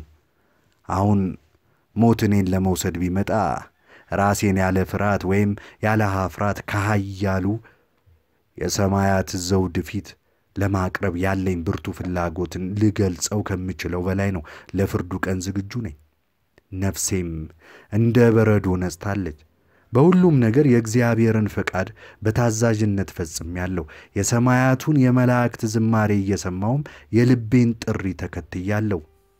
እንግዲህ ከቤሩት ሕዝብ በሕይወት ከንፈሮች የወረደ ቁጣ እንዲሁም በማኅበረሰቡ ላይ የደረሰ ሕመም ብሎ የሚጠራው ድራማዬ ይህ ነው። ነገር ግን ከተበከለው መሬት ላይ ሳይቀር አበባን እንደሚያሳድገው የፀሐይ ጨረር ፍቅርም የሕዝቡን ልብ ነፋስ ይዘራበታል። አንድ ቀን ኃላፊ መንገደኞችን ከመቃብሬ አጠገብ ቆመው አስከሬኑን ለሸፈነው አፈር ሰላምታ በማቅረብ ለእግዚአብሔር የንጹሕ ፍቅር ሕግ ለመታዘዝ ስትል ከበሰበሰው የሰው ልጅ ሕግ ባርነት ራሷን ነፃ ያወጣችው ሮዝ ሃኒ እዚህ ቦታ አርፋለች። ሰውነቷንም ጥላ በሙታን ራስ ቅሎችና በአሜኬላዎች መካከል እንዳታየው ስትል ፊቷን ወደ ፀሐይ አዙራ ነበር ይላሉ። በሩ ተከፈተና አንድ ሰው ወደ ውስጥ ዘለቀ። ዐይኖቹ ላይ ምትሃታዊ ጨረሮች ይንጸባረቃሉ። ከንፈሮቹ ላይ ምሉ የሆነ ፈገግታ ይታያል። ማዳማኔ ተነሳችና የወጣቱን እጆች ይዛ በሚያንቆለጳጵሱ ቃላት ስሜን ነግራ አስተዋወቀችኝ። ለሱ ብላ መላውን ዓለም የከዳችለት ሁሉንም ምድራዊ ሕጎችና ልማዶች የጣሰችለት እርሱ መሆኑን አወቅኩኝ። እንደ ተቀመጥን ጸጥታ ነገሰ። እያንዳንዳችን በየራሳችን ጥልቅ ሐሳብ ውስጥ ተዘፈቅን። ለአንድ ደቂቃ ያህል ጸጥታ ከሰፈነ በኋላ ጥንዶቹ ጎን ለጎን ተቀምጠው ተመለከትኩኝ። ይህን ጊዜ ከዚህ በፊት በጭራሽ ያላየሁትን ነገር አየው። እናም የማዳም ሃኒን ታሪክ ትርጉም ተገነዘብኩት። የአመፁን መንስኤ ሳገናዝብ መፈናፈኛ በሌላቸው ሕጎችና ልማዶች ላይ የሚያምፁትን ሰዎች የሚወነጅለውን ማኅበረሰብ ለመቃወም ያበቃትን ምስጢር ደረስኩበት። ከፊት ለፊቴ ሁለት ቆንጆና አንድ የሆኑ ሰዎችን ያጣመረ ሰማያዊ መንፈስን አየው። በመካከላቸው የፍቅር አምላክ ከክፉ ምላስ ሊጠብቃቸው ክንፎቹን ዘርግቶ ቆሟል። በቀናነት ያሸበረቀና ዙሪያውን በጸጋ የተከበበ ፍጹም ሙሉ የሆነ መግባባት ከሁለቱ ፈገግታ ከደመቁ ፊቶች ላይ እየፈነጠቀ አየው። በሕይወቴ ለመጀመሪያ ጊዜ የደስታን መንፈስ በሃይማኖት ተረግሞና በሕግ ተንቋሾ በአንድ ወንድና በአንዲት ሴት መካከል ቆሞ አገኘሁት። ከተቀመጥኩበት በመነሳት ተሰነበትኳቸውና በውስጡ ጥልቅ የሆነ ስሜት ለፍቅርና ለመግባባት እንደ መሰዊያ ከቆመበት ደሳሳ ጎጆ ወጣሁኝ። ማዳም ሃኒ ወደ ውጪ እየጠቆመች አሳይታኝ የነበሩትን ሕንፃዎች አልፌ ሄድኩኝ። ወደ እነዚህ ግቢዎች መጨረሻ ላይ ስደርስ ራሺድ ቤናምንን አስታወስኩትና ስለ ደረሰበት ከባድ መከራ እያሰላሰልኩ ለራሴ ተበድሏል፣ ግን ስለ ማዳም ሃኒ ስሞታ ቢያቀርብ አምላክ ያዳምጠው ይሆን? ሴትየዋ እሱን ትታ የልቧን ነፃነት በመከተሏ ያጠፋችው ጥፋትስ አለ ይሆን? ወይስ እሱ በፍቅር ልቧን ከመግዛቱ በፊት አካሏን በመግዛቱ ወንጀል ፈጽሞ ይሆን? ከሁለቱ የተበደለውስ ማን ነው? በዳዩስ ወንጀለኛ ማን ነው? ከወንጀል ነፃ የሆነውስ ማን ይሆን አልኩኝ። ለጥቂት ጊዜ በጥልቀት ካሰብኩ በኋላ እንደገና ለራሴ ማውራቴን ቀጠልኩ። ብዙውን ጊዜ በአንዲት ሴት አንዲት ሴት ባሏን ትታ ሀብት ያለውን ሰው ተከትላ በመሄድ እንድታጭበረብር ወይም ብታጭበረብር የሚፈታተናት ነገር ይኖራል። ለዚህ ደግሞ ምክንያቱ ለሀብትና ለውብ ልብሶች ያላት ፍቅር ስለሚያሳውራት ይሆን ይሆናል። እናም ድርጊቷ ወደ ኀፍረት ይመራታል። ታዲያ ማዳም ሃኒ ለአንድ ድሃ ሰው ጎጆ ብላ እንደ ቤተ መንግሥት ያማረውን የሀብታም ባሏን ቤት ለቃ በመሄዷ አታላይ ነበረችን? ብዙውን ጊዜ ድንቁርና የአንዲትን ሴት ክብር ገድሎ የጋለ ስሜቷን ዳግም ነፍስ ይዘራበታል። ስልችት ይላትና ባሏን ትታ በፍላጎቶቿ አነሳሽነት ራሷን ዝቅ የምታደርግላትን አንድ ወንድ ራሱን ዝቅ የሚያደርግን አንድ ወንድ ትከተላለች። ማዳም ሃኒ አካላዊ ፍላጎቷን ተከትላ በይፋ ነፃነቷን በማወጅ ከምታፈቅረው ወጣት ጋር ራሷን ማስደሰትም ትችል ነበር። ምክንያቱም ብዙ ወንዶች የውበቷ ባሪያዎችና የፍቅሯ ሰማዕታት ለመሆን ፈቃደኛ ይሆናሉና። ማዳም ሃኒ ግን መከረኛ ሴት ነበረች። ትፈልገው የነበረው ደስታን ብቻ ነው። እናም አገኘችው፣ አቀፈችውም። እንግዲህ በማኅበረሰቡ ከበሬታ የነፈገው እውነታ ማኅበረሰቡ ያልተቀበለው ሐቅ ይኸው ነው። ከዚያም ወደ ሰማዩ እያንሾካሾኩ አንዲት ሴት በባሏ መከራ ደስታዋን ትገዛ ዘንድ ይፈቀድላታልን ብዬ የገዛ ራሴን አንሾኳሹኬ ጠየቅኩት። ወዲያውኑ ነፍሴን ሌላ ጥያቄ አከለች።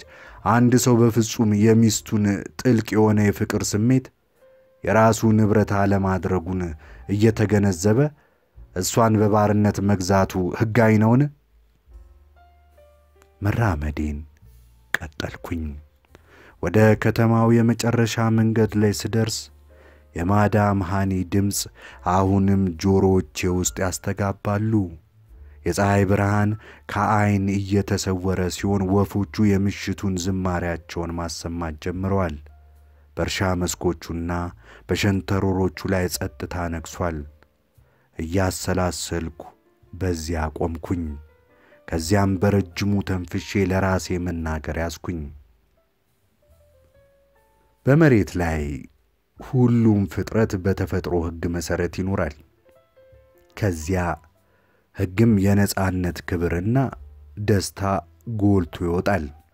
ነገር ግን ሰው ይህንን ዕድል ተነፍጓል። ምክንያቱም እግዚአብሔር በሰጠው ነፍሱ ላይ የራሱን ውስንና ምድራዊ ሕግ ይደነግግበታል። ለራሱም ጥብቅ ደንቦችን ያወጣል። ሰው ጥልቅ የፍቅር ስሜቶቹንና ፍላጎቶቹን የሚገድልበት ጠባብና ስቃይ የሞላበት እስር ቤትን በራሱ ገንብቷል። ልቡንና ዓላማውን የሚቀብርበት ጥልቅ የመቃብር ጉድጓድን ራሱ ቆፍሯል። አንድ ግለሰብ ከማኅበረሰቡ ትእዛዝ ውስጥ ተነጥሎ መውጣቱን በይፋ ቢለፈልፍና ሕግን ቢጥስ የአገሩ ሰዎች ሊሰደድ የሚገባው ዓመፀኛ ወይም የግድ በሞት ሊቀጣ የሚገባው አሳፋሪ ፍጡር መሆኑን ይናገራሉ። የሆነስ ሆነና ሰው የራሱ እስረኛ ሆኖ እስከ ዓለም ፍጻሜ ይገፋ ይሆንን? ወይስ በጊዜ ብዛት ነፃ ወጥቶ በመንፈስ ለመንፈስ ይኖራል? የሰው ልጅ መሬት ላይ ቁልቁል ወደ ታችና ወደ ኋላ ማፍጠጡን የሙጥኝ ይላል ወይስ የሰውነቱን ጥላ በራስ ቅሎችና በአሜኪላዎች መካከል ላለማየት ዐይኖቹን ወደ ፀሐይ አቅጣጫ ያዞራል? የጠቢባን መንገድ የሚለውን የካሊል ጅብራንን መጽሐፍ እያነበብን ነው። ማዳም ሮዚሃኒ የሚለውን እንዲህ አንብበን አበቃን። ቀጣዩ የመቃብሮቹ ዋይታ የሚለው ይሆናል። መልካም ቆይታ። ቻናላችንን subscribe፣ like፣ comment፣ share ማድረግ አይርሱ። የመቃብሮቹ ዋይታ ክፍል አንድ ጸሐፊ ካሊል ጅብራል ትርጉም ሀብታሙ ተስፋዬ አሚሩ ወደ ፍርድ ቤት ውስጥ ገብተው መሃል ላይ ያለውን መቀመጫ ሲይዙ በግራና በቀኛቸው በሀገሪቱ ውስጥ አሉ የተባሉ ሊቃውንት ተቀመጡ። ጋሻና ጦር የታጠቁት ዘቦች በተጠንቀቅ ቆመዋል። በችሎት ላይ የተገኙት ሰዎች ከተቀመጡበት ተነስተው በአክብሮት አሚሩን እጅ ነሱ። ከአሚሩ ዐይኖች በመንፈሳቸው ላይ ሽብርን፣ በልባቸው ላይ ደግሞ ፍርሃትን የሚያጭር አንዳች ኃይል ይፈነጠቃል። ችሎቱ ሥርዓት ይዞ ዳኝነት የመስጫው ሰዓት ሲቃረብ አሚሩ እጃቸውን ወደ ላይ ከፍ አድርገው ወንጀለኞቹን አንድ በአንድ አቅርቧቸውና የፈጸሙትን ወንጀል ንገሩኝ በማለት ትዕዛዝን ሰጡ። የእስር ቤቱ በር እንደሚያዛጋ አስፈሪ አውሪ አፉ ወለል ብሎ ተከፈተ። ደብዝዞ የሚታየው ጨለማ ቤት ጥጋ ጥጎቹ ውስጥ የእስረኞች የማቃሰት ድምፅና ለቅሶ የሚቅጨለጨሉት የእግር ብረቶች ጋር ኅብረት ፈጥረው ሲያስተጋባ ይሰማል። የችሎቱ ታዳሚዎች እነዚያን የሞት ግድግዳዎች ከዚያ አሰቃቂ ጎድጓዳ ክፍል ውስጥ ብቅ ብቅ ሲሉ ለማየት ጓጉተዋል።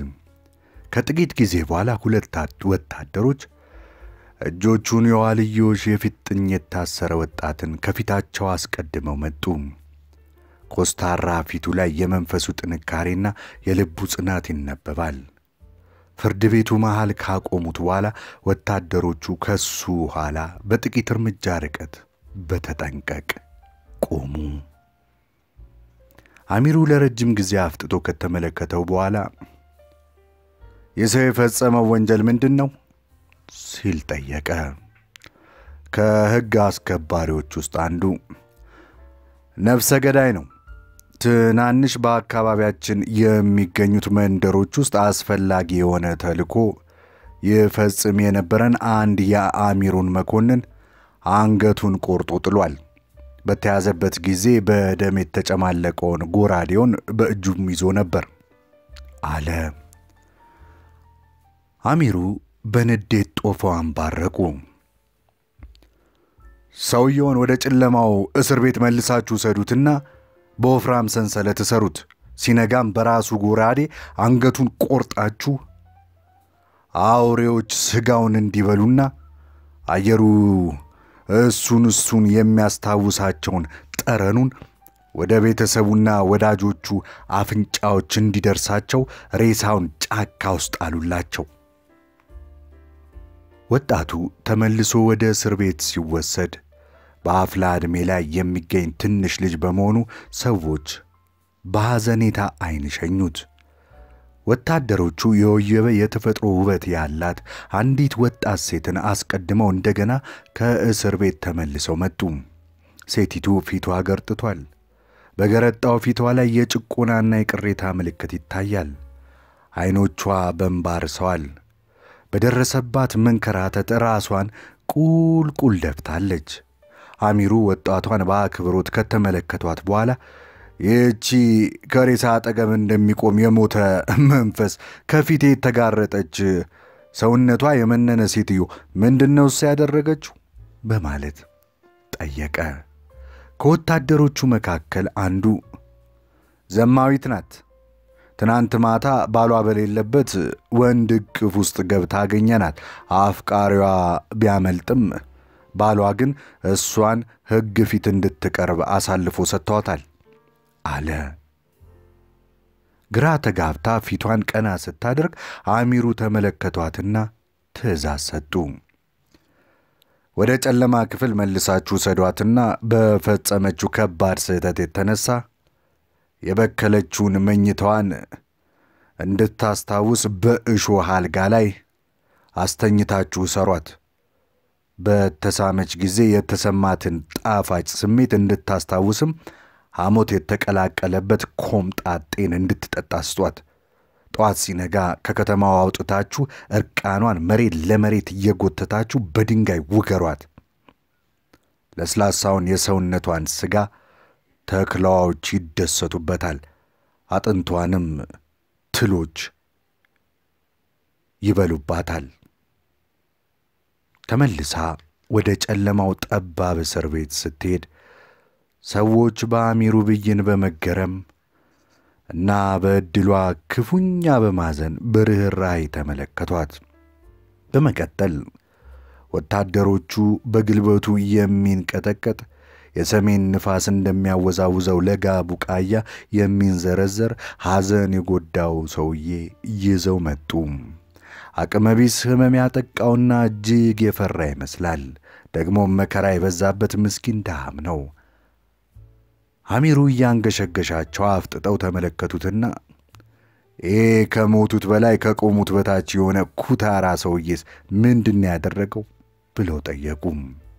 ከዘቦቹ መካከል አንዱ ወደ ገዳም ውስጥ ገብቶ ቅዱሳን ዕቃዎችን ከሰረቀ በኋላ የሰረቃቸውን ዕቃዎች ከልብሱ ስር እንደሸሸገ መነኮሳቱ እጅ ከፍንጅ የያዙት ሌባ ነው ሲሉ መለሱ። አሚሩ ክንፉ የተጎዳ መብረር የተሳነው ወፍ እንዳየ የተራበ ንስር ተመለከቱትና መልሳችሁ ወደ ወህኒ ቤት ውሰዱትና በሰንሰለት ጠፍሩት።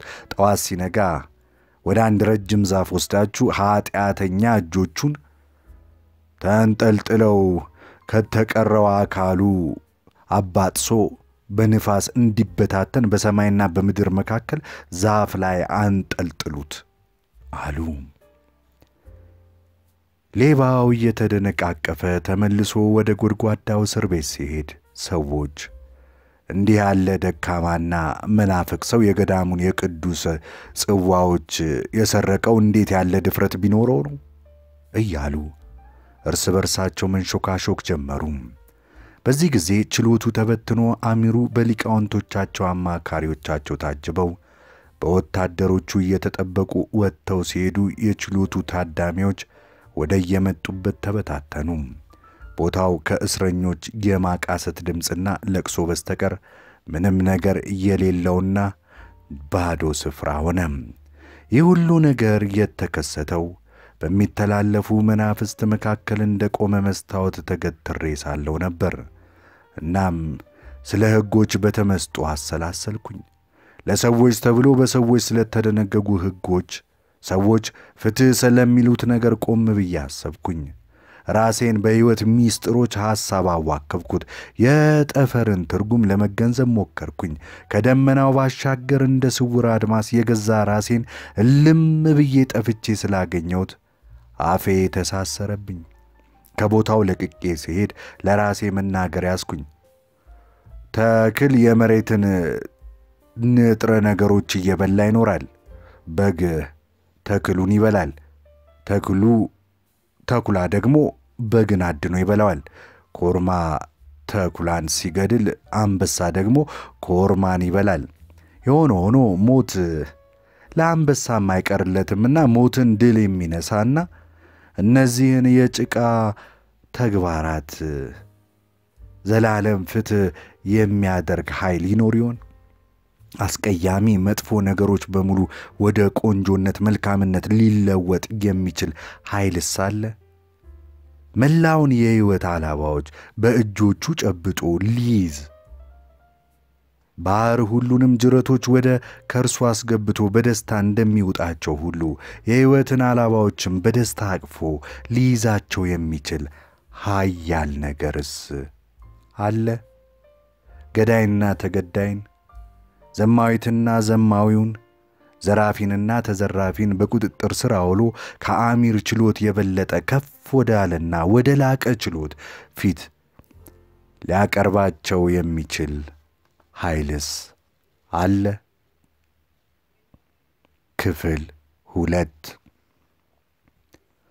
በቀጣዩ ቀን ከከተማ ወጥቼ ጠጥታ ወደ ሰፈነበት የመንፈስ ፍላጎቶች ወደሚገለጽበት እንዲሁም የጠራ ሰማይ በጠባቦቹ መንገዶችና ስፍራዎች ከተማ ውስጥ የበቀሉትን የተስፋ መቁረጥ ተዋሲያን ወደሚገድልበት የእርሻ መስክ ሄድኩኝ።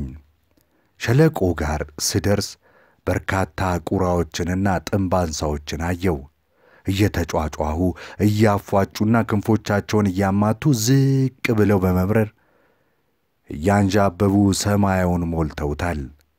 መንገዴን ስቀጥል ከፊት ለፊት በአንድ ዛፍ ላይ ከፍ ብሎ የተንጠለጠለ የአንድ ሰው አስከሬን፣ ከተከመሩ ድንጋዮች መካከል የተጋደመ የአንድ ሴት እርቃን አስከሬን እና ጭንቅላቱ ተቆርጦ ከአፈር ጋር በተደባለቀ ደም የተጨማለቀ የአንድ ወጣት በድን አካልን አየው። ያየሁት የሚሰቀጥጥ ትዕይንት በወፍራም ጥቁር የሐዘን ዐይነ ርግብ ዐይኖቼን ጋረዳቸው። ዙሪያዬን ተመለከትኩ።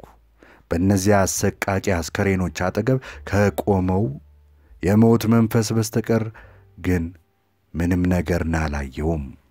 ከሰው ልጅ ሕጎች ሰለባዎቹ በላይ የሚያንዣብቡት ቁራዎች ድምፅ ሕያው ካልሆኑት ለቅሶዎች ጋር ተቀላቅሎ ከመስማቱ በስተቀር ሌላ ድምፅ የለም። ትናንት በሕይወት ጉያ ውስጥ የነበሩት ሦስት የሰው ልጆች የሰው ልጅን ማኅበረሰብ ሕጎች በማፋለሳቸው ምክንያት ዛሬ የሞት ሰለባዎች ሆነው ወድቀዋል። አንድ ሰው ሌላ ሰውን ሲገድል ሰዎች ነፍሰ ገዳይ ይሉታል። አሚሩ አንድን ሰው ሲገድሉ ግን ትክክለኛ ናቸው ይባላል። አንድ ሰው ገዳሙን ሲዘርፍ ሌባ ይሉታል። አንዲት ሴት ባሏን ስታዋርድ ዘማየት ነች ይለዋታል። በኋላ ላይ አሚሩ እርቃኗን በመንገዶች ላይ እንድትሄድ ሲያደርጓትና በድንጋይ ሲያስወግሯት ግን አሚሩ ጨዋ ይባላል። ደም ማፍሰስ በሕግ የተከለከለ ነው። ታዲያ ለአሚሩ ደም ማፍሰስን ሕጋ ያደረገላቸው ማን ነው? የአንዱን ሰው ገንዘብ መስረቅ ወንጀል ነው። ነገር ግን የአንድን ሰው ሕይወት መንጠቅ የጨዋ ድርጊት ነውን? ባልን ማዋረድ አስቀያሚ ተግባር ሊሆን ይችላል። ነገር ግን በሕይወት ያለ ሰውን በድንጋይ መውገር ደስ የሚል ትዕይንት ነውን? ክፋትን በክፋት ተበቅለን ይህንን ሕግ ልንለው እንችላለንስ? ምግባረ ብልሹነትን በበለጠ ምግባረ ብልሹነት እየተዋጋን ይህንን ደንብ ልንለው እንችላለን?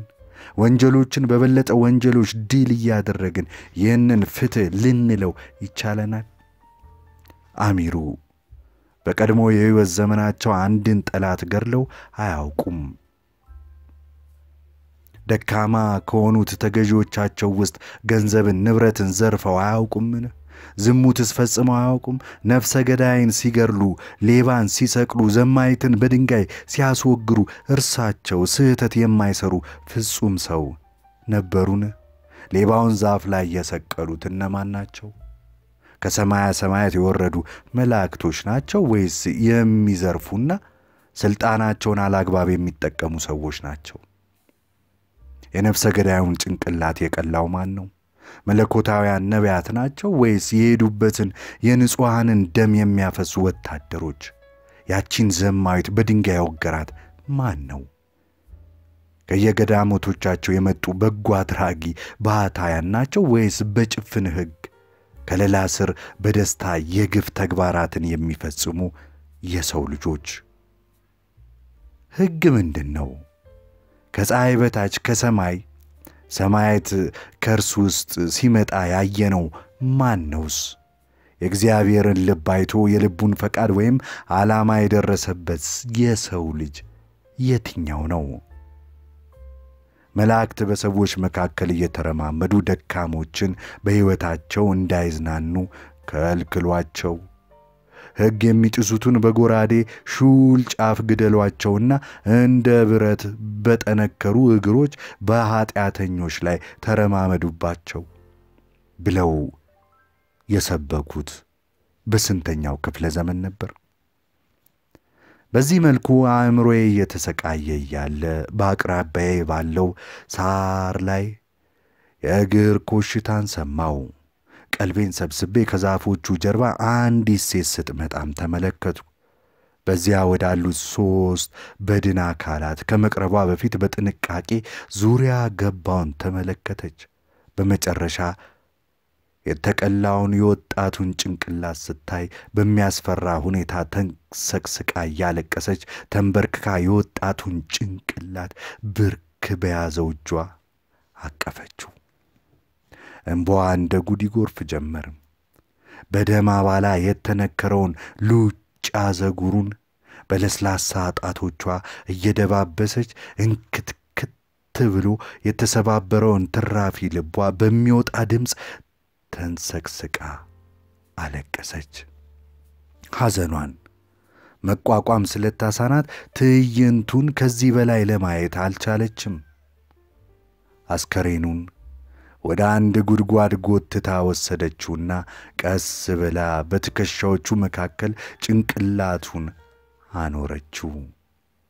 መላውን በድን አካል አፈር ካለበሰችው በኋላ በመቃብሩ ላይ የወጣቱ ጭንቅላት የተቀላበትን ጎራዴ ተከለችው።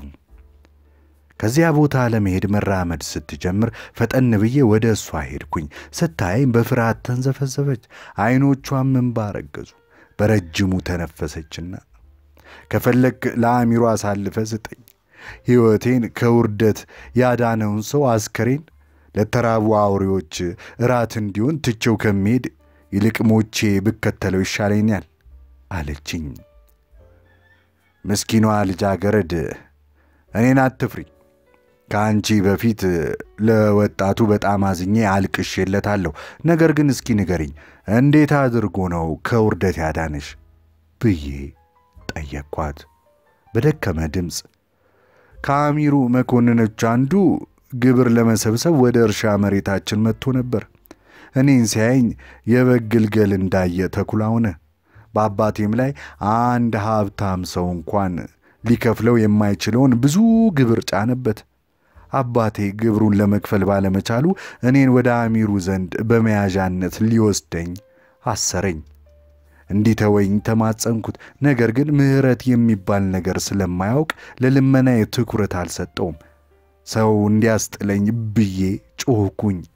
በዚህ ጊዜ ይህ አሁን በሕይወት የሌለው ወጣት እኔን ለማስጣል ሲል መጣና ከሕያው ሞት አዳነኝ። መኮንኑም ሊገድለው ሞከረ። ይህ ወጣት ግን በቤታችን ውስጥ ግድግዳ ላይ ተሰቅሎ የነበረውን ጎራዴ አንስቶ ወጋው። እንደ ወንጀለኛ ሸሽቶ ለማምለጥ ግን አልሮጠም። ከዚያ ይልቅ ሕግ አስከባሪዎች መጥተው እስር ቤት እስኪወስዱት ድረስ በሞተው መኮንን አጠገብ ቆሞ ጠበቃቸው። እነዚህን የማንኛውንም የሰው ልጅ ልብ በሐዘን የሚያደሙ ቃላት ተናግራ ፊቷን አዙራ ጥላኝ ሄደች። በጥቂት ጊዜ ውስጥ አንድ ወጣት ፊቱን በካባ ሸፍኖ ሲመጣ አየው። ወደ ዘማይቷ ሴት አስከሬን ሲቀርብ ልብሱንም አውልቆ በእርቃን አካሏ ላይ አኖረው። ከዚያም ከካባው ስር አንድ ጩቤ አውጥቶ ጉድጓድ ከቆፈረ በኋላ የልጃገረዲቱን አስከሬን ጉድጓድ ውስጥ ጨምሮ እምባውን እያዘነበበት ባለው አፈር ሸፈነው። ተግባሩን ሲጨርስ የተወሰኑ አበቦች በጣጥሶ በመቃብሩ ላይ በክብር በተነ። ለመሄድ መራመድ ሲጀምር አስቆምኩትና ከዚህች ሰማያዊት ሴት ጋር ዝምድናህ ምንድን ነው? ደግሞስ እዚህ ድረስ መጥተህ ራቁት በድኗን ከተራቡ አውሬዎች በማስጣል ሕይወትህን አደጋ ላይ እንድትጥል ያደረገ ምክንያቱስ ምንድን ነው ብዬ ጠየቅኩት። አፍጥቶ ሲመለከተኝ ከአሳዛኝ ዐይኖቹ ላይ የደረሰበትን መከራ አነበብኩኝ። ለፍቅሩ ስትል በድንጋይ ተወግራ የሞተችለት ዕድለቢሱ ሰው እኔ ነኝ። ከልጅነታችን ጀምሮ አፈቅራታለሁ፣ እሷም ታፈቅረኝ ነበር። ያደግነው አብረን ነው። እናከብረውና እናገለግለው የነበረው ፍቅራችን የልቦቻችን ጌታ ነበር። ሁለታችንም ፍቅር አገናኘንና ነፍሶቻችንን አቆራኛቸው። አንድ ቀን ከከተማ ወጣ ብዬ ዋልኩኝ።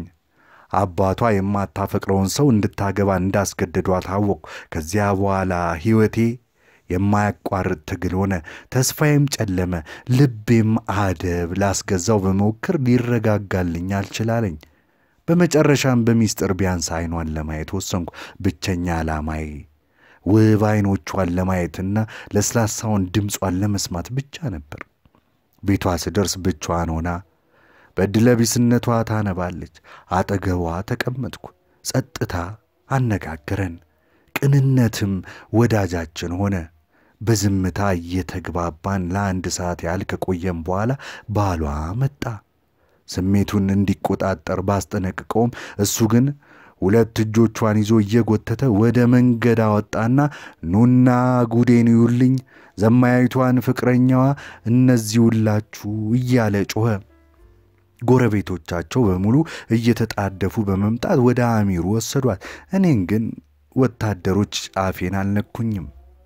ደንቆሮ ሕግና የበሰበሰው ልማድ በአባቷ ጥፋት እሷን ቀጥተው ለወንዱ ይቅርታ አደረጉለት።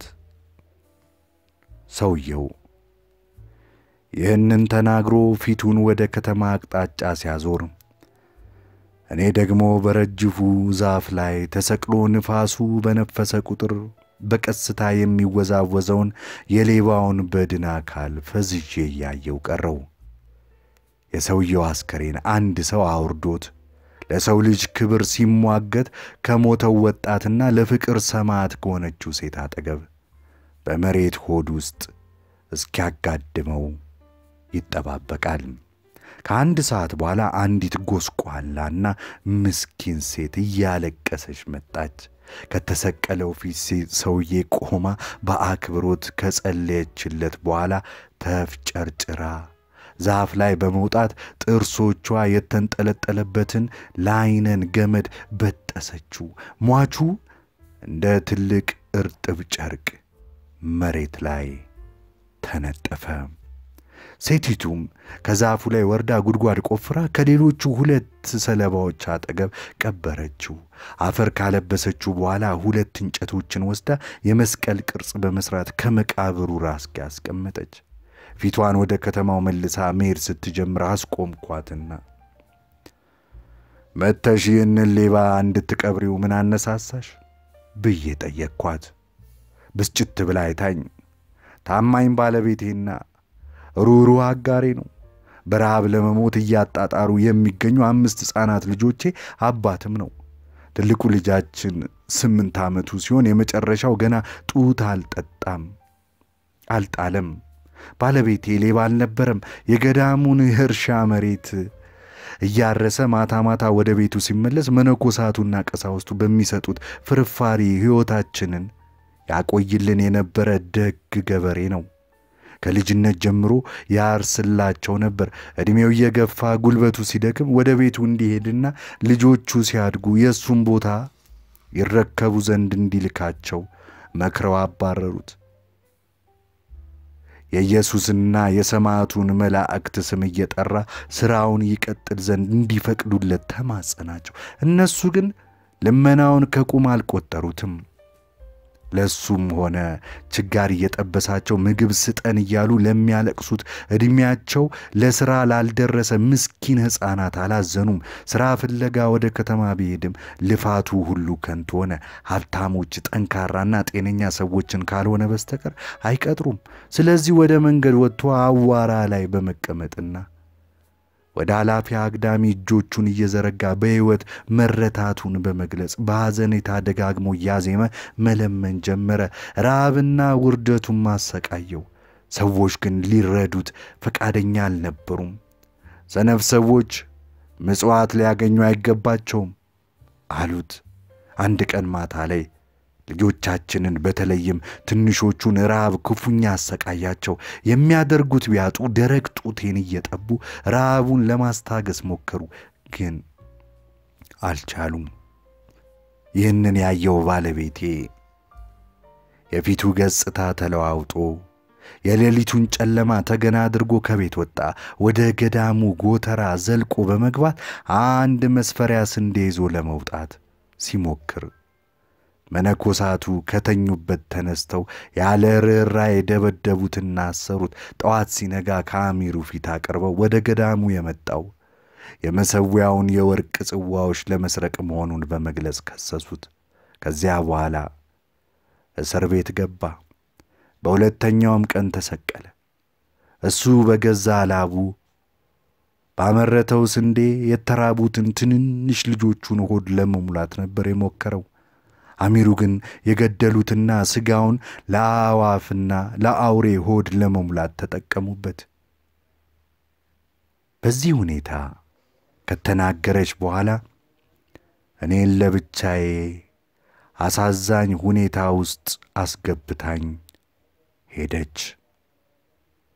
ከመቃብሮቹ ፊት ለፊት ለሙታን የሚነገር የውዳሴ ጽሑፍን በቃሉ ለማነብነብ እየሞከረ ሳለ ቃላቱ እንደጠፋበት ተናጋሪ ቆሜ ደንዝዤ ቀረው።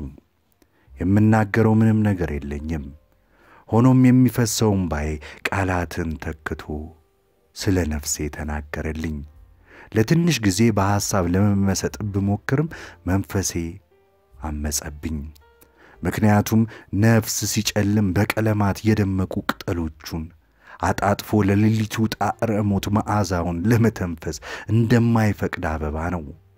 በዚያ ገለልተኛ ስፍራ የጭቆና ሰለባዎችን አቅፋ የያዘችው መሬት ጆሮዎቼን በሚሰቃዩ ነፍሶች አሳዛኝ ዜማዎች በመሙላት እንድናገር የቀሰቀሰችኝ መስሎ ተሰማኝ። መንፈሴን ለማረጋጋት ጸጥታን መረጥኩኝ። ይሁንና ሰዎች ጸጥታ የሚገልጽላቸው ነገር ቢገባቸው ኖሮ እንደ ሸለቆዎች፣ አበቦች ለእግዚአብሔር የቀረቡ የሆኑ ነበር።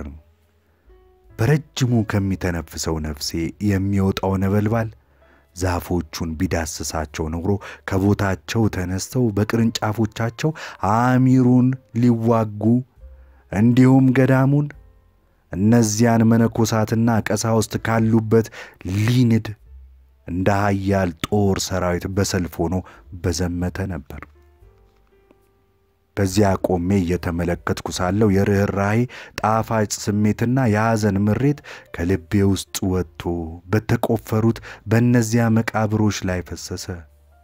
የአንዲት አቅመ ደካማ ኮረዳን ክብር ለማስጠበቅ መሥዋዕት በሆነውና የኮረዳዋን ሕይወት ክብር ከአረመኔ የሰው ልጆች መዳፍና ጥርሶች መካከል ባዳነው ወጣት ለጀግንነቱ ጭንቅላቱን ተቀልቶ በተሸለመውና ጎራዴው ባዳናት ወጣት አማካኝነት እንደ ጀግንነት ምልክት አላዋቂነትና ምግባረ ብልሹነት በተጫነው ግዛት ላይ በምትወጣው ፀሐይ ፊት ለፊት መቃብሩ ላይ በተተከለው ወጣት ላይ ተንዠቀዠቀ። በገዳሙ የእርሻ መሬት ላይ ጉልበቱንና ላቡን ክፉኛ በማፍሰሱ ሰውነቱ በተዳከመው የተራቡ ትናንሽ ልጆቹን ለመመገብ ዳቦ ቢጠይቅ በተከለከለው ልመናን ሥራዬ ብሎ ቢጀምርም በሰዎች ዘንድ ትኩረት ባላገኘው ነፍሱ በገዛ ጉልበቱ አርሶ ካጨደው እህል ጥቂትም እንኳን ቢሆን እንዲያመጣ ስላዘዘችው ታስሮ በኃይል በተደበደበው እንዲሁም ፀሐይቱ ሚስቱ ከመቃብሩ ራስጌ ጭር ባለው ሌሊት ለሰማያቱ ከዋክብት በጎን የክርስቶስ ስብከት የሰዎችንም አንገት ለመቁረጥና የደካሞችን ገላ ለመሸረካከት ወደሚጠቀሙበት ጎራዴነት ስለለወጡት ቀሳውስት ይመሰክርላት ዘንድ አንድ መስቀል ባቆመችለት ችግረኛ መቃብር ላይ እምባዬ ኮለል ብሎ ወረደ። ፀሐይ የዓለም ችግሮች እንደ ሰለቻት የሰው መሸነፍ እንዳንገሸገሻት ሁሉ ከአድማሱ ኋላ ተሰወረች። በዚያን ጊዜ ምሽቱ በጸጥታ ጅማት ስለ አይነ ርግብ እየሸመነ በተፈጥሮ ገላ ላይ ያነጠፈው ጀመር። እጆቼን ወደ መቃብሩ ዘርግቼ ወደ ምልክቶቻቸው እየጠቆምኩ ዐይኖቼን ወደ ሰማይ ከፍ አድርጌ ጮክ ብዬ ተናገርኩኝ። አቤቱ ጀግንነት ሆይ አሁን መሬት ውስጥ የተቀበረው ጎራዴ ይኸውና።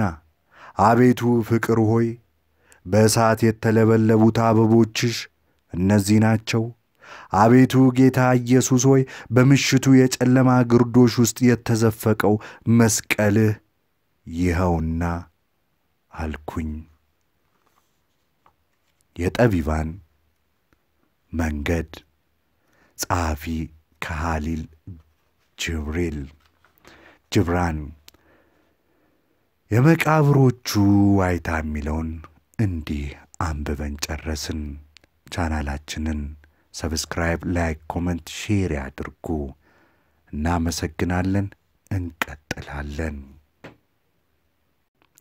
የጠቢባን መንገድ በካሊል ጅብራን አውሎ ነፋስ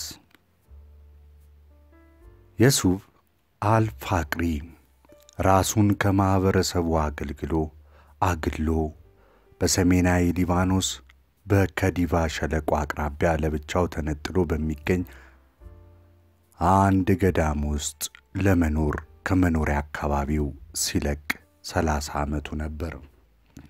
በአቅራቢያው በሚገኙ መንደሮች የሚኖሩት ሰዎች ዮሱፍን በተመለከተ በርካታ የተለያዩ ወሬዎችን ሰምተዋል። አንዳንዶች ቤተሰቦቹ ባለጸጋና የተከበሩ እንደነበሩ፣ ያፈቀራት ሴት ስለ ከዳችው የብቸኝነት ሕይወት ለመምራት መንገዱን ያወራሉ፣ መንገደዱን ይናገራሉ። ሌሎች ደግሞ ሁካታ ከበዛበት ከተማ ራሱን አግልሎ ሐሳቦቹን በጽሑፍ ለማስፈርና መንፈሱን ለማረጋጋት በዚያ ስፍራ የመጨረሻ የሕይወት ዘመኑን እያሳለፈ የሚገኝ ባለቅኔ መሆኑን ይናገራሉ። አብዛኞቹ ሰዎች እብድ መሆኑን ደጋግመው ቢናገሩም ብዙዎች መንፈሳዊ ዓለም የጣመው ባህታዊ ለመሆኑ እርግጠኞች ናቸው። በእኔ በኩል ሰውየውን በተመለከተ ይሄ ነው የሚል መደምደሚያ ላይ ልደርስ አልቻልኩም። ምክንያቱም በቀላሉ ሊገለጽ ይችላል ብዬ የማላምነው ጥልቅ ምስጢር በልብ ውስጥ እንዳለ አውቃለሁና ነው። ከዚህ አስደናቂ ሰው ጋር የምገናኝበት አጋጣሚ አገኝ ዘንድ ለረጅም ጊዜ ተስፋ አድርጌም ቆይቻለሁ። ስለ እሱ እውነቱን ለማወቅና ከሕይወት ታሪኩ የሕይወት ግቡን ለመመርመር በቀና መንገዶች ወዳጄ እንዲሆን ላድርገው ብዙም ለፍቻለሁ። ነገር ግን ጥረቴ ሁሉ መና ቀርቷል። ለመጀመሪያ ጊዜ ሳገኘው በሊባኖስ ቅዱስ አጸዶች ጫካ ውስጥ የእግር ጉዞ እያደረገ ነበር። እናም በተመረጡ መልካም ቃላት ሰላምታን አቀረብኩለት። ይሁንና ላቀረብኩለት ሰላምታ እንደ ነገሩ ጭንቅላቱን በነነቅነቅ ምላሹን ሰጠኝ። እናም አልፎኝ ሄደ። በሌላ አጋጣሚ ከአንድ ገዳም አጠገብ በሚገኝ አነስተኛ ወይን የተተከለበት የአትክልት ስፍራ መካከል ቆሞ አገኘሁት። በድጋሚ ቀረብኩና ሰላምታ ካቀረብኩለት በኋላ መንደርተኞቹ ይህ ገዳም በአስራ አራተኛው ክፍለ ዘመን በአንድ የሲሪያክ ቡድን መገንባቱን ይናገራሉ። ስለ ታሪኩ የምታውቀው ነገር ይኖራል ብዬ ጠየቅኩትኝ። አይ ይህንን ገዳም ማን እንደገነባው አላውቅም፣ ለማወቅም ግድ አይሰጠኝም ሲል መለሰልኝ ቅዝቅዝ ብሎ። ከዛ በፊት አዙሮ ጀርባውን ሰጠኝና ይህን ጥያቄ ከእኔ በዕድሜ የሚበልጡትን እና ከእኔ በላይ ስለ እነዚህ ሸለቆዎች ታሪክ የሚያውቁትን አያቶችህን ለምን አትጠይቃቸው? በማለት ተጨማሪ ጥያቄን አቀረበልኝ። ወዲያው ያሰብኩት ነገር ፍጹም እንዳልተሳካልኝ በመገንዘብ ሰውን ግራ የሚያጋባ ታሪኩን በአእምሮ ውስጥ እየተመላለሰ ረበሸኝ። በመኸር ወቅት በአንድ ቀን የሱፍ አልፋቅሪ በሚኖርበት ገዳም አቅራቢያ በጋራዎቹ እና ኮረብታዎቹ ውስጥ በእግሬ እየተጓጓዝኩ እያለ ድንገት ኃይለኛ ንፋስ ቀላቅሎ የሚጥል ዶፍ ዝናብ ያዘኝ። ኃይለኛው ንፋስ ወዲህ ወዲያ አላጋኝ። ለገዛ ራሴ ለረዥም ጊዜ ስፈልገው የነበረውን አጋጣሚ አገኘሁት። ነፋሱ ወደዚህ ለመሄድ ሰበብ ይሆንልኛል። የረጠቡት ልብሶቼም በዚያው ለመቆየት ጥሩ ምክንያት ይሆናሉ እያልኩ እግሮቼን በመከራ እየጎተትኩ ወደ ዮሱፍ መኖሪያ ቤት አመራው። ገዳሙ ካለበት ስፍራ ደርሼ በሩን ሳንኳኳ አሰቃቂ ሁኔታ ውስጥ ነበርኩኝ። ላገኘው ስናፍቀው የነበርኩት ሰውዬ በሩን ከፈተልኝ። ጭንቅላቷ ቀስል ቆስሎ ክንፎቿ የተሰበሩ ልትሞት የደረሰች ወፍ በአንድ እጁ ይዟል። ሰላምታ ሰጠሁትና በዚህ መልኩ ሳይታሰብ መጥቼ ቅር ስላሰኘው ይቅርታ አድርግልኝ። ከቤቴ ርቄ ባለውበት ሰዓት የጦፈ ንፋስ ይዞኝ ነው አልኩትኝ። በዚህ ጫካ ውስጥ ልትጠለልባቸው የምትችልባቸው ብዙ ዋሻዎች አሉልህ አለኝ ግንባሩን ቋጥሮ። ይሁንና በሩን ስላልዘጋው ታላቁን ምኞቴን ተግባራዊ የማደርግበት ጊዜ መቅረቡን በመገንዘቤ የልቤን አመታት አመታት አፈጠነው። የወፏን ጭንቅላት በእርጋታ መዳበስ ያዘ። ከፍተኛ የሆነ ጥንቃቄ በማድረግ በደስታ ያንን ማድረጉ በልቤ ውስጥ አስፈላጊ ነው ብዬ የማምንበትን አንድ ባህሪ አሳየኝ። በዚህ ሰው ላይ በተመሳሳይ ጊዜ ሁለት ተጻራሪ ባህሪያትን ምሕረትንና ጭካኔን በማየቴም ተገረምኩ። በመካከላችን ጸጥታ መስፈኑን ሁለታችንም ተረዳን። እሱ እኔ በዚያ መኖሬ ቅሬታ ተሰምቶታል። እኔ ደግሞ በዚያ ለመቆየት ጉጉት አድሮብኛል። ሐሳቤን የተረዳልኝ ይመስለኛል። ቀና ብሎ አየኝና ኃይለኛው ንፋስ ንጹሕ ነው፣ የኮመጠጠ ሥጋ ለመብላት አዘቅዝቋል። ከዚያ ይልቅ ሁሉንም ነገሮች ወደ ማቀዝቀዝና ማለዘብ ሊያዘነብል ይችላል። እናም እንደገና በእጁ ካስገባን ያለ ጥርጥር እኔን ማጥፋት ያስደስተው ይሆናል። መልሶ በንዴት ሲያናግረኝ የፊቱ ገጽታ ቁርጠኝነት ይነበብበት ነበር። ኃይለኛው ንፋስ አንተን ቢውጥ ዋጋ ስለሌለ ታላቅ ከበሬታ ሰጥቶ ይሆናል። አዎ ጌታዬ ስል መስማማቴን ገለጽኩለት። እኔም እኮ ከንፋሱ የሸሸሁት የማይገባኝን ከበሬታ እንዳላገኝ ብዬ ነው አልኩት። ፈገግታውን ለመደበቅ ፊቱን አዞረ እና ከእሳት መሞቂያው አጠገብ አንድ የእንጨት የተሠራ አግዳሚ ወንበር አምጥቶ አረፍ ብዬ አልባሳቴን እንዳደርቅ ጋበዘኝ። አመሰገንኩትና እሱ ከፊት ለፊቴ በአንድ ከድንጋይ ተፈልፍሎ በተሠራ አግዳሚ ወንበር ላይ ቁጭ ሲል እኔም ተቀመጥኩኝ። ጣቶቹን ዘይት መሰል ፈሳሽ በያዘ አንድ የሸክላ ማሰሮ ውስጥ እየነከረ ለስለስ አድርጎ የወፏን ጭንቅላትና ክንፎች መቀባትን ያዘ። ቀና ብሎ ሳያየኝ ከባዱ ንፋስ ይህችን ወፍ በዓለቶቹ ላይ ወድቃ በሕይወትና ሞት መካከል ጣር እንዲይዛት አድርጓታል አለኝ። ይህን ጊዜ እኔም ራሴን ከወፏ ጋር በመነጻጸር መልስን ሰጠሁት። ንፋሱ እኔንም በአየር ላይ ያንሳፍፈኝ ጭንቅላቴን ከመቁሰል ክንፎቼንም ከመስበር አድናቸው ዘንድ በተገቢው ጊዜ አምጥቶ ከአንተ ደጃፍ ላይ ጥሎኛል አልኩትኝ። ኮስተር ብሎ ከተመለከተኝ በኋላ ሰው የወፏን አይነት ተፈጥሮ ቢኖረው ምኞቴ ነው። ንፋሱ የሰዎችን ክንፎች ቢሰብርም ምኞቴ ነበር። ምክንያቱም ሰው ወደ ፍርሃትና ፈሪነት ያዘነብላል። እንዲሁም የንፋሱን መምጣት ሲረዳ ወደ መሬት ሰንጥቆች ስንጥቆችና ዋሻዎች ውስጥ ሾልኮ ሾሎ አልኮ በመግባት ይደበቃል አለኝ።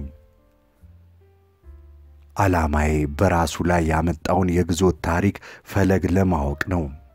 አዎን ወፎች ሰው የሌለው ኩራትና ወኔ ያላቸው፣ ሰው ለገዛ ራሱ ሲል በደነገጋቸውና በባጃቸው ሕጎች፣ ልማዶች ጥላ ስር የሚኖር ፍጡር ነው። ወፎች ግን መሬትን ታላቁን መንገዷን ተከትላ በፀሐይ ዙሪያ እንድትዞር በሚያደርጋት ነፃ ዘላለማዊ ሕግ መሠረት ነው የሚኖሩት በማለት መንፈሱን ቆሰቆስኩት።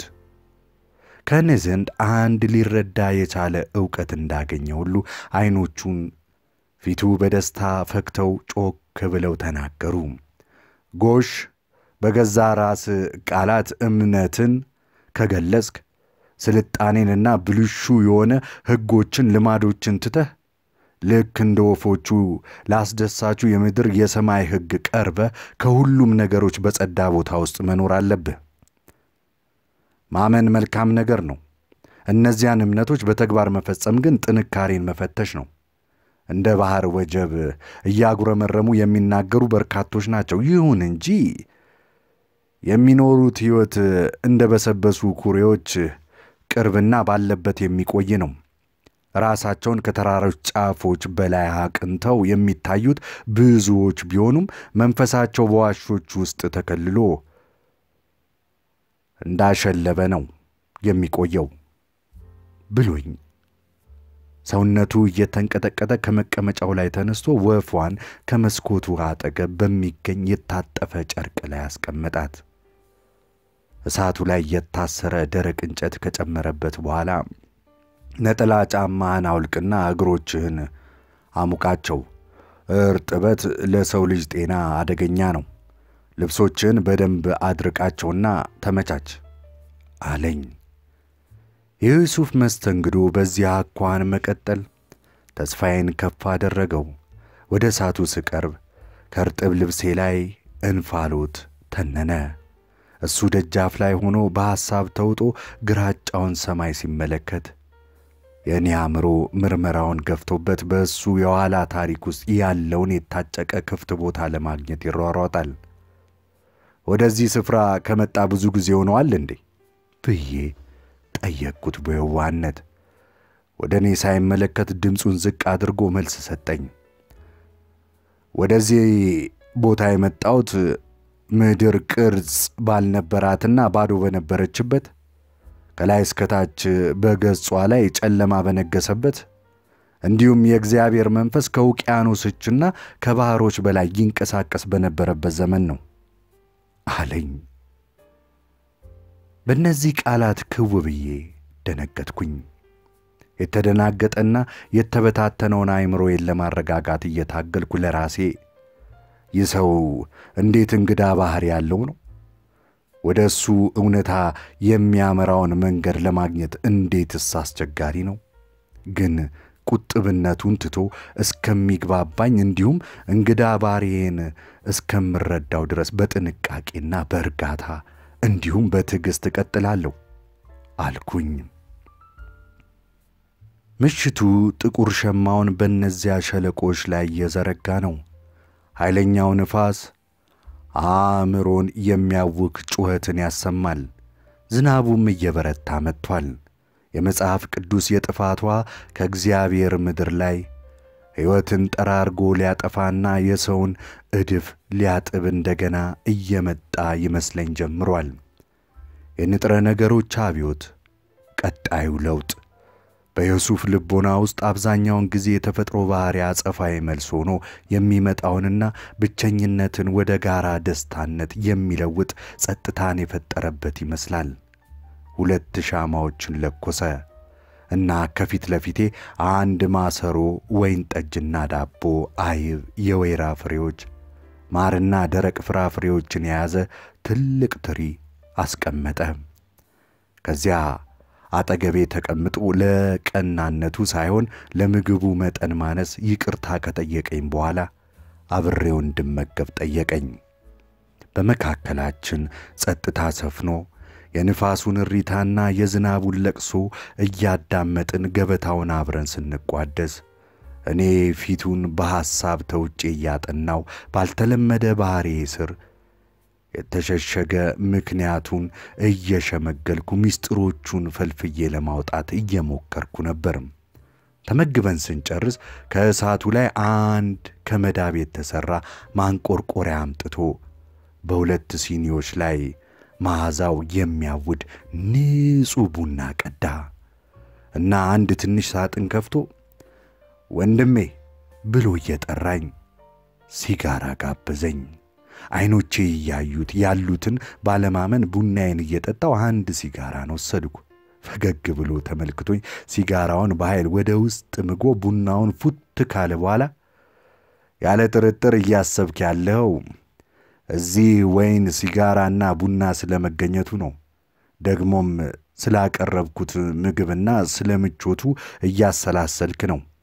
አንድ ሰው ከሰዎች በመራቁ ከሕይወት ጎዳና እንደወጣና በሕይወት ውስጥ ካሉት አስደሳች ነገሮች ሁሉ መታቀብ እንዳለበት ከሚያምኑት ብዙ ሰዎች መካከል አንዱ በመሆን የማወቅ ጉጉትህ ተገቢ ይመስለኛል አለኝ። በፍጥነት መስማማቴን ገለጽኩ። አሁን እግዚአብሔርን ለማምለክ ሲል ብቻ ከዓለም የተገለለ አንድ ሰው ደስታንና የተትረፈረፈ ሕይወትን ትቶ በእግዚአብሔር ቀላል ምርቶች ብቻ ራሱን እያረካ በእጽዋትና በውሃ ብቻ እንዲኖር በአዋቂዎች ተነግሯል አልኩት። ክፉኛ በሐሳብ ተውጦ በዝምታ ከቆየ በኋላ በፍጥረቶቹ መካከል እየኖርኩ እግዚአብሔርን ማምለክ እችል ነበር። ማምለክ ለብቻ ተነጥሎ መኖርን አይጠይቅምና ሰዎች ሰዎችንም የተውኳቸው እግዚአብሔርን ለማየት ስላልነበረም በአባትና በእናቴ ቤት ሆኜም ሁሌ ጊዜ አየው ነበር። ከሰዎች የተገለልኩበት ምክንያት ተፈጥሯቸው ከእኔ ተፈጥሯዊ ባህሪ ጋር ስለተጋጨ እንዲሁም ሕልማቸው ከሕልሜ ጋር ባለመስማማቱ ነው። ሰውን የተውኩት የነፍሴ ጎማ በአንድ በኩል ሲሽከረከር የነፍሳቸው ጎማ በተቃራኒ አቅጣጫ ከሚሽከረከር ሌሎች ሰዎች ጋር ክፉኛ ሲፋተግ ስላገኘሁት ነው። ስልጣኔን ትቼ እዚህ የምኖረው ስሮቹ መሬት ስር ተሸሽገው የተቆላለፉ ቅርንጫፎች ከደመናው በላይ ከፍ ብለው ፈክተው የበቀሉት አበቦቹ ግን ስስት፣ ክፋት እና ወንጀል የሆኑ ያረጀና ብልሹ የሆነ ጠንካራ አስቀያሚ ዛፍ ሆኖ ስላገኘሁት ነው። የስልጣኔ ፍሬዎች ክፋት፣ መከራና ፍርሃት ናቸው።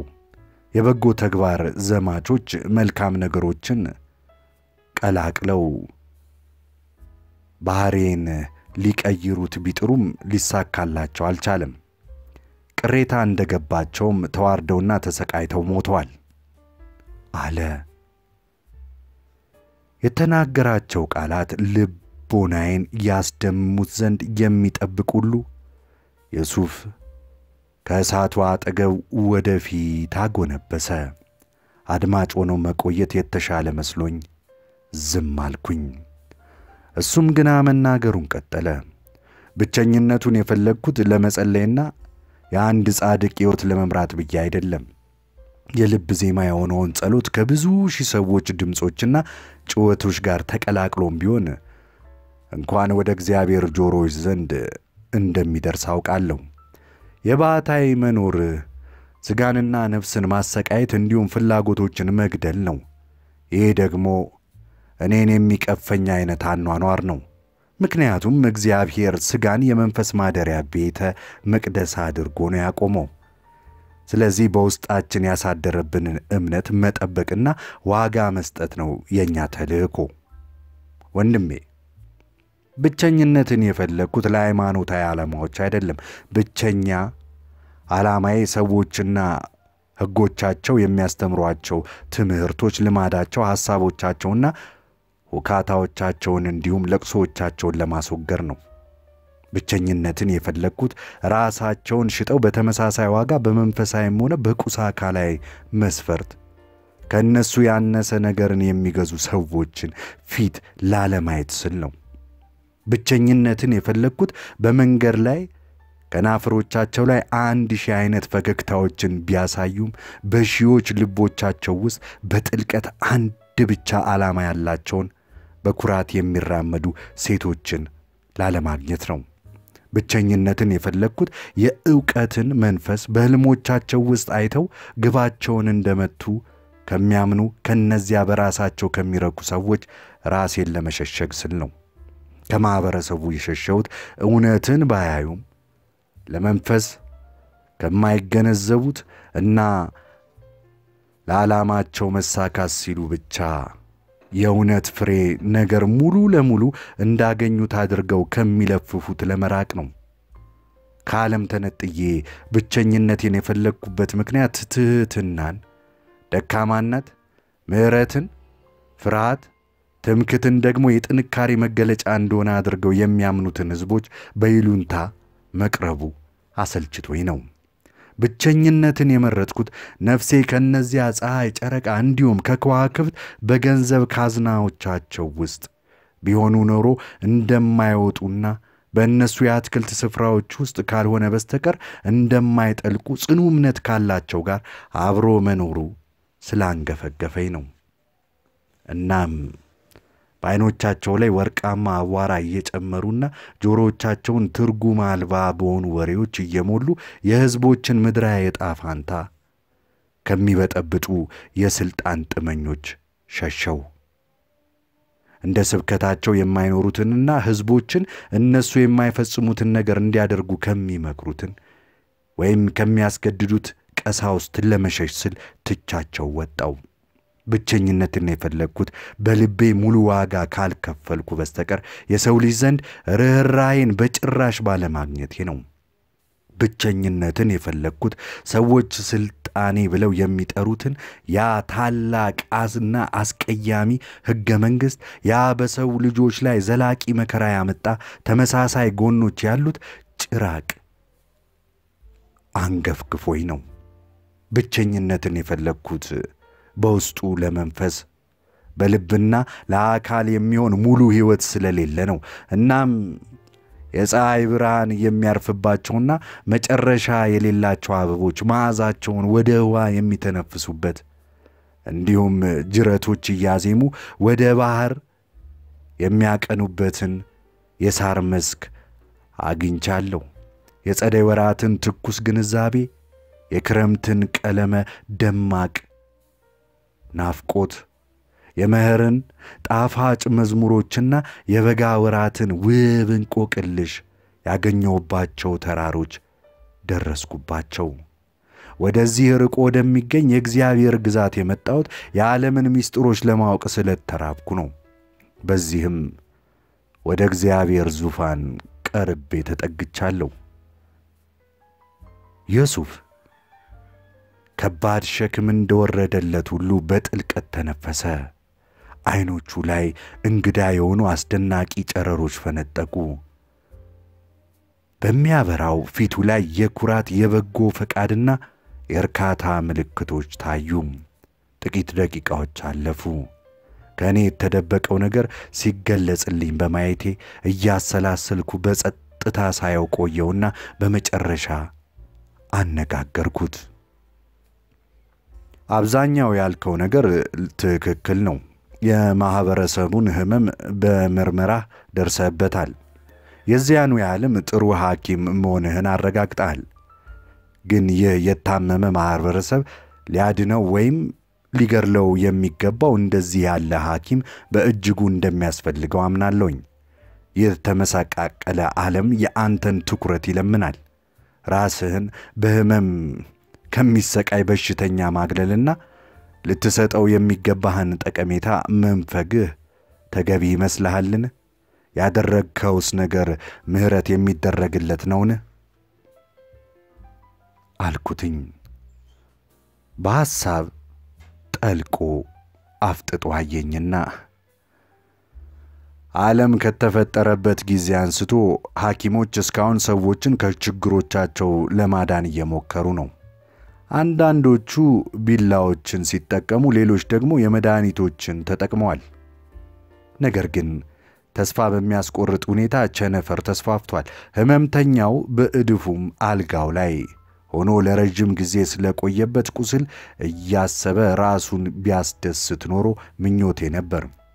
እሱ ግን ከዚያ ይልቅ እጆቹን ከልብሱ ውስጥ አውጥቶ በመዘርጋት ሊጠይቀው የመጣውን ሰው ሁሉ ጨምድዶ በመያዝ እያነቀ ይገድላል። እንዴት ያለ ምጸት ነው! ክፉ በሽተኛ ሐኪሙን ይገድላል። ከዚያ በኋላ ዐይኖቹን ጨፍኖ ለራሱ ታላቅ ሐኪም ነበር ይላል። እንደዚያ መሆን የለበትም ወንድሜ። በምድር ላይ ማንም ሰው ከሰብአዊነት ጥቅም ሊያገኝ አይችልም። ዘር የሚዘራ ገበሬ የቱንም ያህል ብልህና አዋቂ ቢሆን እንኳን በበጋ መሬቱ እንዲያፈራ ሊያደርግ አይችልም አለኝ ተስፋ በቆረጠ አነጋገር። ይሄኔ ተከራከርኩት። የሰዎች የበጋ ወጥ ወቅት እኮ ያልፍና ከዚያ በኋላ ውቡ የጸደይ ወቅት ይመጣል። ስለዚህ አበቦች በእርግጠኝነት በመሬት ላይ መፍካት አለባቸው። ጅረቶቹም እንደገና በሸለቆ ውስጥ ይንፏፏሉ። ፊቱን ከስክሶ በመሬት ፉ ወይኔ እግዚአብሔር ምሉ ፍጥረት የሆነውን የሰው ልጅ ሕይወት እንደ ዓመታት በወቅት ከፋፍሎታልን? አሁን በእግዚአብሔር እውነትና መንፈስ የሚኖሩ ሰዎች ልጆች የትኛውም ጎሳ ቢሆኑ በዚህ ምድር ገጽ ላይ በድጋሚ ለመምጣት ይጓጓሉን? ሰው ተረጋግቶና ለሕይወት ቀኝ ክንዱ ታማኝ ሆኖ በደማቁ የቀን ብርሃንና በሰላማዊው የሌት ጸጥታ መንፈሱን እያደሰ የሚኖርበት ጊዜ ይመጣ ይሆን? ይህ ሕልም እውን ሊሆን ይችላልን? መሬት በሰው ልጅ ሥጋ ከተሸፈነችና በሰው ደም ከራሰች በኋላ ይሄ በተግባር ላይ ሊውል ይችላልን? የሱፍ ከተቀመጠበት ተነስቶ ወደ ተለየ ዓለም ያመለክት ይመስል እጆቹን ወደ ሰማይ ከፍ አድርጎ አነሳ። እናም ንግግሩን ቀጠለ። ይሄ ባዶ ነው። ዓለም ከንቱ ሕልም ነው። እኔ ለራሴ ግን ውጤቱን እያገኘሁት ነው።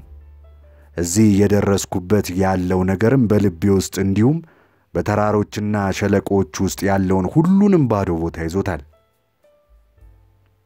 አሁን ኃይለኛውን ድምፁን ከፍ አደረገ። በእውነቱ እውነት እንደሆነ የማውቀው የውስጣዊ ነነቴን ለቅሶ ነው። እኔ እዚህ የኖርኩ እገኛለሁ። በእኔ እዚህ መገኘት ውስጥ ጥልቅ ረሃብና ጥም አለ። በገዛ ራሴ እጆች የሠራኋቸውና ካበጇኋቸው ጋኖች ውስጥ የሕይወት ዳቦና ወይን ጠጅ በመቋደስ ደስታን አገኛለሁ። እኔ ንግግሮቹን ሳሰላስል እና ስለ ማኅበረሰቡ አፉን ከፍቶ ያለ ቁስል የሰጠውን መግለጫ ሳስብ እሱ በተረበሸ መንፈስ በክፍሉ ውስጥ ወደፊትና ወደ ኋላ መራመዱን ቀጥሏል። እንደገና ልተቸው ደፈርኩ። ለአመለካከትና ለአስተሳሰቦች ከፍተኛ ከበሬታን እሰጣለሁ። ደግሞም ከማኅበረሰቡ በመነጠል እና በብቸኝነት መንፈስ ቅናት አድሮብኝ አከብረሃለሁ። ነገር ግን ይህቺ መከረኛ ሀገር በአንተ ስደት ትልቅ ኪሳራ እንደደረሰባት አውቃለሁ። ምክንያቱም በችግሮቿ ሁሉ የሚረዳት አንድ አብጠርጥሮ የሚያውቃት እና መንፈሷን የሚቀሰቅስላት አዳኝን ትሻለች። ራሱን በቀስታ ነቀነቀ። ይህች አገር እንደ ሁሉም አገሮች ነች። ሕዝቦቿም ከሌሎች አገሮች ሕዝቦች ጋር አንድ አይነት ከሆነ ንጥረ ነገር ነው የተሰሩት። ከውጫዊ ገጽታቸው በስተቀር በምንም አይለዩም። ይሄ ደግሞ የሚያመጣው ነገር የለም። የሩቅ ምስራቋ ሀገራችን መከራ የዓለም ሁሉ መከራ ነው። በምዕራቡ ዓለም ስልጣኔ ብላችሁ የምትጠሩት ያ አሰቃቂ ማጭበርበር የብዙ ጣዕረ ሞቶች መንፈስ ከመሆኑ ውጪ ባዶ ነው። ግብዝነት የጣቷ ጫፎች በቀለም ቢወለወሉም ሁልጊዜም ትኖራለች። ማታለልም ምንም ስስና ለስላሳ ብትሆንም በጭራሽ አትለወጥም።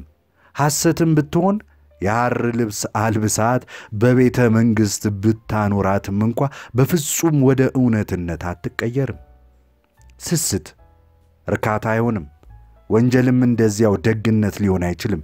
እናም በትምህርት በልማድ እና በታሪክ ውስጥ ያለችው ዘላለማዊ ባርነትም ፊቷን ቀለም ብትቀባም ድምጿን ብትቀይርም ባርነት ሆና ትቀራለች።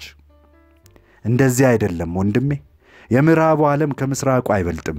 የምዕራቡም ዓለም ከምስራቁ ያነሰ አይደለም። ደግሞም በሁለቱ መካከል ያለው ልዩነት በነብርና በአንበሳ መካከል ካለው ልዩነት የሚልቅም አይደለም። ከማኅበረሰቡ የውጭ በር በስተጀርባ መከራን፣ ብልጽግናንና ድንቁርናን እኩል የሚያደርግ አንድ እኔ ያገኘሁት ፍጹምና ሐቀኛ የሆነ ሕግ አለ። ለአንዱ ወይም ለሌላው ሀገር አያዳላም። ሌላውን ለማበልጸግ ሲል አንዱን ጎሳን አይጨቁንም አለኝ። ጮክ ብዬ ተናገርኩ። እንግዲያውስ ስልጣኔ ከንቱ ኗ፣ በውስጡ ያሉ ነገሮችን በሙሉ ከንቱ ናቸው አልኩት። በአፋጣኝ መልስ ሰጠኝ። አዎን ስልጣኔ ከንቱ ነው። በውስጡ ያሉትም ነገሮች ከንቱ ናቸው። ፈጠራዎችና ግኝቶችም ቢሆኑ አካል ሲደክምና ሲዝል መደሰቻና ምቾት ማግኛዎች እንጂ ሌላ አይደሉም። ርቀትን መማረክና ባህሮች ላይ ድል መቀዳጀት ነፍስን የሚያረኩ ልብን የሚያጎለምሱ መንፈስን ከፍ የሚያደርጉና ከተፈጥሮ በጣም የራቁ ሐሰተኛ ፍሬዎች እንጂ ሌላ አይደሉም። በተጨማሪም ሰው ዕውቀትንና ጥበብን እያለ የሚጠራቸው ቅርጾችና ንድፈ ሐሳቦችም ቢሆኑ የሰው ልጅ የሚጎትታቸው የእግር ብረቶች ወርቃማ ሰንሰለቶች ከመሆናቸው ባለፈ በአብረቅራቂ ነጸብራቃቸውና በሚቅጨለጨል ድምፃቸው የሚፈነጥዙባቸው ከመሆናቸው ውጪ ባዶ ናቸው። የሰው ልጅ ከረጅም ዘመናት በፊት ፍርግርግ የብረት ግድግዳዎቻቸውን ከውስጥ ሆኖ እየገነባቸው መሆኑን ልብ ሳይል ደክሞባቸው ለዘላለሙ የራሱ እስረኛ እንደሆነ አልተገነዘበም። አዎን የሰው ተግባራት በሙሉ ዋጋ ቢሶች ናቸው። ዓላማዎቹም ዋጋ የላቸውም። ደግሞም በምድር ላይ ያለው ነገር ሁሉ ከንቱ ነው። ንግግሩን ገታ አድርጎ ቆየና ከዚያ በቀስታ እና በሕይወት ውስጥ ካሉት ነገሮች መካከል መንፈስ የሚወደውና የሚጓጓለት አንድ ነገር አለ። አንድ አስደናቂና ብቸኛ ነገር ነው ያለው በማለት ጨምሮ ተናገረ። ምንድን ነው ብዬ ጠየቅኩት በሚንቀጠቀጥ ድምፅ። ለረጅም ጊዜ ትክ ብሎ ተመልክቶኝ ሲያበቃ ዐይኖቹን ጨፈነ።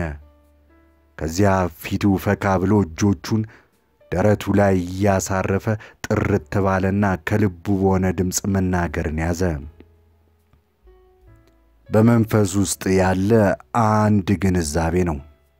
ይህ ድንገት በሰው ሕሊና ላይ ወርዶ ሕይወትን ራስን በሚያዞር ግሩም ሙዚቃ መካከል በታላቅ ብርሃን ዙሪያዋን ተከባ ሰውም እንደ ውበት አምድ በመሬትና በጠፈር መካከል እንደቆመ የሚታይበትን ዐይን የሚገልጥ እጅግ አስደናቂ የሆነ ኃይል ነው።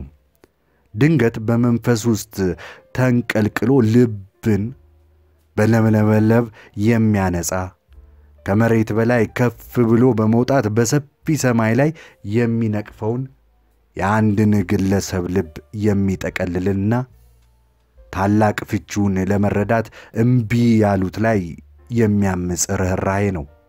በቤተሰቦቼ በወዳጆቼና በሀገሬ ሰዎች መካከል ሆኜ የማኅበረሰቡ አባል በነበርኩበት ጊዜ ከዐይኖቼ ላይ ዐይነ ርግቡን ያስወገደልኝ ምስጢራዊ እጅ ነው። ብዙ ጊዜ ይህ ዓለም ምንድን ነው? እኔ እስከሚመለከቱኝ ሰዎች ለምን ተለየው? እንዴትስ እነሱን አውቃቸዋለሁ? የትስ አገኘኋቸው? በእነሱ መካከል የምኖረውስ ለምንድን ነው? በዚህች ቁልፎችን በአመኔታና በአደራ ጭምር በሰጠችኝ ሕይወት በተገነባቸው ዓለም ምድር ውስጥ እኔ በእነሱ መካከል የተገኘው እንግዳ ፍጡር ነኝ ወይስ እነሱ ናቸው እንግዳ ፍጡሮች? እያልኩኝ ከራሴ ጋር በመነጋገር ለበርካታ ጊዜያት አሰላስያለሁ። ድንገት ከረጅም ጊዜ በፊት ያየውን አንድ ነገር እንዳስታወሰና ሊገልጸው እንዳልፈለገ ሁሉ ዝም አለ። ከዚያም ክንዶቹን ወደፊት ዘርግቶ ከአራት ዓመታት በፊት በእኔ ላይ የደረሰው ይሄ ነው። በዚያን ጊዜ ነበር ዓለምን ትቼ በሕይወት ግንዛቤ ውስጥ ለመኖር ወደዚህ ቦታ ስፈራ በቀና ሐሳቦችና በማራኪ ጸጥታ ለመደሰት የመጣሁት። ኃይለኛውን ንፋስ ለማነጋገር ተዘጋጅቶ እንደሚጠብቅ ሁሉ ወደ ድቅድቅ ጨለማው እየተመለከተ ወደ በሩ ተራመደ። እናም በሚስረቀረቅ ድምፅ መንፈስ ውስጥ ያለ አንድ ግንዛቤ ነው። ይህንን ያወቀ በቃላት ሊገልጸው አይችልም። የማያውቀው ደግሞ በጭራሽ ስለ አስገዳጁና ማራኪው የመኖር እንቆቅልሽ አስቦ ውጤት ያለው ነገርን አያመጣም አለኝ። አንድ ሰዓት አለፈ። የሱፍ አልፋቅሪ በክፍል ውስጥ ይራመዳል። አልፎ አልፎም ቆም ብሎ አስደናቂውን ግራጫ ሰማይ በሐሳብ ጠልቆ ያየዋል። በብቸኝነት ሕይወት ውስጥ ስላለው እንግዳ የሆነ የደስታና የሐዘን ፍጹም ትብብር እያሰላሰልኩ ዝም እንዳልኩ ቀረው። ምሽቱ ከገፋ በኋላ ወደ እኔ ቀረብ ብሎ አጥንት የሚሰብሩ የሕይወቱን ምስጢሮች የገለጸለትን ሰው ምስል በትውስታ ማኅደር ውስጥ ሊያስገባ እንደፈለገ ሁሉ ለረጅም ጊዜ ፊቴ ላይ አፈጠጠ። አእምሮዬ ባለመረጋጋት፣ ዐይኖቼ ደግሞ በጭጋግ ተሞልተው ተጫጫነኝ። አሁን የተፈጥሮ መገለጫ በቅርበት እንዲሰማኝ በምሽቱ ውስጥ ከኃይለኛው ንፋስ ጋር በእግሬ ልጓዝ ነው። ይህ በመኸርና በበጋ ወራት እጅግ በጣም የሚያስደስተኝ ተግባር ነው። ወይን ጠጅ እዚያ አለልህ፣ በዚያ ደግሞ ሲጋራም አለልህ። እባክን ለዛሬ ሌሊት ቤቴን እንደ ገዛ ቤት አድርገህ ተቀበለው አለኝ በዝቅተኛ ድምፅ። ከዚያ ራሱን በጥቁር ልብስ ጠቀለለና ፈገግ እያለ ቀኑን በጫካው መሃል ባሉት ቅዱስ አጸዶች ውስጥ ለማሳለፍ ስላቀድኩኝ ጠዋት ስትሄድ ሰዎች እንዳይገቡ በሩን በደንብ እንድትቀረቅር እለምንሃለሁ ብሎኝ ረጅም ምርኩዝ ይዞ ወደ በሩ ተራመደ። በዚህ አካባቢ ሆነ በድጋሚ ሳታስበው ኃይለኛ ንፋስ ካጋጠመ በዚህ ገዳም ውስጥ ለመጠለል አታመንታ። እዚህ ራስህን ንፋሱን መፍራትን ሳይሆን ማፍቀርን ታስተምረዋለህ። ደናደር ወንድሜ በማለት ንግግሩን አጠቃለለ። በሩን ከፍቶ በመውጣት ራሱን ቀና አድርጎ ወደ ጨለማው ገባ። የሄደበትን አቅጣጫ ለማየት በሩ ላይ ብቆምም ከዐይኔ ተሰወረብኝ። ለጥቂት ደቂቃዎች እግሮቹ በተሰባበሩት የሸለቆ ድንጋዮች ላይ ሲያርፉ የሚያሰሙት ድምፅ ተሰማኝ። በጥልቅ ሐሳብ የተሞላው ሌሊት አልፎ ነጋ። ጠዋት ላይ ሰማዩ ጥርት ብሎ ተራሮቹና ሸንተራሮቹ በሞቃቱ የፀሐይ ጨረሮች ሲፈነጥዙ ኃይለኛው ነፋስም አለፈ። ወደ ከተማ ለመመለስ በመንገድ ላይ እያለው የሱፍ አል ፋቅሪ የነገረኝ ያ መንፈሳዊ ግንዛቤ ሰፈረብኝ። የሰውነቴ መንዘፍዘፍ በዐይን የሚታይ መስሎ እስኪሰማኝ ድረስ በእያንዳንዷ ጅማቴ ውስጥ ስሜቴ ተጧጧፈ። እናም ስረጋጋ ሁሉም ነገሬ ውብና እንከን የሌለበት ሆኖ ነበር። ወደሚያስጠሉት ሰዎች ዘንድ ደርሼ ድምፃቸውን ስሰማና ተግባራቸውን ሳይ ቆም አልኩኝና በውስጤ ለገዛ ራሴ አዎን፣ በሰው ሕይወት ውስጥ ከሁሉ በላቅ አስፈላጊው ነገር መንፈሳዊ ግንዛቤ ነው። በሰው ሰውነት ብቸኛው ከሁሉ በላቅ አስፈላጊው ነገር መንፈሳዊ ግንዛቤ ነው። የሰው ሰውነት ብቸኛው ዓላማው ይኸው ነው። ስልጣኔ ከሁሉም አስቀያሚ ነገሮች ጋር ለመንፈሳዊ ግንዛቤ ማነቃቂያው አይደለምን? አሁን ያለው ያለማወላወል ይህን ካረጋገጠ እንዴት አድርገን ላንቀበለው እንችላለን? አሁን ያለው ስልጣኔ ምናልባት ልም ብሎ የሚጠፋ ዓላማ ሊኖረው ይችላል። ነገር ግን ዘላለማዊ ሕግ ለዚያ ዓላማ ወደ ነፃ ውጫዊ መገለጫ የሚመራ አንድ መሰላል አበርክቶለታል አልኩኝ። የሱፍ በድጋሚ አላየሁትም። ምክንያቱም በስልጣኔ ክፉ ተግባራት ላይ ለመገኘት በሚደረገው ጥረት ሕይወት በዚያ ዓመት የመኸር ወቅት መጨረሻ ላይ ከሰሜን ሊባኖስ አስወጣችኝና ኃይለኛው ነፋስ በማለዳ በሆነበት ሩቅ አገር በስደት መኖር ግድ ሆነብኝ። እናም በዚያም ሀገር የባህታዊ ሕይወት መምራት እንደ ታላቅ እብደት ይቆጠራል። በዚያ ያለውን ማኅበረሰብ በሽተኛ ነውና። ቻናላችንን subscribe፣ like፣ comment፣ share ያድርጉ። የጠቢባን መንገድ ካሊል ጅብራን አውሎ ንፋስ የሚለውን እንዲህ አንብበን ጨረስን። እናመሰግናለን። እንቀጥላለን። የጠቢባን መንገድ ካሊል ጅብራን ባርነት ሰዎች የሕይወት ባሪያዎች ናቸው። እናም ቀኑን በመከራና በስቃይ የሚሞላባቸው ሌቱን ደግሞ በእንባና በጭንቀት የሚያጥለቀልቅባቸው ባርነት ነው። እኔ ለመጀመሪያ ጊዜ ከተወለድኩበት ቀን ጀምሮ ሰባት ሺህ ዓመታት አለፈ። ከዚያ ቀን ጀምሮ የሕይወት ባሪያዎች ትላልቅ የእግር ብረቶቻቸውን እየጎተቱ ወዲያ ወዲህ ሲንከላወሱ በዐይኔ በብረቱ እያየዋቸው እገኛለሁ። በመሬት ላይ ወደ ምስራቅም ሆነ ወደ ምዕራብ ተዘዋውሬአለሁ። በሕይወት ብርሃን ላይ ጥላ ውስጥ ተንከራትቻለሁ። በባርነት ቀንበር ስር የሚሰግዱ የተዋረዱ ነፍሶች ቁልቁል ወደ ሲኦል በዝግታ ይጎተታሉ። ጠንካሮች በእግር ብረት ታስረው አንገታቸውን ደፍተዋል። ታማኞች በግልበታቸው በጉልበታቸው ተንበርክከው ጣዖታትን ያመልካሉ። ሰውን ከባቢሎን እስከ ናይሮ ከኤንዳውር እስከ ባግዳድ ተከታትዬ ሳበቃ በአሸዋው ላይ የሰንሰለቶቹን ምልክት አስተውየዋለሁ። እንደ ስስት የሚለዋወጡት ዘመናት አሳዛኝ የገደል ማሚቶች በዘላለሚዎቹ የሳር ምድሮችና ሸለቆች ሲደጋገሙም ሰምቻለሁ። ቤተ መቅደሶችና መሠዊያዎቹን ጎብኝቻቸዋለሁ። ቤተ መንግሥቶቹ ውስጥ ገብቼ ከዙፋኖቹ ፊት ተቀምጫለሁ። እዚያው የእጅ ሙያ ተማሪው ለጥበበኛው ጥበበኛው፣ ለቀጣሪው ቀጣሪ፣ ለወታደሩ ወታደሩ፣ ለሀገረ ገዢው ሀገረ ገዢው፣ ለንጉሡ ንጉሡ፣ ለቄሱ እንዲሁም ቄሱ ለጣዖቱ በባርነት ሲያገለግሉ አይቻለሁ። እናም ጣዖቱ በሰይጣን እጅ ምድር ላይ ተበጀ።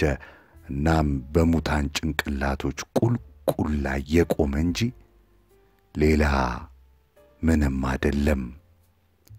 ከሀብታሞች ትልቅ ቤቶች ውስጥ ዘልቄ ገብቻለሁ። የድሆችንም ጎጆዎችም ጎብኝቻለሁ። ሕፃናትን ከእናታቸው ጡት የባርነት ወተት እየጠጡና ልጆችም ከፊደል ጋር ሽንፈትን አብረው እየቆጠሩ አግኝቻቸዋለሁ። ልጃገረዶች የቁጥጥርና የታዛዥነት ሸማ ለብሰዋል። ሚስቶች በእንባ እንደታጠቡ በትእዛዝና በሕግ አክባሪነት አልጋዎቹ ላይ አረፍ ብለዋል። በርካታ ስሞች ቢኖሩትም እውነታው አንድ ነው። ባርነት ብዙ ገጽታዎች ቢኖሩትም የተሠራው ከአንድ ንጥረ ነገር ነው። እውነታው ባርነት እያንዳንዱ ትውልድ ለተከታዩ የሚያወርሰው የዘላለም ሕመሙ መሆኑ ነው። የሕዝቦችን የአሁን ዘመን ታሪክ ከወላጆቻቸው ያለፈ ታሪክ ጋር የሚያስተሳስረው እና ጥንታዊ መንፈሶችን በአዲስ አካላት ውስጥ በማስቀመጥ ልማዶችና ባህሎቻቸውን እንዲቀጥሉ የሚገፋፋውን እውር ባርነት አግኝቸዋለሁ። የወንድን ሕይወት የሚጸየፉት ሚስቱ ሕይወት ጋር በማቆላለፍ ሁለቱን ሕይወቶች በመንፈስ እየገደለ የሴቷን አካል በሚጠላው ባል አልጋ ውስጥ የሚያኖረውን ዲዳ ባርነት አግኝቸዋለሁ። ነፍስና ልብን አፍኖ ለሰው ባዶ የሆነ ድምፅ የገደል ማሚቱ እንጂ ሌላ የማያሰማውን እንዲሁም አሳዛኝ የአትክልት ጥላ የሚያሳየውን ደንቆሮ ባርነትን አግኝቸዋለሁ። የሰውን አንገት በአምባገነን ተጽዕኖ ስር የሚያስይዘውንና ጠንካራ አካላትና ደካማ አእምሮችን በሥልጣናቸው እንደ መሣሪያ ይጠቀሙበት ዘንድ ለሰዎች ልጆች የሚሰጠውን ሽባ ባርነት አግኝቸዋለሁ። ከሰፊው ጠፈር ክፉ ቀን ከድንቁርና አጠገብ ውርደት ከተስፋ መቁረጥ ከተስፋ መቁረጥ ጎን ወደሚኖሩበት የመከራ ቤት ከሕፃናት መናፍስት ጋር የወረደውን አስቀያሚ ባርነትም አግኝቸዋለሁ። እናም ልጆቼ ብስጩ ሆነው አድገው ወንጀለኞች ሆነው ይኖሩና እንዳልኖሩ ሁሉ ተንቀውና ተጥለው ይሞታሉ። ነገሮችን ከስማቸው የተለየ ሌላ ስም እየሰጡ ተንኮልና ብልሃት ባዶነትን፣ ዕውቀት ደካማነትን፣ ልዝብነት እንዲሁም ፈጣሪነትን የጠነከረ እምቢታ እያለ የሚጠራውን ጮሌ ባርነትም አግኝቸዋለሁ። የደካሞችን ምላሶች በፍርሃት እንዲንቀሳቀስ አድርጎ ከስሜታቸው ውጪ የሆነ ነገር እንዲናገሩና የታወከ አስተሳሰባቸውን እየሸመገዱ እንዳሉ የሚያስመስላቸው ነገር ግን ሕፃን እንኳ ሊያጠፋው ሊያጠፋቸው ወይም ሊያንጠለጥላቸው የሚችል ባዶ ጆንያዎች እንዲሁ የሚያደርጋቸው ጠማማ ባርነትም አግኝቻለሁ። አንዲት ሀገር የሌላ ሀገርን ሕግ እና ደንብን በእሺታ ተቀብላ እንድትታዘዝ የሚያግባባውን ጎባጣ ባርነትም አግኝቸዋለሁ። ጉብጠቱንም በየዕለቱ ይጨምራል። ለንጉሠ ነገሥታት ልጆች የነገሥታት ዘውድ የሚደፋላቸውንና ለበጎ ተግባር ከበሬታ የማይሰጠውን ዘላቂ ባርነትም አግኝቸዋለሁ። ዝንተ ዓለምን ንጹሕን የወንጀለኞች ልጆችን ስም እያጠፋ በማሳፈር የሚያዋርዳቸውን ጥቁር ባርነትም አግኝቸዋለሁ። አሳቢ ባርነት ደግሞ በተንኰል የተሞሉ አረመኔያዊ ተላላፊና ቀጣፊ ባለሥልጣኖችን ኃይሎችን ይዞ ይገኛል። ስለዚህ ወራዶችን ዘመናት መከተሉ ሲታክተኝ እና የደነዘዘ ሕዝቦችን የደነዘዙ ሕዝቦችን ሰልፎች መመልከት ሲሰለቸኝ ብቻዬን ሆኜ ያለፈው ዘመን በጥፋተኝነት ራሱ ሊሸሽገኝ በሚጥርበትና እንደ ወንጀለኛ ሕልሞች በሚጥመዘመዘው የደምና የእንባ ወንዝ ጫፍ ላይ ሆኜ የባሪያዎችን ጣረ ሞቶች የፍርሃት ሹክሹክታ አዳመጥኩና ባዶነት በአትኩሮት ተመለከትኩት። እኩለ ሌሊት ላይ መናፍስቱ ከተደበቁበት ስፍራዎች ውስጥ ብቅ ብቅ ሲሉ አንዲት የምታጣጥር የሙት መንፈስ በጉልበቶቿ ተንበርክካ ጨረቃን በትኩረት ስትመለከት አየው። ተጠጋሁና ስምሽ ማን ነው ብዬ ጠየቅኳት። ስሜ ነጻነት ነው ብላ መለሰችልኝ። ይህችን የአንድ ሬሳ ጣረ ሞት ጥላ ልጆችሽ ወዴት አሉ ብዬ ጠየቅኳት እንደገና። አንዱ ተሰቅሎ ሌላው አብዶ ሞተዋል። ሦስተኛው ደግሞ እስካሁን ድረስ ገና አልተወለደም አለችና እያነከሰች መሄድ ስትጀምር ተጨማሪ ነገር ተናገረች። ይሁንና በዐይኖቼ ውስጥ ያለው ጭጋግና የልቤ ለቅሶ እንዳላያት ወይም እንዳልሰማት ከለከሉኝ። ቻናላችንን subscribe፣ like፣ comment፣ share ያድርጉ። የጠቢባን መንገድ የሚለውን የካሊል ጅብራንን መጽሐፍ እያነበብን ነው። መልካም ቆይታ። ሰይጣን ይላል ቀጣዩ ርዕስ። ሰዎች አባ ስምዖንን የሚመለከቷቸው እንደ መንገድ መሪያቸውና የተከበሩ ሰው ነው። ምክንያቱም በመንፈሳዊና ሃይማኖታዊ ጉዳዮች ላይ ጥልቅ ዕውቀት ያላቸው ከመሆናቸውም በላይ የገነትንና የገሃነመ እሳትን ምስጢራት አብጠርጥረው ያውቃሉ። እናም ሕዝቡ ከአምላኩ ቀጥሎ የሚያከብረውና የሚፈራው እሳቸውን ነው። በዚህች በሰሜናዊት ሊባኖስ የአባ ሳምዖን የሕይወት ተልእኮ ከአንዱ መንደር ወደ ሌላው እየተጓጓዙ ወንጌልን መስበክና ሰዎችን ከመንፈሳዊ ኀጢአት በሽታዎች መፈወስ እንዲሁም ከአስፈሪ የሰይጣን ወጥመድ ማዳን ነው። በዚህ ሁሉ ጊዜ ከሰይጣን ጋር የማያቋርጥ ጦርነት እንደገጠሙ ነው። በዚህ የተቀደሰ ተግባራቸው ደግሞ የአገሬው ሕዝብ በእጅጉ ያከብራቸዋል። ሁሉም ምክርና ቡራኪያቸውን ለማግኘት በመጓጓት የወርቅና የብር ሳንቲሞችን ያበረክትላቸዋል። ከእርሻ መሬቶቻቸው ምርጥ ፍራፍሬዎችን ይሰጧቸዋል።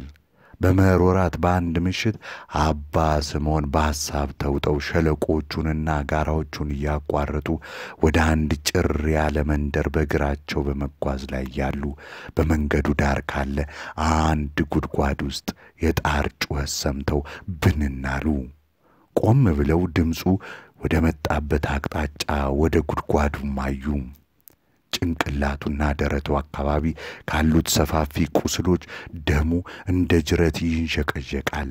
በሚያሳዝን ሁኔታ አድኑኝ፣ አድኑኝ፣ እርዱኝ፣ ምሕረት አድርጉልኝ፣ መሞቴ ነው እያለ እርዳታ እንዲደረግለት እያለከለከ ይለምናል። አባ ስምዖን ግራ ተጋብተው ወደሚያጣጥረው ሰው እየተመለከቱ ለራሳቸው ይህ ሰው ሌባ መሆን አለበት ምናልባትም መንገደኞችን ሊዘርፍ ሲሞክር አግኝተውት ደብድበውት እዚህ ጥለውት ሄደው ይሆናል። አሁን የቆሰለው በዚህ ምክንያት መሆን አለበት።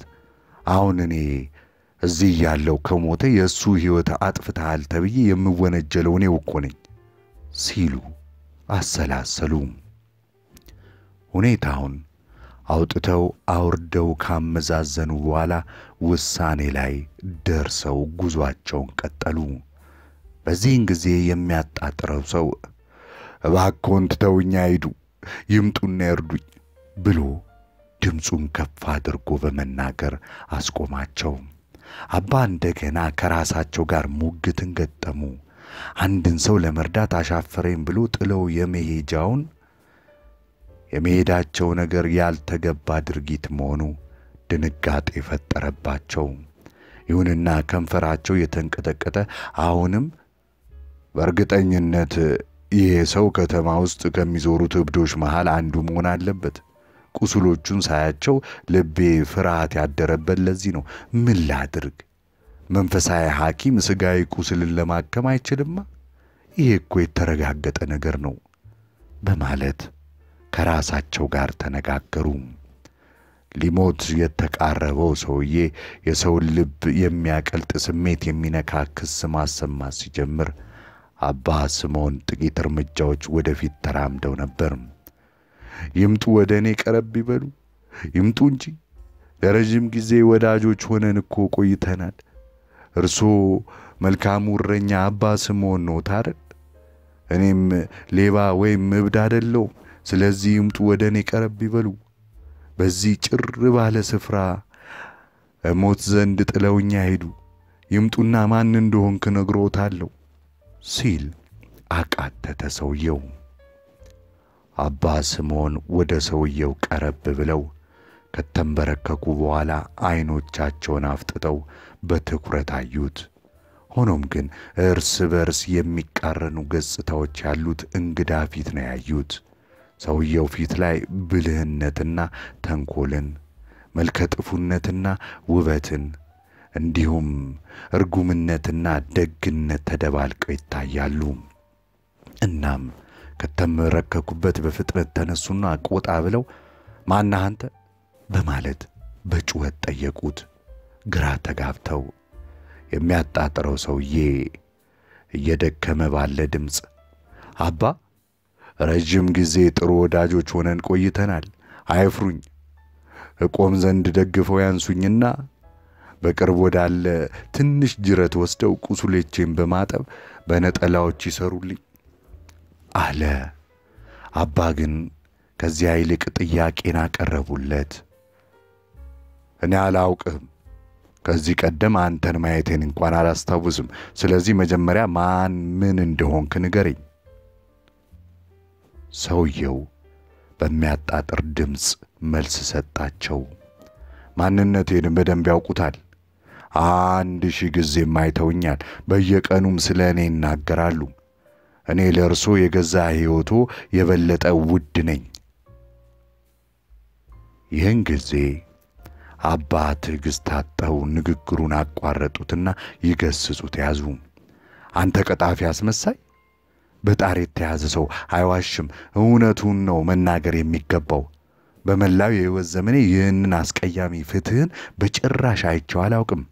ይልቅ ማን እንደሆንክ ንገረኝ፣ አለበለዚያ እየሾለከች ባለች ሩህ እንዲህ እየተሰቃየ ትሞት ዘንድ ትቼ መሄዴ ነው። በጣረ ሞት የተያዘው ሰውዬ በቀስታ ተንቀሳቅሶ የቄሱን ዐይኖች አተኩሮ ተመለከተ። ከንፈሮቹ ላይ ረቂቅ የሆነ ፈገግታ እየታየ በዝቅተኛ ወፍራምና ለስላሳ ድምፅ እኔ ሰይጣን ነኝ አለ። አባ ሳምዖን አስፈሪ ቃል እንደሰሙ ወዲያውኑ በርቀት የሚገኙትን የሸለቆውን ጥጎች ያንቀጠቀጠ ኃይለኛ ጩኸትን ጮኹ። ከዚያ አፍጥጠው አዩትና አስቀያሚ የተዛቡ አካላት ያሉት የዚህ የሚያጣጥር ሰውዬ ገላ በመንደሩ ውስጥ ባለ ቤተ ክርስቲያን ግድግዳ ላይ በተሰቀለው ሃይማኖታዊ ምስል ላይ ሲያዩት ከኖሩት የሰይጣን ምስል ጋር በእጅጉ እንዲመሳሰል ተገነዘቡ። የሠራ አካላታቸው እየተንዘፈዘፈ እግዚአብሔር አስቀያሚ ምስልህን አሳይቶኝ በሚገባ እንድጠላህ አድርጎኛል። ዘላለም ዓለምህን የተረገምክ አንተ ርጉም፣ ከፍተኛ በበሽታ የተጠቃን የበግ ጠቦት እረኛው በፍጥነት ሊያስወግደው ይገባል። አለበለዚያ ሌሎቹን ጠበቆች ጠቦቶቹን ይበክልበታል ብለው ጮኹበት።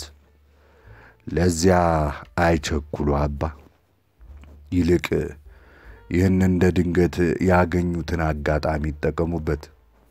ይህን ለፍጥረታት ሁሉ በቅጽበት የሚያልፈውን ጊዜም በከንቱ ወሬ አያባክኑት። ይፍጠኑ። ነፍሴ ከሥጋዬ ከመለየቷ በፊት በፍጥነት መጥተው ቁስሌን ይድፈኑልኝና ያንሱኝ አላቸው ሰይጣን። ቄሱ ግን በንዴት ጦፉ። እነዚህ በየዕለት ለእግዚአብሔር መሥዋዕት የሚያቀርቡ እጆቼ ከሲኦል በፈለቁ ንጥረ ነገሮች የተሠራን ያንተን አካል አይነኩም። የሰብአዊ ፍጡር ጠላት ነህና ሁሉንም መልካም ተግባራት ለጥፋት ዓላማዬ ብለህ ቆርጠ ተነስተሃልና በሰብአዊ ፍጡራን በሙሉ ተረግመ መሞት አለብህ አሉት። ሰይጣን በስቃይ ውስጥ ቢሆንም እንደምንም አንድ ክንዱን ተደግፎ ቀና ለማለት እየሞከረ እንዲህ ሲል ምላሽ ሰጣቸው። ስለሚናገሩት አልተረዱም። ልብ ብለው ሊሰሙኝ ፈቃደኛ ከሆኑ ታሪኬን በዝርዝር ልንገሮትን ዝግጁ ኖት? ዛሬ በዚህ ጭር ባለ ሸለቆ ውስጥ በእግሬ እየተጓዝኩ ነበር። እዚህ ቦታ ስደርስ ብዙ መላእክት እኔን ለማጥቃት ከሰማይ ወረዱና ክፉኛ ቀጠቀጡኝ። ከመካከላቸው አንዱ በሁለቱም ጫፎች ስለት ያለው የሚያጥበረብር ሰይፍ ባይዝ ኖሮ ወደ መጡበት መልሳቸው ነበር። ይሁንና ያንን ኃይለኛውን ሰይፍ የምመክትበት አቅም አልነበረኝም። ሰይጣን የሚንቀጠቀጥ እጁን ጎኑ ላይ ባለው ሰፊ ቁስል ላይ አድርጎ እያቃተተ ለጊዜው ንግግሩን አቆመ። ከዚያም ቀጠለ። ያ የሚያብረቀርቅ ሰይፍ የታጠቀ መልአክ መልአከ ሚካኤል እንደነበር ምንም ጥርጥር የለኝም። የተዋጣለት ኃይለኛ ተፋላሚ ነበር። ተወርውሬ ብዙም ጉዳት በማያደርሰው መሬት ላይ በመውደቅ እንደ ሞትኩኝ መስዬ ባልዘረር ኖሮ ብጥስጥሴን አውጥቶ በአሰቃቂ ሁኔታ ይገድለኝ ነበር። ይህን ጊዜ አባ በድል አድራጊነት ድምፅ ዐይኖቻቸውን ወደ ሰማይ አቅንተው ምስጋናን አቀረቡ። የቅዱስ ሚካኤል ስም የተባረከ ይሁን፣ የሰውን ዘር ከዚህ አረመኔ ጠላት ታድጓታልና አሉ። ሰይጣን ተቃውሞን አሰማ። እኔ ለሰው ልጅ ያለኝ ክፋት እርሶ ለራሶ ካሉት ጥላቻ አይበልጥም። እርሶ እኮ አሁን እያመሰገኑት ያሉት በችግሮት ጊዜ አንድም ቀን በጭራሽ ያልደረሰሎትን ያላደነዎትን ሚካኤልን ነው። እኔ የምቾቶና የደስታው ምንጭ የነበርኩ ብሆን አሁንም ቢሆን ነኝ። በዚህ በተረታሁበት ጊዜ የእርግማን ማዕት እያወረዱብኝ ይገኛሉ። ግድ የለም ምስጋናዎትን ይንፈጉኝ፣ የእርዳታ እጅዎንም አይዘርጉልኝ። ነገር ግን ይህን የመሰለ ምቹ ኑሮ የሚኖሩት በእኔ መኖር የተነሳ ነው። በእኔ መኖር ሰበብ ነው እኔን የሚዋጉበትን መሳሪያ ያገኙት። ለሥራዎት ትክክለኛነት እንደ ዋነኛ ምክንያት አድርገው የሚጠቀሙት የእኔን ስም ነው። ታዲያ ይህ ማንነቴ ላለፉት ዓመታት እንደ ጠቀመው ሁሉ የዛሬና የወደፊት ማንነቴስ አያስፈልጎትም? ወይስ የእኔን ስም እንደ ማስፈራሪያ እየተጠቀሙ ከተከታዮቹ ተጨማሪ የወርቅና የብር ሳንቲሞች መሰብሰቡን የማይቻል ሆኖ አግኝተውታል? እኔ ከሞትኩ በችጋር እንደሚሞቱ አይገነዘቡምን? ዛሬ እኔ እንድሞት ጥለውኝ ቢሄዱ ነገ ምን ሰርተው ይኖራሉ? ስሜ ከምድር ገጽ ድራሹ ቢጠፋ እርስዎ በምን አይነት ሙያ ሕይወቶን ይገፋሉ? ለአስርታት ዓመታት በእነዚህ መንደሮች እየተዘዋወሩ ሰዎችን በወጥመዴ ውስጥ እንዳይወድቁ ሲያስጠነቅቁ ኖረዋል። እነሱም ለምክሮትና ለአስተምሮት ውለታ ለመክፈል ሲሉ ደክመው ለፍተው ከሚያገኙት ገንዘብና ጥሪት ሲለግሶት ቆይተዋል። ነገ እኔ ክፉ ጠላታቸው መሞቴን ከዚህ ወዲያ እንደማልኖር ካወቁ ከእርስዎ ዘንድ ምን የሚገዙት ምክርና አስተምህሮ ይኖራቸዋል? ሰዎች ከኀጢአት በአስተማማኝ ሁኔታ ስለሚድኑ የዕለት ጉርሶትንም የሚያገኙበት ሥራዎትም ከእኔ ጋር አብሮ ይሞታል። እንደ አንድ ቄስነቶ የሰይጣን መኖር በራሱ የእኔን ጠላት ቤተ ክርስቲያን እንደ ፈጠረ አያውቁትምን? ከአማኞች ኪስ ውስጥ የወርቅና የብር ሳንቲሞች እያወጣና በእናንተ በሰባኪያንን በወንጌላውያን ኪስ ውስጥ የሚጨምረው ሚስጥራዊ እጅ ይሄ ከጥንት ጀምሮ የነበረው ግጭታችን መሆኑን አያውቅምን? በእርግጠኝነት ክብሮትን፣ ቤተ ክርስቲያኖትን፣ ቤቶትንና የዕለት እንጀራዎትን እንደሚያሳጥወው እያወቁ እንዴት እኔን በዚህ ቦታ ላይ እንድሞትተውኝ ይሄዳሉ? ሰይጣን ለጥቂት ጊዜ ዝም ብሎ ቆየ። ትሕትናው አሁን በራስ መተማመን ተቀየረና በነጻነት ንግግሩን ቀጠለ። አባ እርሶ ኩሩ ቢሆኑም አላዋቂ ኖት። ስለዚህ አሁን የእምነትን ታሪክ እገልጥሎታለሁ። በዚህ ታሪክ ውስጥ የሁለታችንን ሕልውና ያጣመረውና እኔን መኖር የእኔን መኖር ከእርሷ አመለካከት ጋር ገና ከመጀመሪያው ጀምሮ ያስተሳሰረው እውነት ይገለጥሎታል። ጊዜ መቁጠር በጀመረበት የመጀመሪያ ሰዓት ሰው ከፀሐይ ፊት ቆመና እጆቹን ወደፊት ዘርግቶ ለመጀመሪያ ጊዜ ከሰማይ ባሻገር አንድ ታላቅና ፍቅር የሆነ በጎ አድራጊ ርኅሩህ አምላክ አለ እያለ ጮኾ ተናገረ። ከዚያ ሰው ፊቱን አዙሮ ጀርባውን ለታላቁ ክብረ ብርሃን ሲሰጥ ጥላውን በምድር ላይ አየ። ይህኔ ከመሬት ከርስ ክፋትም የሚያፈቅር አንድ ጨለማ ዳቢሎስ አለ ብሎ ማረጋገጫን ሰጠ። እናም ሰው ለገዛ ራሱ እኔ በሁለት ኃይላት መካከል የተከበብኩ ነኝ አንዱን እጠለልበታለሁ፣ ሌላውን ደግሞ ልታገለው የሚገባ ጠላቴ ነው ብሎ እያንሾካሾከ ወደ ዋሻው ተጠጋ። እንግዲህ ሰው በሚያመሰግነውና ከፋ ከፍ ከፍ በሚያደርገው እንዲሁም በሚረግመውና በሚፈራው ሁለት ኃይላት መካከል እንደ ተወጠረ ሲኖር እነሆ ዘመናት በሰልፍ ነጎዱ። ይሁንና ሰው የምስጋናንም ይሁን እርግማንን ትርጉም አልተገነዘበም። ዛፍ በክረምት እያበበ በበጋ ደግሞ እየረገፈ በሁለቱ ወቅቶች መካከል እንደሚኖር ሁሉ ሰውም እንደዚያው በሁለቱ መካከል ይኖር ነበር። ሰው የስልጣኔ ንጋት ሲወግግ፣ ይሄ እንግዲህ የሰው ልጅ ማስተዋልን ሲያገኝ መሆኑ ነው። እንደ አንድ ቤተሰብ ይኖር የነበረበት በጎሳ ተከፋፍሎ በቡድን መኖር ጀመረ። ሥራም እንደ ችሎታና እንደ ፍላጎት ሆነ። አንዱ ነገድ መሬት ያርሳል፣ ሌላው መጠለያዎችን ይገነባል፣ የተቀሩት ደግሞ አልባሳትን ይሸምናሉ ወይም ለአደን ይወጣሉ። በምድር ላይ መለኮታዊነት መገለጥ የጀመረው በዚህ ጊዜ ነበር። ይህ ምንም አይነት ጥቅምም ሆነ አስፈላጊነት ሳይኖረው በሰዎች የተፈጠረ የመጀመሪያ የሥራ ዘርፍ ነበር። ሰይጣን ለጥቂት ጊዜ ያህል ማውራቱን ገታ አድርጎ በሳቅ ተንከተከተ። ሳቁ ባዶውን ሸለቆ በጩኸት አናጋው። ይሁንና በሳቁ የተነሳ ቁስሎቹ ስለጠዘጠዙት ሳቁን ባጭር ቆርጦ በሕመም እየተሰቃየ እጁን ጎኑ ላይ አሳረፈ። በመጨረሻ ራሱን እያበረታ ንግግሩን ቀጠለ።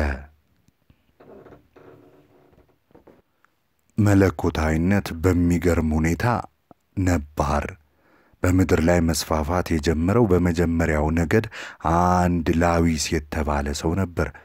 የስሙ አመጣጥ ከምን የተነሳ እንደሆነ አላውቅም። ሰውየው ብልህ አእምሮ ያለው ቢሆንም እጅግ ሰነፍ ነበር። እርሻ ማረስ፣ ከብት ማርባት፣ ቤቶች መገንባትና ከቦታ ቦታ መንቀሳቀስ ብቻ በአጠቃላይ ድካምን የሚጠይቅ ማንኛውንም ሥራ መሥራት አጥብቆ ይጠላ ነበር።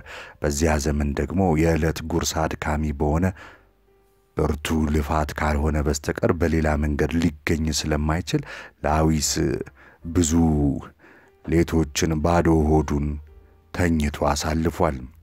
በበጋ ወራት በአንድ ምሽት የነገዱ አባት በሙሉ በአለቃቸው ጎጆ ዙሪያ ተሰብስበው የእንቅልፍ ሰዓታቸውን እስኪያደርስ ድረስ የዕለት ውሏቸውን እየተጨዋወቱ እያለ ከመሃላቸው አንዱ በድንገት ተነሳና በጣቱ ወደ ጨረቃዋ እያመለከተ የሌሊቱን አምላክ ተመልከቱት፣ ፊቱ ጨልሟል፣ ውበቱና ለዛውም ጠፍቷል ወደ ጥቁር ድንጋይነት ተቀይሮ በሰማዩ ጉልላት ላይ የተሰቀለ ይመስላል በማለት መጮ ጀመረ። የነገዱ አባላትም ጨረቃዋን አፍጥጠው እየተመለከቱ በፍርሃት መንዘፍዘፍና መጯጯ ያዙ። በጨለማው እጆች ልባቸው ተጨምድዶ እንደተያዘ ሁሉ በፍርሃት ተናጡ። ምክንያቱም የሌሊቱ አምላክ ምድሪቱ ላይ ያረፈው ደማቅ ብርሃኗን ቀስ በቀስ በጥቁር ግርዶሽ ጋርዶ ወደ ጥቁር ኳስነት ሲቀይራት በዐይኖቻቸው በብረቱ አይተዋልና ነው።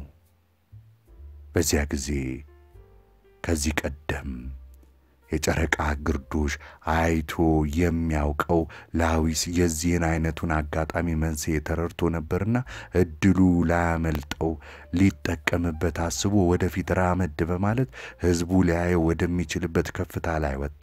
እናም በድቅድቁ ጨለማ መካከል ቆሞ እጆቹን ወደ ሰማይ ከፍ አድርጎ በመስቀል በኃይለኛ ድምፅ እንዲህ ሲል ንግግር አደረገ። ቀሳፊው የጨለማ አምላክ በብርሃን የተሞላው የሌሊት አምላክ ጋር ታላቅ ፍልሚያ ስለገጠመ ተንበርከኩና ጸልዩ። ቀሳፊ አምላክ የሌሊቱን አምላክ ያሸነፈው እንደሆነ እናልቃለን።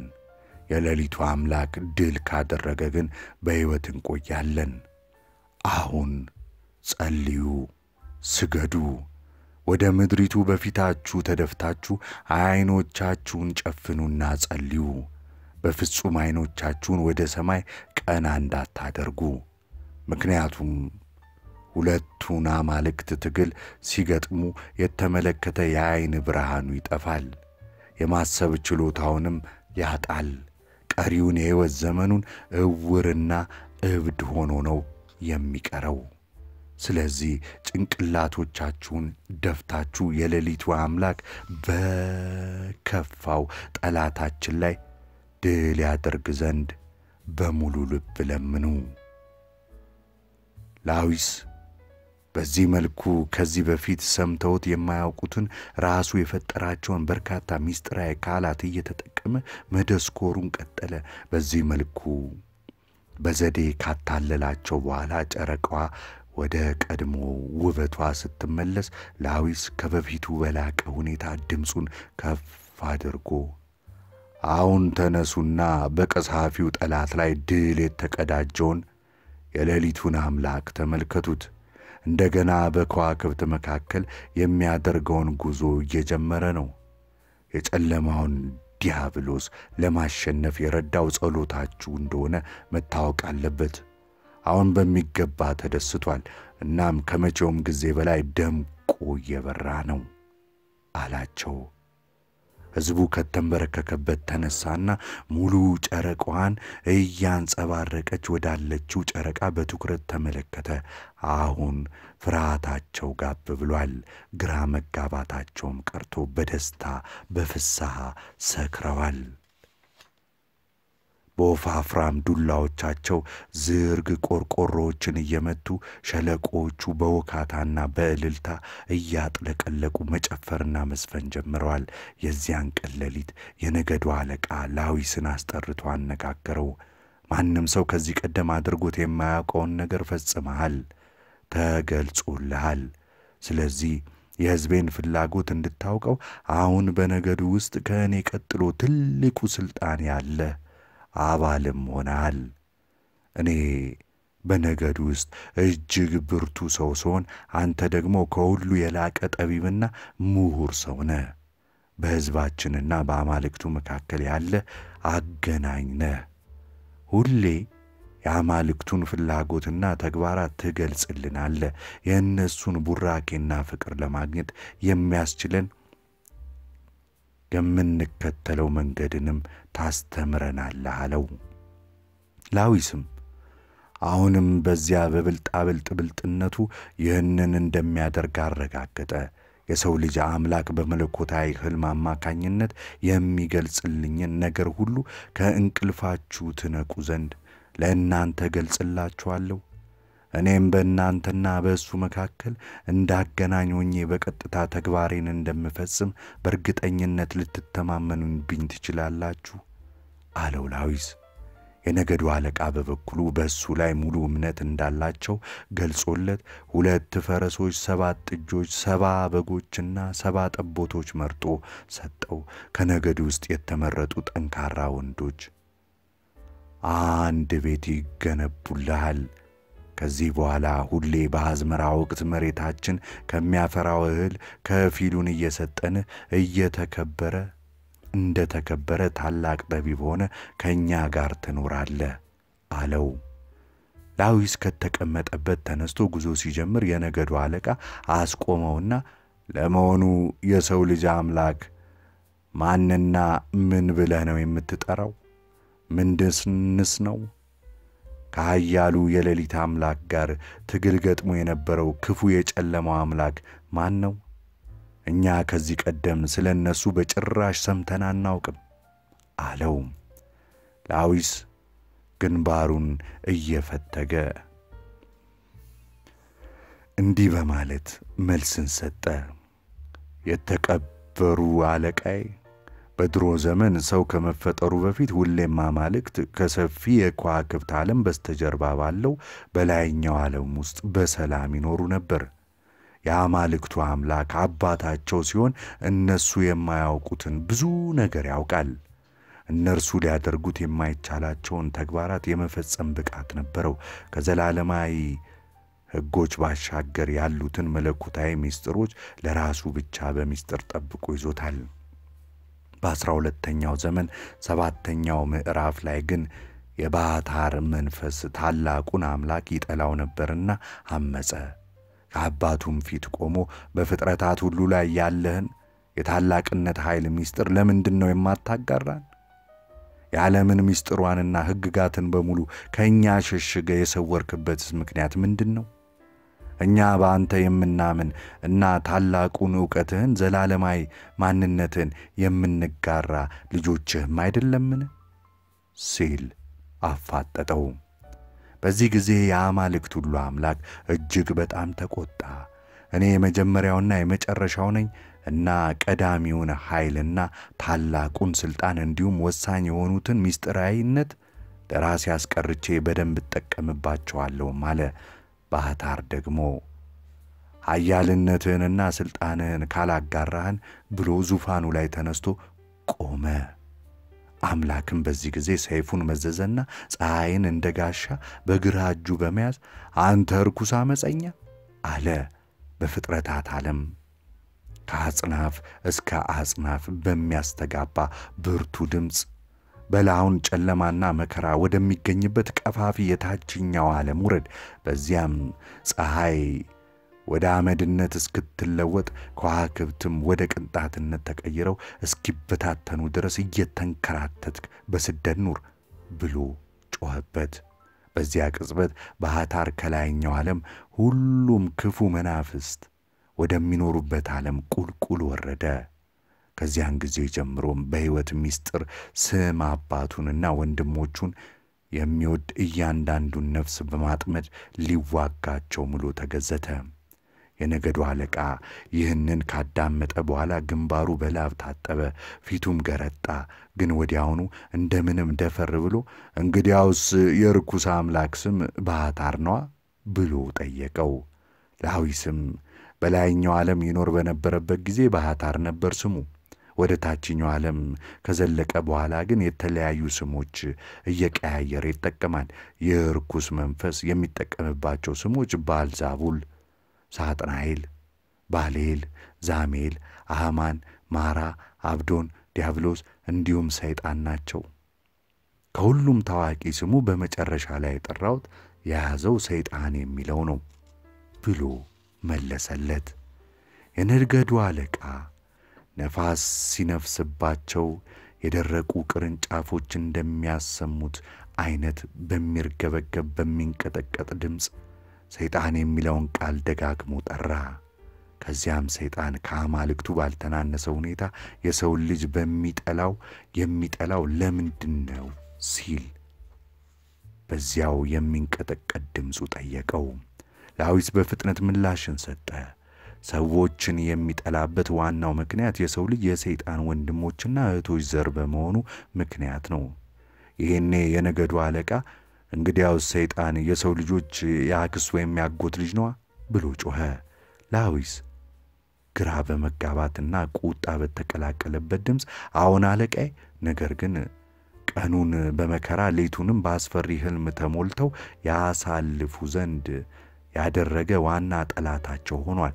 አውሎ ንፋስ አስነስቶ ደሳሳ ጎጆቸውን የሚያፈርስ ሰብላቸውን አጥፍቶ ችጋርን የሚያመጣባቸው በእነርሱና በከብቶቻቸው ላይ በሽታን የሚያዛምት ኃይል ሁሉ ሆኗል። ሰይጣን በርኩስ ኃይል የተሞላ አምላክ ነው። እርጉም በመሆኑ ስናዝን የሚፈነድቅ፣ ስንደሰት በሐዘን የሚማቅቅ ነው። ክፉ ተግባራቱን በሚገባ አውቀን እናስወግደው ዘንድ በእኔ ዕውቀት በኩል በጥንቃቄ ልንመረምረው ይገባል። በወጥመድ በተሞላ መንገድ ውስጥ እንዳንገባ ባሕሪውን በሚገባ ማጥናትም አለብን። የነገዱ አለቃ ወፍራም ዱላውን ደገፍ ብሎ አሁን አውሎ ንፋሱን ወደ ቤታችን የሚመራውን እንዲሁም በእኛና በከብቶቻችን ላይ ቸነፈር የሚያመጣውን የዚያን ርኩስ ኃይል ውስጣዊ ምስጢር አወቅኩት። አሁን እኔ ያወቅኩትን ሕዝቦቼም ሁሉ ማወቅ አለባቸው። ላዊስ የዚያ ብርቱ ጠላታችን ምስጢርን ገልጦ ላሳያቸው ስላሳያቸውና ከክፉ መንገዱም ስላራቃቸው ከዛሬ ጀምሮ ይወደሳል፣ ይከበራል፣ ይሞካሻልም አለ። እናም ላዊስ የነገዱን አለቃን ባለበት ቦታ ትቶት በብልሃት በብልሃቱ እጅግ ከመደሰቱ የተነሳ የወይን ጠጅ የጠጣ ያህል ሰክሮ ወደ ማረፊያው ስፍራ አቀና። በዚያ ሌሊት ከላዊስ በስተቀር የነገዱ አለቃና መላው የነገዱ አባላት በተኙበት አልጋ ውስጥ እንዳሉ ለመጀመሪያ ጊዜ በአስፈሪ መናፍስትና ጣረ ሞቶች እንዲሁም መንፈስ በሚያውቅ ቅዠት ተሞልተው ሲጨነቁ ሌሊቱን አሳለፉ። ሰይጣን ለጊዜው ንግግሩን አቋረጠ። አባ ስምዖን አፍጥጠው እያዩት ነው። ከናፍሮቻቸው አስቀያሚ የሞት ጣዕር አይነት ሳቅ አንዣቦበት ይታያል። ሰይጣን ንግግሩን ቀጠለ። ከዚያን ጊዜ ጀምሮ ነው አምልኮ ወደዚህ ምድር የመጣው። የእሱ መምጣት ለእኔ መኖር ምክንያት ሆነ። የእኔ ሥራ የጭካኔ እንዲሆን ያደረገው ላዊስ ነው። ከላዊስ ሞት በኋላ ይህንን መለኮታዊ ሥራ በልጆቹ በኩል በየቦታው ተስፋፍቶ እንከን የሌለው መለኮታዊ ሙያ እስከሆነበት ጊዜ ድረስ አእምሯቸው በእውቀት በበሰለው ነፍሳቸው በተዋበው ልባቸው ንጹሕ በሆነው እንዲሁም ግባቸው ሰፊ በሆኑ ሰዎች ዘንድ ቀጠለ። በባቢሎን እኔን በቅዳሴዎቹ ሲዋጋኝ ለሚውለው ቄስ ሕዝቡ በአምልኮ ሰባት ጊዜ ይሰግድለታል። በነነዌ ደግሞ የእኔን ውስጣዊ ምስጢራት ያውቃል የሚባለው ቄስ በሰውና በአምላክ መካከል እንደሚገኝ ወርቃማ ድልድይ ተደርጎ ስለሚወሰድ ይከበራል። በቲቤትም ከእኔ ጋር የሚፋለሙት ቄስ የፀሐይና የጨረቃ ልጅ ብለው ይጠሩታል። በባቤል በኤፌሶንና በአንጾኪያ ለእኔ ተቀናቃኝ ልጆቻቸውን በመሥዋዕትነት ያቀርባሉ። በኢየሩሳሌምና በሮም እኔን የሚጠሉኝና በመላ አቅማቸው ከእኔ ጋር እንደሚፋለሙ የሚናገሩ ሕይወታቸውን አሳልፈው ሰጥተዋል። ከፀሐይ በታች ባሉት ከተሞች ሁሉ የእኔ ስም የሃይማኖት የጥበባትና የፍልስፍና ትምህርት ምህዋር ሆኗል። እኔ ባልኖር ኖሮ አንድም ቤተ መቅደስ ባልተገነባ ማማዎችና ቤተ መንግሥታትም ባልተሠሩ ነበር። በሰው ልጆች ዘንድ ቁርጠኛ ውሳኔ ያመነጨው እኔ ነኝ። የሰዎችን እጆች የማንቀሳቅሰው ስውር እጅም እኔ ነኝ። እኔ ዘላለማዊ ሰይጣን ነኝ። ሰዎች ከእኔ ጋር የሚያደርጉትን ትግል ቢያቆሙ በአስገራሚ መሠረተ ቢስ እምነታቸው ይገጥመናል ብለው በሚያስቡት ክፉ ቅጣት ሳቢያ ስንፍና አእምሮአቸውን፣ ልባቸውንና ነፍሳቸውን ይገድለው ነበር። እኔ የወንዶችን አእምሮና የሴቶችን ልብ በፍርሃት እያራድኩ የምኖር ቁጡ አውሎ ነፋስ ነኝ። እናም እኔን በመፍራት ሊያወግዙኝ ወደ አምልኮ ስፍራቸው ይተማሉ፣ ወይም ለእኔ ፍላጎት እጃቸውን በመስጠት ሊያስደሱኝ ወደ ርኩስ ማምለኪያ ስፍራቸው ይሄዳሉ።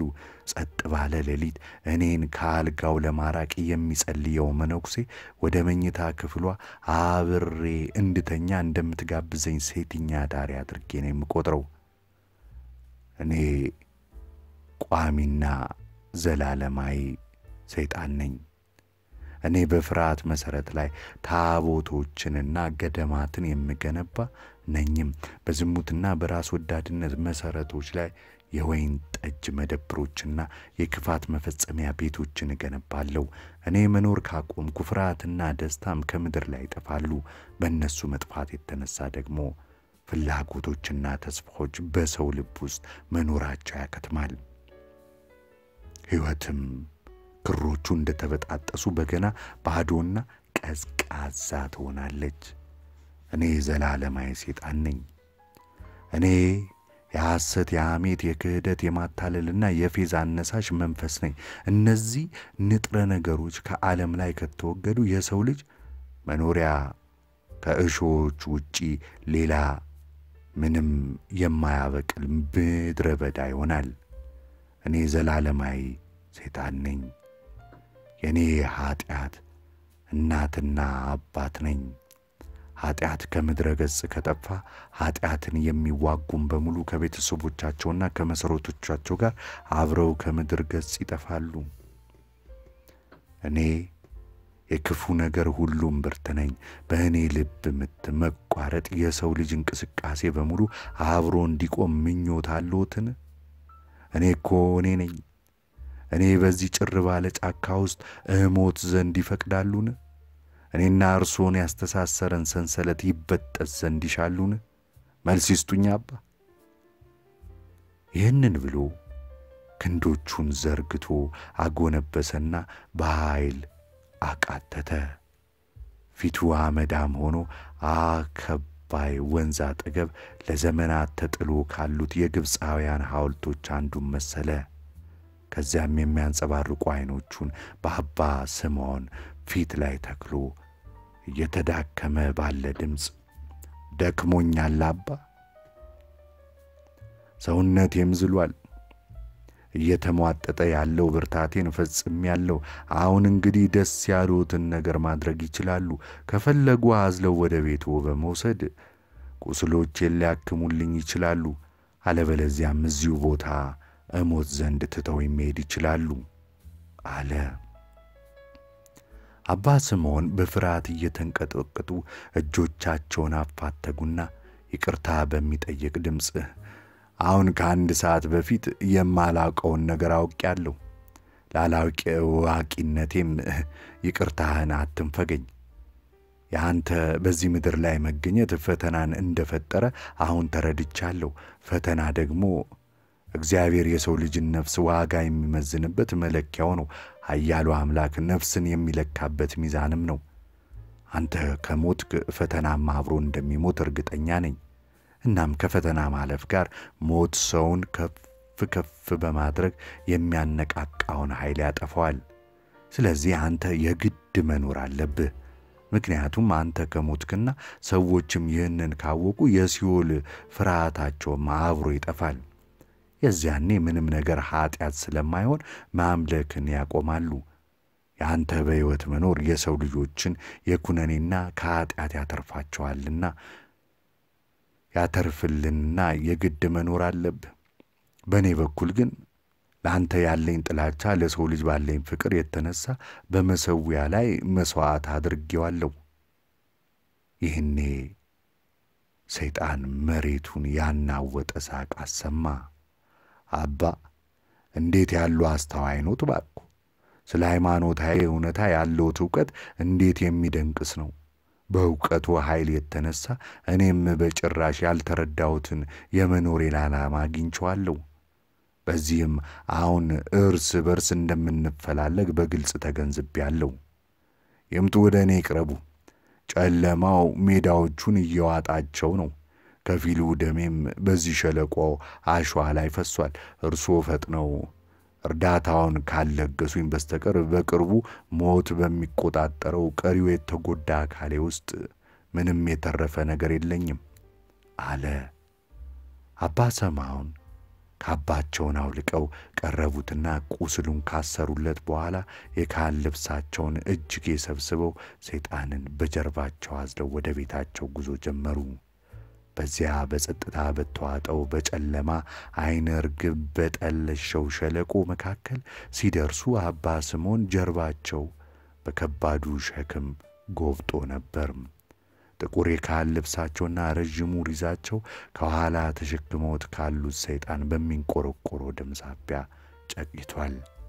አባ ግን በጣረ ሞት ተይዛ ለምትታጣረው የሰይጣን ነፍስ ከናፍሮቻቸውን በማንቀሳቀስ ልብ የሚነካ ጸሎት እያደረጉ ወደፊት ለመግፋት በድካም ይፍጨረጨራሉ። የጠቢባን መንገድ የካሊል ጅብራን መጽሐፍ ነው። ሰይጣን የሚለውን አንብበን እንዲጨረስን ቻናላችንን subscribe፣ like፣ comment፣ share ያድርጉ። እናመሰግናለን። እንቀጥላለን።